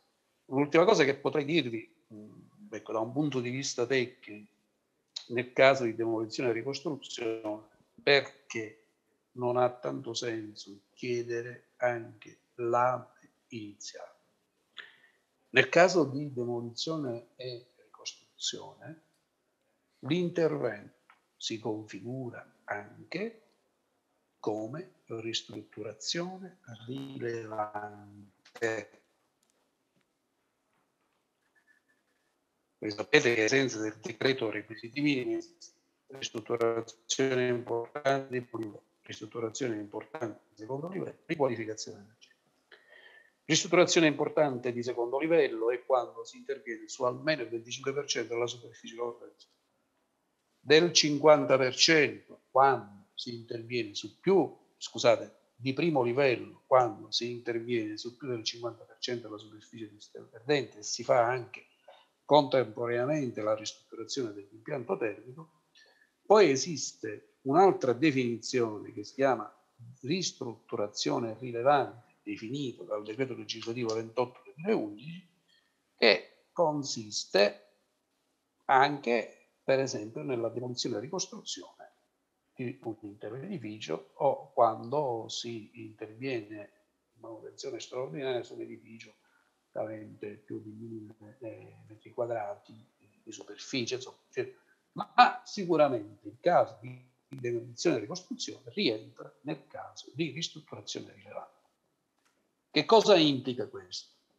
Che quando si è di fronte a una ristrutturazione rilevante occorre rispettare le prescrizioni previste dal decreto legislativo 28 2011, cioè che bisogna soddisfare i fabbisogni energetici per produzione d'acqua calda, riscaldamento invernale e condizionamento estivo, per almeno il 50% di questo fabbisogno bisogna fare ricorso a fonti rinnovabili. Bisogna soddisfarle con fonti rinnovabili. Tenuto conto anche che dal 1 gennaio 2021 sono entrati in vigore i criteri più stringenti sui valori delle trasmettanze da adottare per l'edificio di riferimento, e tenuto conto che una ristrutturazione rilevante è sicuramente importante di primo livello, per le importanti di primo livello si applicano i requisiti previsti per le nuove costruzioni, mettendo le cose assieme, il risultato sapete qual è? Che nel caso di demolizione e ricostruzione l'edificio alla fine deve essere un edificio N0, edificio ad energia quasi zero cioè si sta raggiungendo il massimo in termini di classificazione. Ora, qualsiasi sia un edificio che viene demolito e ricostruito e quindi in uno stato ovviamente pietoso, insomma, sicuramente lì è fuori discussione che il superamento di due classi energetiche c'è in abbondanza. In ogni caso, siccome è demolizione e ricostruzione, tenuto conto del decreto legislativo 28 2011, tenuto conto delle prescrizioni prevista dal decreto minimi, alla fine si raggiunge la condizione di NZ e quindi meglio di così si muore, si dice il mio paese. Quindi non ha senso il confronto, quindi non ha più tanto senso. Invece, negli altri casi è opportuno fare il confronto tra prima e dopo. Concetto che va sempre tenuto presente. Quando si fanno interventi di efficienza energetica, c'è sempre una cosa da tenere presente, un confronto tra ciò che c'è prima e ciò che c'è dopo e qui devo fare valutazioni in termini di risparmio energetico conseguito con l'intervento. Bene. Per concludere, mm, direi che esponiamo l'ultimo quesito, che era quello un po' più complesso e un po' più articolato, e poi in caso lasciamo rispondere anche Agenzia delle Entrate, che penso sia più chiamata in causa se potete proiettare eh, l'ultimo quesito. E qual era quello sul... Sulle tempistiche, sì. No, quello è l'Agenzia delle Entrate. Sì, sì, esatto, ma volevamo esporlo alla platea prima di mm. passare la parola. A meno, a meno, che l'Agenzia delle Entrate non, voglia, non abbia programmi diversi, ce l'abbia già. Eh. Allora, io avevo preparato un po' di slide su eh, mi sentite? Sì. sì. Avevo preparato poche slide sulle problematiche più import- rilevanti nella gestione del credito, perché alcuni quesiti che sono stati fatti effettivamente richiedono forse un approfondimento su, non sulla, sulla cessione di cui abbiamo già parlato, ma appunto sulle parti più problematiche, quali, quali sono gli errori più comuni, cui mi viene chiesto come, come può fare un tecnico che vuole effettuare lo sconto in fattura, ritrovarsi il credito sul cassetto fiscale, eh, cioè una serie di domande che forse eh, io ho preparato le slide, magari saltiamo quelle che ci possono interessare di meno e eh, per esempio avevo, le, mm, eh, avevo, puntualizzato gli errori che vediamo più comuni sulle pratiche di cessione del credito che creano non pochi problemi ai clienti oppure a volte anche ai cessionari che acquistano i crediti o i fornitori e poi non riescono a cederli alle banche perché le banche trovano degli errori sulla pratica. Sì, Quindi, allora, se, se, per lei va bene, le chiederei, visto che il tempo stringe, sono già le 6.20 passate, sì. eh, se riusciamo a fare la domanda che un po' ci preme anche sulle tempistiche, anche sì. perché insomma... Eh, eh, allora, le tempistiche, cioè lo schema, lo schema, che ci avevano esatto. allegato alle domande, mi sembra un po' HP. Allora, allora, se vuole la, la, mia collega glielo illustra, così illustra un po' la platea sì. anche la, quella che è la, sì, la, la le, domanda. Le spiego, le spiego, i quesiti che ci sono arrivati sì. che abbiamo cercato di inserire tutti nella stessa slide perché erano tutti relativi alle tempistiche. Eh, l'idea era quella di prendere un esempio, gli edifici unifamiliari che al momento hanno la scadenza delle spese sostenute al 30 giugno dell'anno prossimo. Quindi ci è arrivato ad esempio il quesito che vengono iniziati i lavori, ad esempio a febbraio, a maggio fanno il primo sale al 30% e sanno di aver al 30 giugno acquistato un 80% delle spese complessive. E il classico esempio è eh, cambio la caldaia, metto un sistema ibrido, compro intanto dal fornitore il, eh, il generatore, ma e alcune ore di posa, quelle che lui prevede, ma in realtà successivamente al 30 giugno vengono effettuati i lavori e lui mi farà una successiva eh, fattura che è, è, è, dopo il termine della, di, in cui io posso fare. Io ho capito, ho capito qual è il senso, un po' anche quell'altro quesito che è arrivato un paio di giorni fa sull'acquisto delle case antisismiche, è un po' abbastanza analogo, in prossimità della scadenza compro qualcosa di sostanzialmente non ancora concluso, giusto? Esatto. Non veniva da voi. Esatto, perché va bene lo stesso. l'asseverazione eh. finale è comunque nostra. Io non potrei asseverare successivamente e intanto non so quanto successivamente voi mi concedete certo. di asseverare, io non potrò mai asseverare che con il 100% delle fatture sono riuscita a concludere i lavori, ma in realtà, eh, eh cioè, o meglio, con il 100% sì, ma con quell'80% che rientra nella detrazione io non ho concluso i lavori. Quindi capire se comunque funziona e quindi il allora, 20% il cliente se lo pagherà a parte.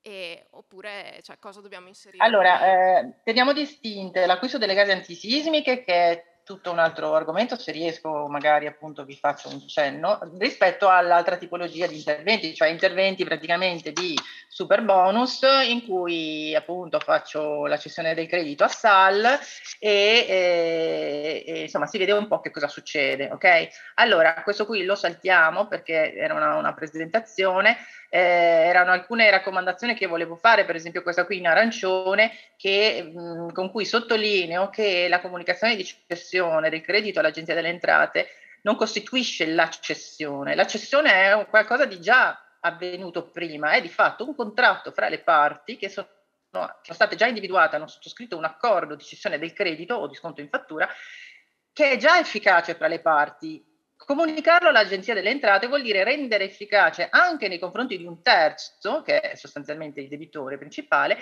questo accordo. Ma la mh, premessa è che esista già un accordo di cessione del credito, perché a volte ci arrivano casi di contribuenti che ci hanno comunicato cessione di crediti che poi in realtà non sono mai avvenuti e questo è molto grave perché vuol dire che non si è fatto attenzione a questa cosa, cioè la cessione del credito non è la comunicazione all'Agenzia delle Entrate, è un accordo fatto dalle parti che viene poi comunicato all'Agenzia delle Entrate successivamente perché l'Agenzia delle Entrate lo riconosca al cessionario sostanzialmente. Comunque andiamo avanti. Ecco, io mi vorrei fermare su questa disposizione, che è quella dei SAL. I SAL sono, sono,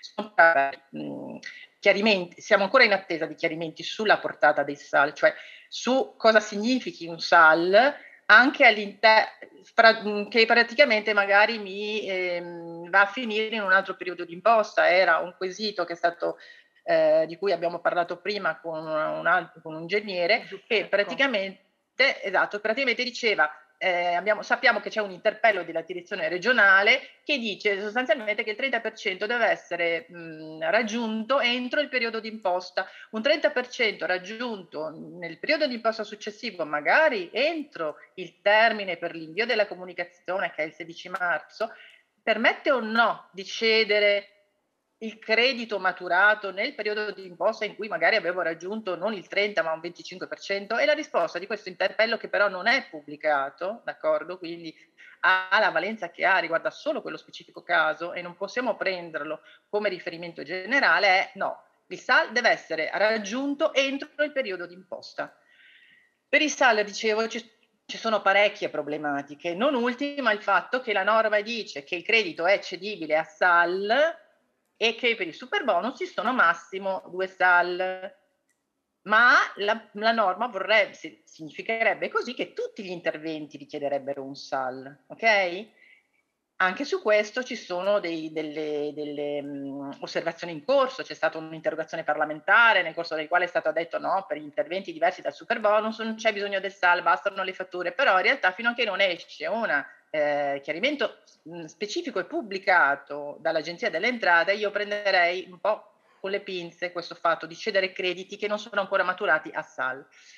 Allora, la norma dice che i SAL non possono essere più di due e che ognuno deve raggiungere almeno il 30% dell'intervento complessivo agevolabile. Gli stati di avanzamento lavori vengono inviati, inseriti nella comunicazione. Più o meno le domande che voi mi fate sono queste, penso di aver, se ho capito bene. Quante spese posso cedere per ogni SAL? Sostanzialmente lei mi dice, io raggiungo magari una certa percentuale ma siccome siamo a ridosso della scadenza e eh, la detrazione va per cassa, io acquisto tutto quello che posso prima della scadenza in modo da avere il 110%. Il lavoro però ancora non è concluso. Se io vedo la norma, leggo che la cessione avviene per saldo. Questo è sicuramente certo per quanto riguarda le detrazioni al 110%. A questo punto, quando raggiungo il SAL, quanto posso cedere? Quanto ho cristallizzato posso cedere? In questo caso io farei, secondo me, riferimento al principio per cui l'articolo 121 nel decreto rilancio mi, mi richiede il SAL. Perché richiede il SAL? Perché dobbiamo mh, renderci conto del fatto che nel momento in cui l'Agenzia delle Entrate riconosce dei crediti ai fornitori o ai cessionari, magari il terzo, quarto, ventesimo cessionario, c'è un movimento di denaro che verrà riconosciuto automaticamente dall'Agenzia delle Entrate a questi cessionari successivi, perché appunto la norma dice che nel caso in cui la detrazione non spetta, il credito viene recuperato in capo al beneficiario principale. Ok? Quindi ci sono varie cessioni che avvengono sulla base di qualcosa che ancora non è concluso, perché nel momento in cui la norma mi apre alla cessione del credito a SAL, anziché aspettare la conclusione dei lavori, vuol dire anticipo qualcosa eh, e metto in giro movimento di denaro sulla base di qualcosa che ancora non esiste. Questo principio mi significa che i SAL servono a quantificare, a certificare che il lavoro si sta svolgendo, che si sta svolgendo in maniera conforme al progetto fatto e a quantificare il valore del lavoro che è stato fatto fino a quel momento. Sulla base di questo principio e vedendo quello che dice quello che è pane per i denti del dottor Pesinzano, cioè il decreto asseverazione ecobonus, in cui mi dice che appunto l'asseverazione può riguardare anche lo stato di avanzamento lavori e poi dice io perlomeno lo leggo così, ok? A riguardo non ci sono chiarimenti ufficiali, io posso dare una mia lettura di quella che è la norma in questo momento. Nel caso di asseverazione di uno stato avanzamento lavori, il tecnico assevera, eccetera, eccetera, e invia l'Enea. L'Enea risponde con il codice identificativo della domanda che permette la compilazione della comunicazione di cessione del credito. Questo codice identificativo è abilitante all'accesso alle opzioni di quell'articolo 121, quindi cessione del credito e sconto in fattura, per un ammontare massimo che corrisponde al valore economico dello stato avanzamento lavori dichiarato. Ora, è vero che se io inserisco nella pratica di asseverazione tutte le fatture pagate, posso fare entrare anche materiale che ancora non ho usato, ma nel momento in cui si parla del valore economico dei lavori effettuati, secondo me forzare la norma in modo da comprare tantissimo materiale e farlo rientrare in un SAL dove alla fine invece il direttore dei lavori quantificando il valore dei lavori dovrebbe quantificare quello che effettivamente è quel momento, secondo me questo, mo, questo metodo che può essere, eh, a cui si può ricorrere per cercare di, di, massimizzare la detrazione comprando tutto il possibile entro la scadenza del termine, secondo me non, non ci sta. Ok? Ripeto, è un'opinione basata sulla lettura di quello che è il decreto. Quando mi dice che a SAL, il SAL mi permette di cedere il credito che corrisponde al valore economico dello stato avanzamento lavori. Questo è quello che io penso riguardo a questo. Quindi lo schema che avete fatto voi, secondo me, per quello schema va fatta molta attenzione. Cioè, ripeto, il principio del sale è questo. Lo Stato anticipa dei soldi che poi cominceranno a circolare con tutte le cessioni successive, i cessionari cominceranno a loro volta a usarlo, a cederlo a loro volta, sulla base di interventi che ancora non si sono conclusi. E quindi, secondo me, quello che si può cedere riguarda esclusivamente i lavori effettivamente eseguiti, non l'accumulo di materiali che si sono stati fatti o l'accumulo di pagamenti di prestazioni magari non ancora eseguite. Ok? Questo è, ripeto, l'opinione sulla base di quello che secondo me è il principio della norma e quello che dice il decreto del Mise del 6 agosto 2020. Qui ho fatto un po' una, sicuramente modo che voi conoscete molto meglio di me, dove appunto si parla sempre del valore della, della, del SAL, ok? Quindi gli interventi, il costo complessivo degli interventi realizzati. Per interventi realizzati intendo questo, secondo me, interventi realizzati, non quello che ho pagato, che ho già pagato, anche se gli interventi non sono ancora stati realizzati. Non so se ho capito la domanda e se è stata sì, comprensibile allora. Eh, una parte di domanda è giusta. Io le faccio la seconda parte di domanda. Eh, teniamo questo esempio, eh, monofamiliare a, a 30 giugno finisce tutto. Io ho la possibilità al 28 giugno di presentare la CILAS, al 29 di pagare 100.000 euro di cappotto, la norma mi parla di spese ammissibili, quindi eh, le ho pagate entro la fine de, di giugno, però mi dice po- tu puoi presentarmi l'asseverazione laddove hai finito gli interventi, quindi non facciamo SAL, ma finire, non mi dice di finire gli interventi al 30 giugno, mi dice che sono i costi ammessi, quindi in teoria io ho eh, da fine lavori, che possono essere anche a settembre, ottobre eh, successivi, eh, 90 giorni per poter fare la pratica. La cosa, le due domande che sorgono è quanto in là rispetto al 30 giugno è possibile fare la fine dei lavori e se questo diciamo, caso estremo è ammissibile. Non so se l'ha capito. Sì, l'ho capito, ho capito. Quindi diciamo al di là della possibilità di cedere il credito, se maturo la detrazione, semplicemente pagando tutto, io non cedo niente perché appunto non, ho, non si è cristallizzato niente che mi permetta di cederlo sulla base di quello che ho detto quando posso finire i lavori. Allora, sul punto ancora non ci sono chiarimenti, vediamo anche all'approssimarsi di questa scadenza se ci saranno ulteriori chiarimenti. In via di principio, quando durante il passato alcune detrazioni sono passate da una percentuale all'altra, eh, si è sempre fatto riferimento al criterio di cassa, cioè al momento in cui è stata pagata la spesa. Okay?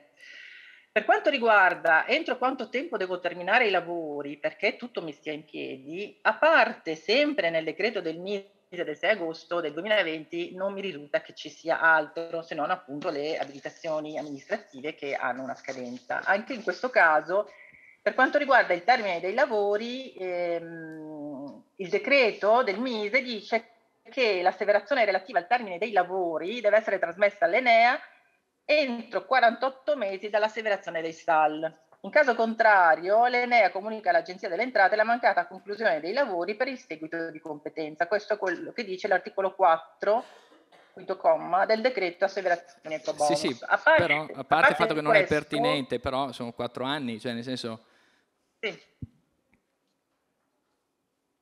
Cioè, lei si sentirebbe di dirmi che quattro eh, anni sono sufficienti? No, no. no, io non, non sto dicendo questo, sto dicendo che attualmente l'unico norma in cui viene posto un termine per la conclusione dei lavori, diciamo in diretta, è questa. Non ci sono altre indicazioni a riguardo. Secondo me è necessario attendere chiarimenti ulteriori, d'accordo? All'approssimarsi della scadenza del 30 giugno ci saranno dei chiarimenti che prenderanno in considerazione cosa fare con gli interventi che sono rimasti a metà. Naturalmente nella consapevolezza che il ragionamento posto, cioè comprare tutti i materiali, pagare il più possibile, 110%, nel timore che dopo non ci sia più, verrà, ne verrà tenuto conto. Ok? Cioè attualmente non possiamo andare oltre quello che c'è scritto nella norma. La norma lascerebbe aperte molte porte, però io non, non mi sento di, eh, come dire, eh, permet- cioè di dare per scontato che ciò sarà possibile. Ok? Ok, perfetto, grazie. Allora, per quanto riguarda analogo quesito era stato posto per quanto riguarda sì. eh, se è possibile, mi scusi, eh, sì? dottoressa, eh, in sala abbiamo una, una, domanda pertinente, quindi lo faccio sì. fare. Sì, giusto un chiarimento a proposito dello stato di avanzamento lavori del 60% al 30 giugno. Quindi se ho capito ah. bene, se io nel progetto includo delle finestre che compro in tempo e pago prima del 30 giugno per un importo considerevole perché comunque altrimenti le finestre non vengono neanche consegnate, quindi parliamo di importi magari del 70%, questa fattura, diciamo, pagata al fornitore non conta a livello di stato di avanzamento lavori. Giusto? Sulla base di quello che, sulla base di, quello, di come è mh, formulato il decreto, mio parere no, però ripeto, uh, questo, dobbiamo tenere presente che quello che sto dicendo è un parere, mh, d'accordo? Non ci sono chiarimenti ufficiali a riguardo, anche in questo caso io auspico e credo che all'approssimarsi della scadenza verrà chiarito anche come calcolare questo 60% e se, se, andrà, sicuramente secondo me andrà in qualche maniera asseverato il, 60, il raggiungimento del 60% alla scadenza del 30 giugno e cosa sia possibile fare entrare. Ripeto, il, la problematica del sale è una problematica abbastanza importante, rilevante e che contiene ancora dei punti incerti. Eh, quindi mh, sono, siamo perfettamente consapevoli che ehm, c'è l'esigenza di avere più chiarezza su alcune questioni, però oltre quello che c'è scritto nei documenti ufficiali, nei decreti, nelle circolari, negli interpelli, che purtroppo interpelli sulla cessione del credito e su SAL sostanzialmente non ne sono ancora usciti, a parte uno solo che però non è rilevante in questo senso, non c'è altro. Io mh, diciamo ho, quello che ho potuto fare è, andata, andare a cercare nella normativa attualmente esistente, nelle indicazioni attualmente esistenti, cosa ci può aiutare mh, a capire come appunto quantificare eh, i lavori eseguiti per i SAL, soprattutto per quanto riguarda il credito cedibile. Grazie. Analogo, analogo quesito è stato, è stato posto sull'acquisto ehm, di case antisismiche, quindi eh, sì, a Simea. Eh, quindi praticamente il cosiddetto sisma bonus acquisti, ok? Eh, articolo 16, comma 1 septies, decreto 63. Anche qui una detrazione già esistente, è aumentata al 110% per effetto dell'articolo 119. La caratteristica di, questo, di, questa detrazione, prevista appunto dal comma 1 septies, è quella che la detrazione non spetta sul, um, sul, valore delle spese effettuate, ma sul prezzo di acquisto dell'immobile da parte del, uh, di chi acquista l'immobile sostanzialmente, ed è uno dei casi tra cui è, in cui è proprio previsto oltretutto l'aumento di volumetria. Sostanzialmente la, la, la, norma dice è prevista la possibilità di detrarre il 75-85% del prezzo di acquisto della singola unità immobiliare a, co- a condizione che eh, le imprese di costruzione o ristrutturazione provvedano entro 18 mesi, che adesso sono diventati 30, dalla data di conclusione dei lavori alla successiva alienazione degli immobili. Sappiamo che il Veneto è passato da poco in classe sismica 3, in zona sismica 3, quindi ovviamente la cosa è diventata ancora più rilevante. Il sisma bonus ordinario scade alla fine dell'anno se non ci sono proroghe, il super sisma bonus scade anche questo il 30 giugno. Ci sono molti interpelli dell'Agenzia delle Entrate sul sisma bonus che hanno chiarito soprattutto alcune eh, questioni relative alle varie asseverazioni Il quesito che viene fatto è, mh, mm, posso, eh, allora in tutti, molti interpelli l'Agenzia delle Entrate dice la maggior detrazione, il 110%, è mh, mm, possibile a condizione che il rogito di compravendita dell'immobile venga stipulato entro eh, la scadenza eh, dell'agevolazione, quindi il 30 giugno eh, 2022. A questo punto, allora la domanda è, ehm, posso vendere sostanzialmente un immobile al grezzo e concludere i lavori successivamente, se ho capito bene? E mi si cita, per giustificare questa domanda, due interpelli, 688, soprattutto molti interpelli a dire la verità, ma quelli secondo me che forse potevano in qualche maniera più fondare questa domanda era il 191 e l'ultimo il 688 del 2021. Allora, nessuno dei due in realtà, secondo me, eh, permette questo, cioè di acquistare l'immobile al grezzo e quindi permettere all'acquirente di fruire il 110% perché il rogito è stato stipulato entro la scadenza dell'agevolazione.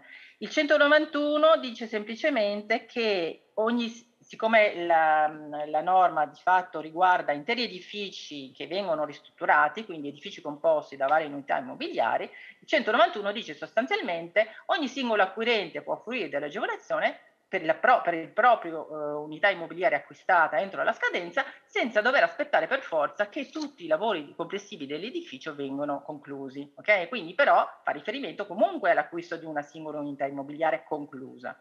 Per quanto riguarda il 688 invece, quello più recente, è il caso in cui nel sisma bonus acquisti l'attestazione di conformità degli interventi al progetto che il direttore dei lavori deve depositare al SUAP viene depositato dopo il rogito. L'Agenzia delle Entrate risponde sì, il decreto uh, 58 del 2017 stabilisce che l'asseverazione deve essere contestuale, cioè mi dà un termine per la, um, la presentazione dell'asseverazione, ma non mi dà un termine per la presentazione appunto dell'attestazione di conformità da parte del direttore dei lavori. Secondo me nessuno di questi due interpelli sdogana la possibilità di acquistare un immobile non concluso e questo secondo me si legge molto semplicemente nel testo del, del comma 1 septies del, dell'articolo 16 dove dice che gli interventi devono essere eseguiti da imprese di costruzione o ristrutturazione immobiliare che provvedano entro 18 mesi, adesso 30, dalla data di conclusione dei lavori alla successiva alienazione dell'immobile. Questa norma riguarda la vendita di immobili già esistenti, già conclusi, di unità immobiliari concluse, perché nel momento in cui il legislatore UNI parla di alienazione entro, alla successiva alienazione entro 30 mesi dalla conclusione, vuol dire che l'oggetto del rogito non può essere un immobile non concluso, non può essere un'unità immobiliare al grezzo, un immobile al grezzo, deve essere un'unità immobiliare conclusa. Quindi, anche in questo caso, ripeto, però non ci sono interpelli pubblicati, ma, interpelli, ma so che ci sono stati degli interpelli invece non pubblicati che comunque confermano questo, cioè il rogito deve riguardare case antisismiche in cui la ristrutturazione è stata conclusa. Non so se anche qui sono stata sufficientemente chiara. Perfetto, sì, parte la, la complessità e, e sì, la, soprattutto non, di questa specifica non esistenza di, di, una, di una, certezza totale. Sì. Ecco, le chiedo oh. se velocemente riesce a accennarci sul fatto dello sconto in fattura, anche per noi professionisti. Sì, allora, praticamente... Se riesce a essere eh, rapida, la, la sarei grazie. Assolutamente sì. Eh, sì, eh, grazie. Allora, praticamente qui mi si chiede mh, mm, se i professionisti possono oh, fare lo sconto in fattura, sì, un tecnico, ecco qua. Allora, lo sconto in fattura e la cessione del credito la possono fare allora, ovviamente la cessione del credito si fa nei confronti eh, di qualcuno. Noi una, eh. Scusi, eh. noi vediamo una, una, slide che non so se... Che non è senza. Ok, allora questo vediamo se arriviamo. Ah, ok, perfetto, grazie. Allora, vediamo un po'. Eh, vabbè, qui non c'è una specifica per, que- per, questa domanda, d'accordo? Allora, comunque la risposta è sì, il tecnico può fare lo sconto in fattura, perché lo sconto in fattura lo può fare sostanzialmente qualsiasi?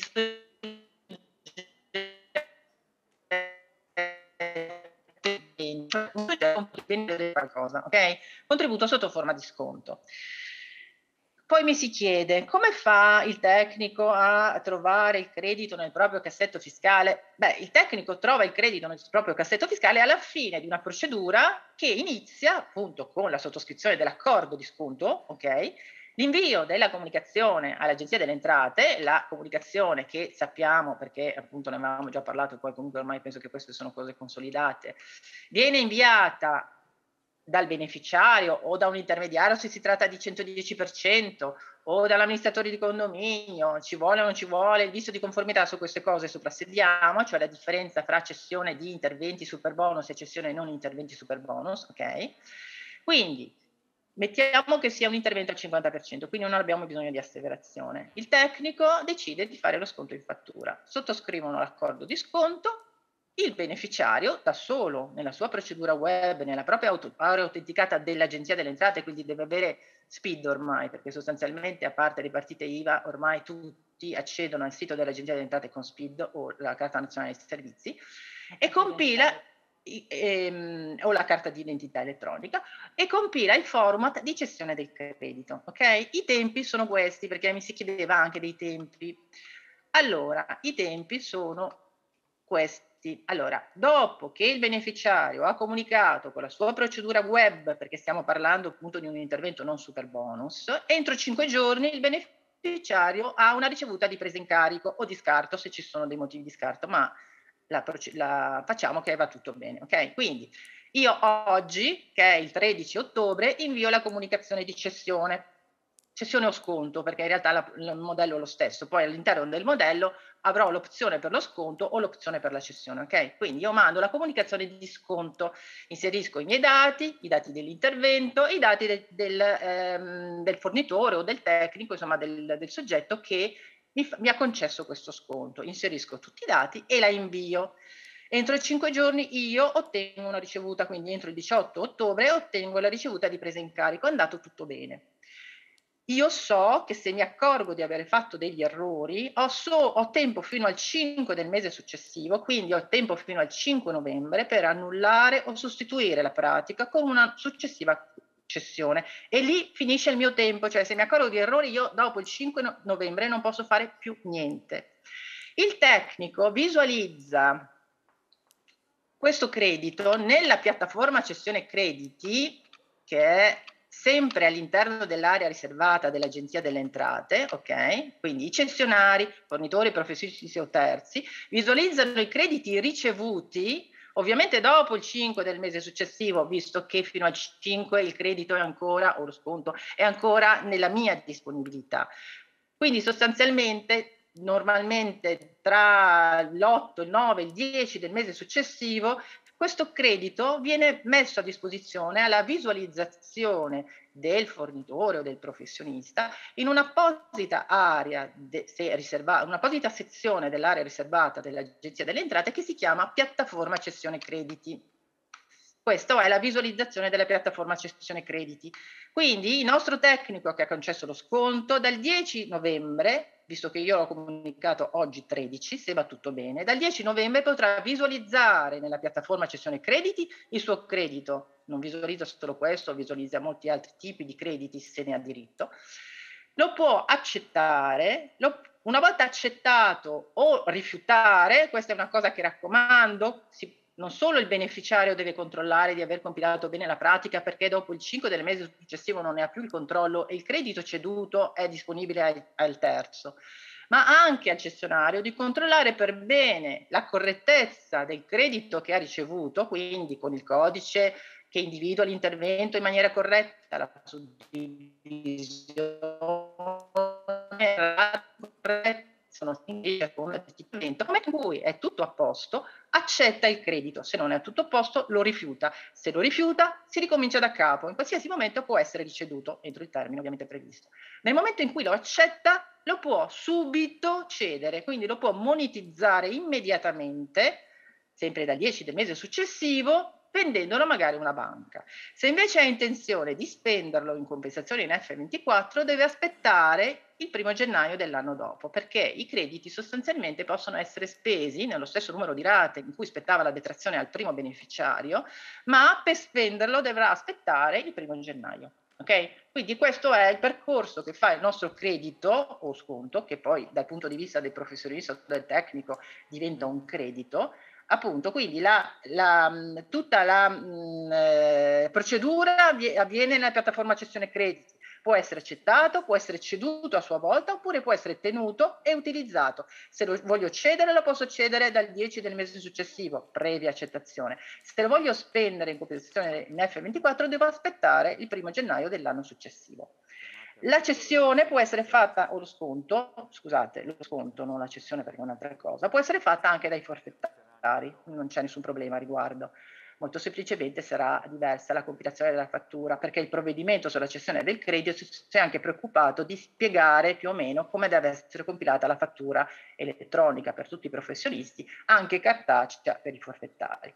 Quindi sicuramente sì, anche i forfettari possono fare lo sconto in fattura. Per quanto riguarda eh, la data della fattura, allora questo eh, qui viene, eh, non so se era qui o un'altra eh, domanda, mi viene citata la circolare 30 dove più o meno è stata fatta una domanda del genere. La risposta è effettivamente, um, ammetto, piuttosto criptica perché dice, vabbè, eh, in ogni caso tu devi seguire le regole generali, caso competenza, seconda che sei privato oppure un'impresa. Secondo me la domanda qui è diversa. Nel momento in cui ho una fattura a fronte di un corrispettivo zero, perché mettiamo che scon- la, la, detrazione è al 110% e quindi io sostanzialmente ho azzerato tutto il corrispettivo, quindi un pagamento di un corrispettivo non c'è e non c'è neanche il versamento dell'IVA all'erario, visto che sono in regime forfettario, altrimenti sarebbe quello il momento in cui si perfeziona di fatto questo sconto, quindi posso considerare che il pagamento del corrispettivo è quando devo pagare al mio professionista l'IVA perché l'IVA comunque va pagata, ok? Cioè quando lui pagherà l'IVA all'erario, d'accordo? Perché in ogni caso lo sconto incide anche sull'IVA, però l'IVA comunque va pagata all'erario. Allora mi si dice, ma qual è la data che devo indicare nella fattura visto che non c'è un pagamento di un corrispettivo? Allora, mh, a prescindere dal fatto che dal punto di vista IVA la fattura può essere messa anche prima del pagamento del corrispettivo, quindi io posso anche emettere una fattura mettendo la data di emissione della fattura stessa, ok? Perché questo lo prevede il testo unico IVA. Ma direi che il pagamento del corrispettivo avviene di fatto tramite sempre la sottoscrizione dell'accordo di sconto perché il professionista in quel momento ha accettato di avere le sue prestazioni pagate tramite l'acquisto di questa detrazione, di questo credito. Quindi in mancanza di indicazione sono, eh, possiamo appunto come dire, far coincidere il momento del pagamento del corrispettivo col momento in cui il beneficiario ha ceduto al professionista il proprio credito. Quindi alla data dell'accordo emettiamo la fattura, giusto? Sì, esatto. esatto. Ecco, scusi se l'ho interrotta, poi... cercavo un po' perché purtroppo abbiamo dei tempi tecnici anche per eh, chiudere. So, lo so. Ecco. Penso che Intanto, allora, io... comunque ripeto, se nel, questo ripeto, è un principio che si estrapola soprattutto dal testo unico IVA, ma non ci sono indicazioni precise. Quindi eventualmente anche in questo caso un chiarimento ufficiale non è, è, è sbagliato chiederlo. Eh, io, io, vi ringrazio. Io la ringrazio, ringrazio la dottoressa Silvana Di Marcello e la dottoressa Elisa Favaron, nonché l'ingegner Domenico Prisinzano. Io spero che tutte le risposte che abbiamo ascoltato siano state esaurienti, almeno in parte, ma non tutti sono soddisfatti. Per i più coraggiosi adesso c'è una breve clip dell'onorevole Paolo Paternoster che ci ha inviato quindi se volete si conclude con Beh. questa clip direi. Il Buongiorno video. a tutti, eh, grazie dell'invito e complimenti per la, per la, vostra iniziativa. Un ringraziamento in particolare quindi all'Ordine degli Ingegneri di Verona con il Presidente Andrea Falsirollo. Eh, parliamo in questi giorni di super bonus e nel, nello specifico del super bonus al 110% e quindi il quesito che voi avete posto per questa, queste giornate di lavoro è il super bonus 110% un anno dopo. È giusto fare anche un po' un bilancio di quello che è successo nell'ultimo anno con un provvedimento così importante che non si è mai registrato prima per verificare se le risorse eh, governative che sono state stanziate, tanti soldi sono stati stanziati, sono andati a buon fine, cioè se eh, questo, questi sacrifici, questi soldi, questi fondi, questi finanziamenti poi eh, nella realtà giornaliera della nostra economia sono stati efficaci per rilanciare il settore da una parte e per rilanciare la nostra eh, economia e poi anche per verificare bene se chi ha avuto il beneficio di questi finanziamenti, di questi bonus, hanno avuto appunto un, un risultato positivo. Beh, io direi che in, in primo ordine, eh, vedendo le, eh, le, gru, non le grandi gru edili, ma le gru che sono state impiantate nelle, nelle, nelle, abitazioni, al di fuori delle abitazioni e nei piccoli cantieri che hanno un po' disseminato tutta la nostra penisola nell'ultimo anno, e sono veramente tante, potrei dire eh, che come provvedimento, come bonus, è stato un bonus azzeccato. Cioè che sono nati tantissimi cantieri, c'è stato un volano per l'economia veramente importante, eh, creando occupazione, creando quindi indotto e creando poi dall'altra parte un gettito fiscale importante. Perché comunque se eh, da una parte lo Stato ha investito risorse considerevoli per i super bonus del 110%, dall'altra parte possiamo dire anche che ha creato eh, un indotto economico sicuramente eh, altissimo, tanto è vero che oggi l'Italia, come dicevo in poc'anzi, è disseminata di tantissimi cantieri che vanno, a, eh, vanno proprio nel segno di, di questo super bonus, cioè dell'efficientamento energetico come peraltro si è chiesto la eh, l'Europa. Allora, eh, cosa si può dire? Si può dire che è stato un provvedimento azzeccato, si può dire che è stato un provvedimento che ha aiutato l'economia, tanto è vero che il 5,8 di aumento del PIL per il 2021 tanto è dovuto anche a questo tipo di provvedimento. È un provvedimento però molto costoso e quindi eh, quello che mi sento di dire è che è un investimento importante da parte del governo, fatto nel 2021, lo sappiamo bene che eh, per certe categorie eh, al momento durerà fino al 30 giugno del 2022, per altre fino al 31 12 del 2022. In questi giorni la domanda che ci chiedono le categorie è se questo provvedimento sarà eh, replicato anche nel 2023 e negli anni, negli anni seguire. Ce lo chiedono secondo me per due eh, motivazioni principali. Uno, perché appunto è un provvedimento azzeccato, un provvedimento che ha creato lavoro, che ha creato quindi occupazione, che ha creato gettito fiscale a favore dello Stato e quindi un provvedimento da replicare. Dall'altra parte purtroppo devo dire che questa domanda ci viene anche posta perché eh, siamo in Italia e sappiamo come, come vanno o come non funzionano le cose in Italia. Questo provvedimento purtroppo è stato un po' frenato, gli effetti positivi di questo provvedimento eh, parlo, da una eccessiva burocrazia che eh, legge impone per appunto usufruire de, de, del suo beneficio e quindi tante volte ci dicono abbiamo mesi e mesi di scartoffie con relativi costi burocratici eh, che appesantiscono appunto questi, questi interventi e poi abbiamo dei mesi di lavoro che non ci consentono di rientrare nei tempi previsti dall'attuale legge, quindi 30 giugno 2022. Verrà replicato anche nel 2023? Questa, come dicevo, è una domanda che ci viene posta. E beh, allora, a sentire dalle dichiarazioni del ministro, del ministro Franco, eh, il quale ha detto eh, recentemente che è un provvedimento che costa, ma che comunque dovrà essere necessariamente replicato anche per l'anno successivo nel 2023 verrà replicato nel 2023 così come è stato fatto eh, per il 2021 e per il eh, 2022. Poi non si sa bene se il 2024 e gli anni successivi avranno lo stesso, lo stesso, um, lo stesso trattamento. Noi, noi, come Lega eh, lo auspichiamo perché ribadisco che tolta la burocrazia che è un peso fondamentale e molto gravoso per gli uffici che devono sbrigare queste pratiche prima di, di avviare i cantieri, è un provvedimento sicuramente azzeccato e quindi noi avevamo anche eh, chiesto di eh, estenderlo anche a altri tipi di, eh, di eh, immobili, cioè gli immobili commerciali, gli immobili a uso alberghiero e quant'altro. Questa probabilmente è una richiesta che il governo non ci accoglierà, però se fosse per noi come Lega lo allargheremo anche ad altri tipi di, di, di immobili. Eh, perché ribadisco, eh, la necessità di eh, realizzare l'efficientamento energetico non è solo per le abitazioni, ma è per altri, molte altre tipologie di immobili. Questo sarà comunque, il 2022 ci sarà sicuramente, il 2023 è l'impegno del governo a reperire quelle risorse fondamentali nella legge di bilancio che appunto daranno la possibilità di estenderlo anche per l'anno, per l'anno successivo. Ad oggi comunque abbiamo il, 2000, il 2022, ma la nostra promessa come Lega, il nostro impegno come Lega sarà quindi quello di, di, di eh, replicarlo. Replicarlo come?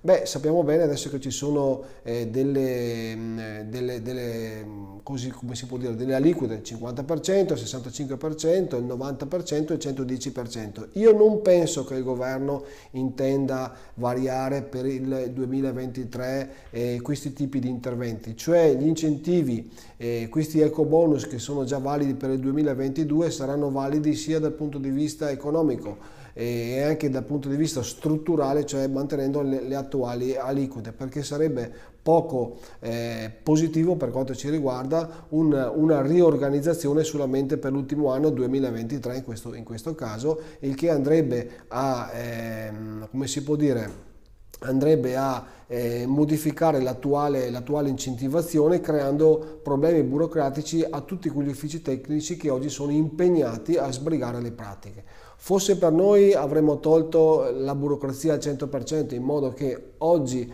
pensi l'idea, domani parli con gli uffici tecnici competenti, i privati, gli ingegneri, gli architetti, tutti quelli che possono contribuire a impiantare il cantiere, dopodomani inizia il cantiere. Questo è quello che, che noi vorremmo, purtroppo però sappiamo che non è sempre così. Abbiamo bisogno di eh, semplificazioni normative, queste sono all'ordine del giorno, è il nostro pressing nei confronti del governo affinché questi bonus così importanti per la nostra economia siano finalmente alleggeriti di una burocrazia asfissiante che fino a questo momento ha fatto sì che, eh, che questi investimenti governativi abbiano, sì, come dicevo prima, un'efficacia importante, ma potrebbero averne molto di più. La nostra attenzione in questo senso sarà totale la nostra attenzione sarà quella anche di replicare negli anni successivi questi tipi di, di, di incentivazioni fiscali perché comunque con l'aiuto dei soldi eh, che ci arrivano dall'Europa con i recovery, questi famosi 250 miliardi che ricordo non sono tutti regalati perché per i due terzi ci devono essere restituiti, comunque possono finanziare anche per gli anni seguire questo tipo di incentivazione. Quindi efficientamento energetico, lo Stato che ti aiuta per sistemarti le tue, le tue abitazioni, meno burocrazia ed è questa la nostra risposta per avere sì un PIL che cresce come quest'anno, ma noi vogliamo che cresca in maniera considerevole anche per i prossimi anni, perché quello che abbiamo subito l'anno scorso, ce lo ricordiamo bene con la, con la pandemia, è qualcosa di inverosimile e che non deve più eh, eh, capitare. Perché? L'abbiamo detto in più, in più, occasioni, la pandemia eh, sanitaria l'anno scorso è stata seguita da una pandemia economica che purtroppo ha lasciato dei segni irreversibili sulla nostra economia e anche sul nostro tessuto sociale. Detto questo io concludo il mio intervento, auguro buon lavoro a tutti i convenuti e se ci sono delle qualsiasi perplessità qualsiasi bisogno, la Lega e sottoscritto con tutti i miei colleghi parlamentari siamo a vostra disposizione. Grazie e buon lavoro. Anche noi vogliamo essere più felici. Io direi che la giornata è stata intensa, chiedo solo se l'ingegner Falsirollo vuole trarre due parole di conclusione, così per, per chiudere in bellezza questo convegno e anticipo i ringraziamenti a tutti quelli che hanno partecipato. Eh, allora, siete rimasti comunque ancora in tanti. Il contributo degli enti, avete visto, è stato comunque interessante. So che alcuni di voi eh, si sono espressi dicendo che comunque le risposte sono, sono state alcune un po' evasive, però evidentemente se non, fosse, se non ci fosse questo problema non saremmo neanche qui a parlarne, si sapeva già. Speriamo che comunque l'assetto normativo, andando avanti, migliori e trovi delle risposte più specifiche a domande specifiche. Come avete visto all'inizio anche ai politici abbiamo posto una domanda molto chiara, cioè quello di trovare comunque un assetto normativo per i prossimi incentivi che sia che aiuti un po' di più anche il nostro lavoro perché evidentemente non può essere che l'80% del nostro lavoro sia rivolto a capire come sfruttare questi incentivi, come adoperarli e, ed evitare eventuali conseguenze, perché solitamente, diciamoci la verità, abbiamo la copertura assicurativa, ma non deve essere una copertura assicurativa che va a, a, coprire danni di questo tipo. Noi lavoriamo, ma non per rischiare, lavoriamo perché mettiamo le nostre competenze, non perché la normativa è chiara e quindi quando la normativa è chiara dobbiamo avere un'assicurazione che risponda. Ecco, diciamo che il legislatore, sapendo che forse poteva esserci questo problema, ha predisposto l'obbligo in questo senso della copertura assicurativa. Ecco, però questo eh, non è un bel modo di procedere e il titolo del convegno e gli argomenti affrontati oggi erano proprio per evitare e aiutare in tal senso, evitare di usare il meno possibile l'assicurazione e trovare soluzioni giuste e corrette. Questo diciamo è, è la sintesi e la conclusione che è un auspicio che il legislatore lavori in questo senso facendoci lavorare con meno assicurazione e più conoscenze e competenze che sappiamo mettere in campo e che non lesiniamo mai di farlo, anche quando la legislazione non è così chiara. E devo fare, bisogna fare i complimenti a chi lavora in questo campo perché effettivamente lavorare in questo contesto, con questo assetto normativo, ci vuole coraggio. Ottimo, grazie a tutti. Grazie. Thank you.